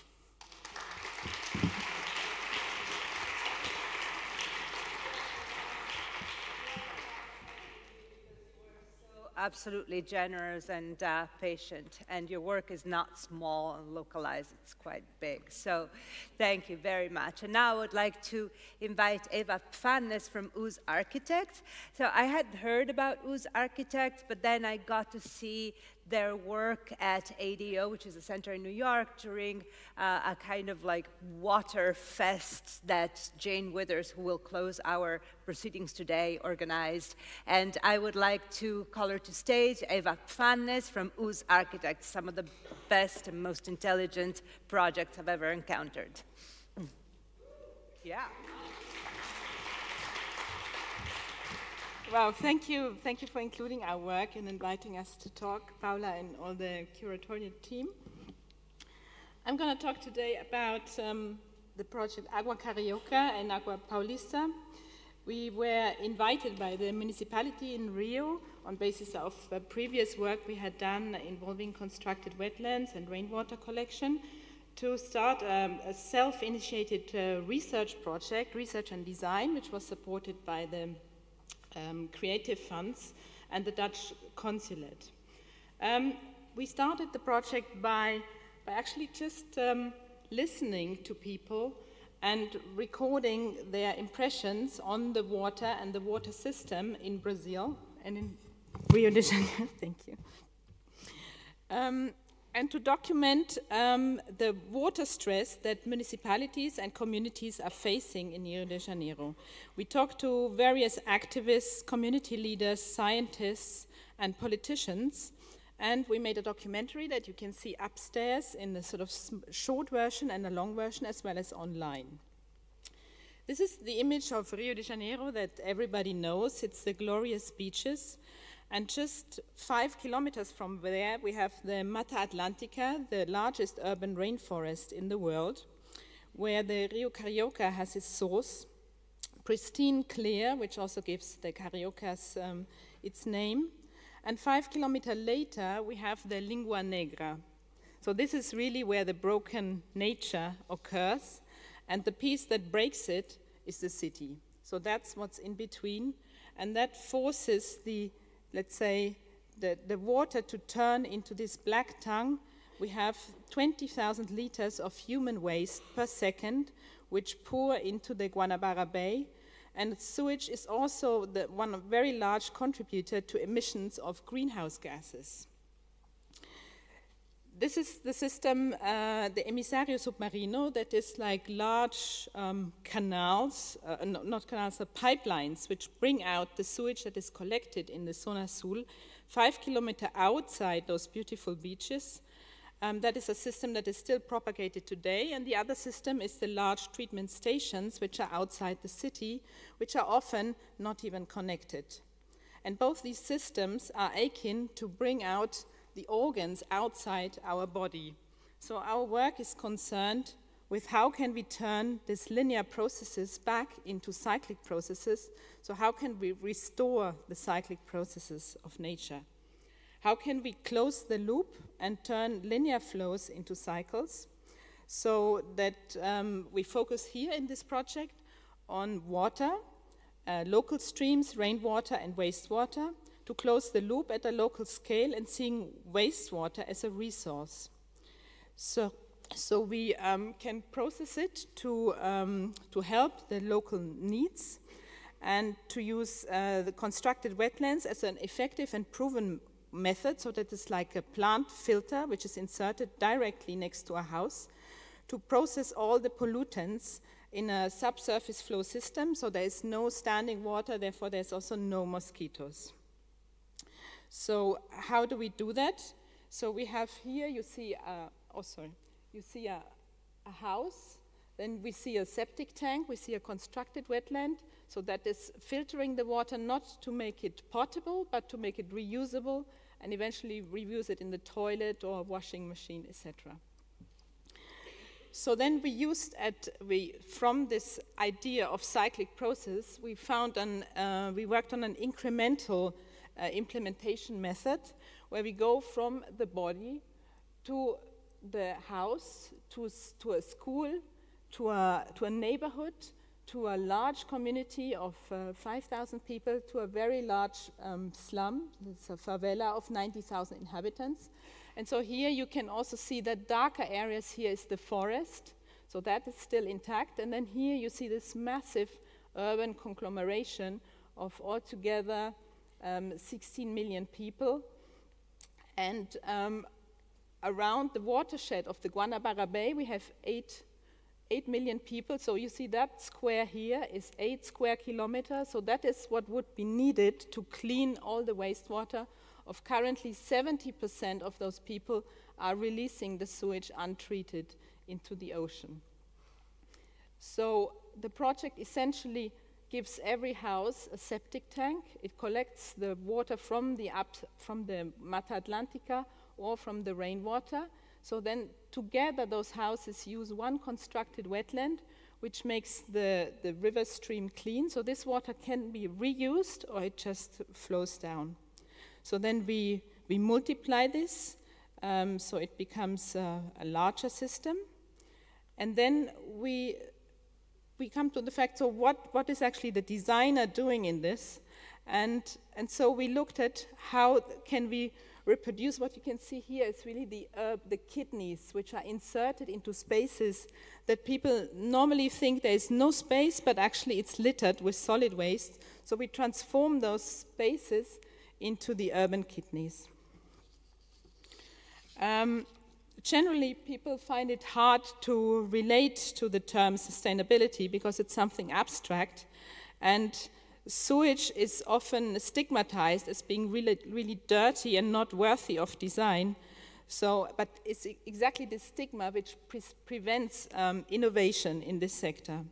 So in our work, we try to make processes visible, beautiful, and enjoyable, and to take the standard elements here of a water tank, a septic tank, and a wetland, and show what is possible to do with them when we integrate them in the urban environment and to give them multifunctional purposes. So this is the plants. Um, we went from, after the design phase, we went also to um, realize a pilot project in the city Roberto Burle Marx, We worked with gardeners that still worked with uh, Roberto Burle Marx, one of the most important landscape architects in Brazil. And we looked for the plants which together make this sort of amazing um, soup underground, which we never see, which is uh, these plants produce oxygen on their roots. And what you see here in this illustration is, is how it goes from uh, very small bacteria to protozoa to to worms, which are eventually eaten by birds. So basically all the processes that all the bacteria in our body become absorbed eventually in the process of nature. And here you see the roots of those amazing plants, which are the um, phragmites. So we made a pilot project in the sitio. So here we also used again design to, to illustrate how those elements actually, this is the septic tank, this is the um, the wetland, this is the water tank, and here you see the toilet.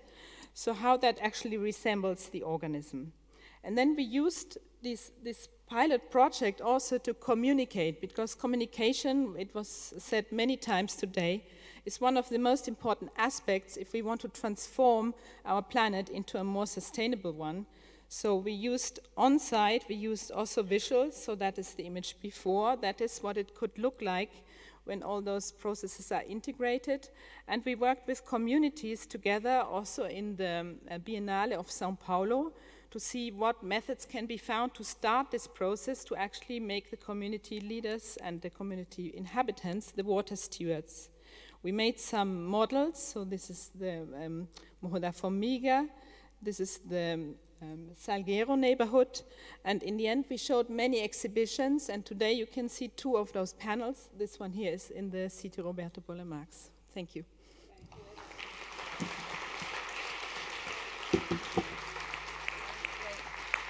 And um, our last speaker of the day is my dear colleague Jane Withers, from whose work I've learned so much, and so much of what I've learned from her whose work is here today. Not only Eva's work, but also Francesca Sarti and her Arabeschi di Latte's water, water tasting station that not only is on display upstairs, but also was in full function last night. You could taste all of the differently filtered waters, and you will be able to uh, taste them again during the course of the Triennale. While uh, the Wonder Water Cafe that Jane will be talking about tonight is actually working already. I hope that it started, okay, great, here at the Triennale. She'll tell us more about it, but it's important to, to let people understand more about how we eat, what we eat, and what we eat, and what what we eat does to the planet. So here comes Jane Withers.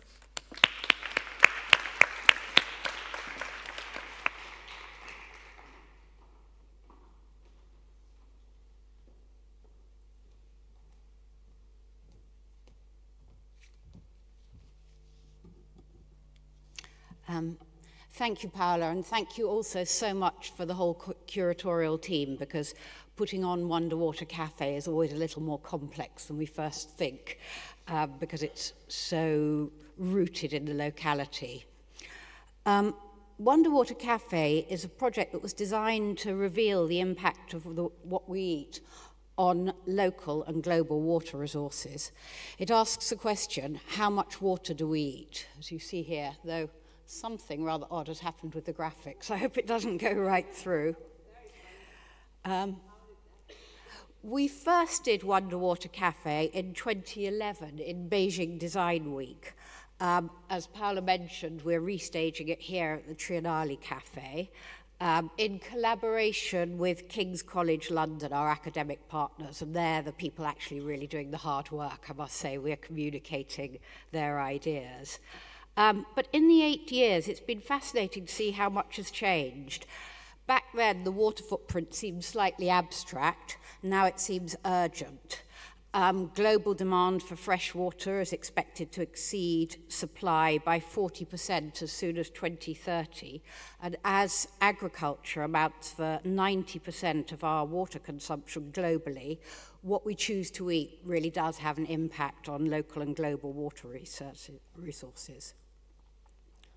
Um, this is where we staged it in Beijing, in Dashilar, the historic district, um, in a restaurant called Tianhai. a real local joint known for its um, soups and stocks. Um, and this was their tripe stock that the owner told me had been bubbling away for at least a decade. Um, so the idea with the Wonder Water Cafe was to see how we could bring the water footprint to life.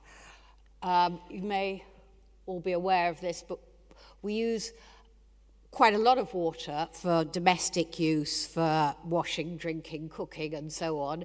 In China, it's 129 litres, a bit lower than the global average. Um, but that's really only part of the story, a rather small part of the story.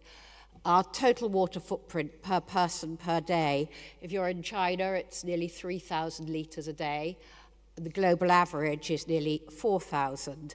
That's the, the sort of invisible water. When the, when the system was first um, invented or created by um, Professor um, at King's College, he talked about virtual water and embedded water. So it's the invisible water that goes into making all the products and food and so on that we consume.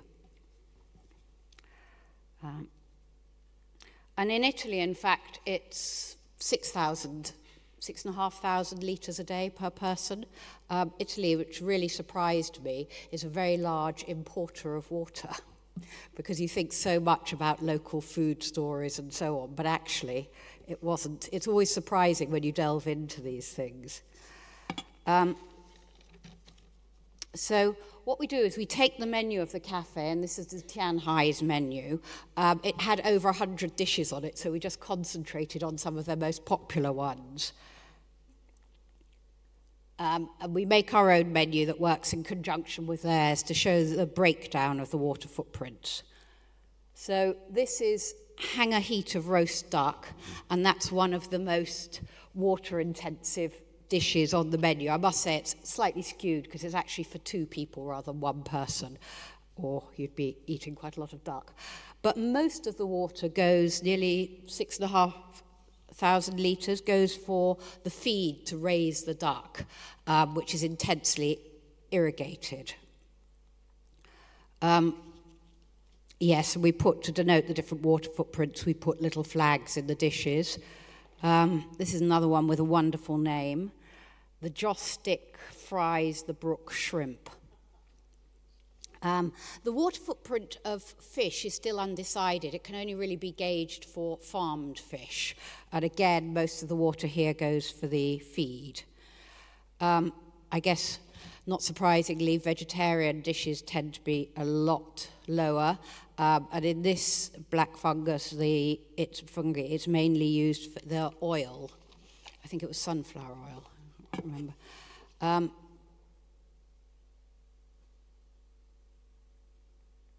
We're probably all aware that one of the most effective things we can do in terms of our impersonal impact in the environment is reduce meat consumption. And that's one of the things I like about the Wonder Water Cafe, that it, you know, you really are, you can um, make decisions with what you choose to eat sort of every day, any moment. Um, probably most of us know that about the vegetarian diet, but it's, it's like half the food consumption of a meat diet. Um, but there were other surprises in the, in the Wonder Water Cafe. One was the tiramisu. It seemed such a small, innocuous little dessert, and it's actually, theirs is a particularly delicate um, portion, but it takes 471 litres of water, and that's mainly for the dairy. So it always comes back to these same familiar stories. Um, so I hope you'll have a chance to go and try the um, Wonder Water Cafe during broken nature. Um, I think one of the interesting things, it's very much like what Ava was describing. It's all about this shift from being consumers of water, who sort of have very little sense of where it comes from and where it goes, to being stewards of water. And I think in all the different areas, that's what we need to emphasize. Thank you very much.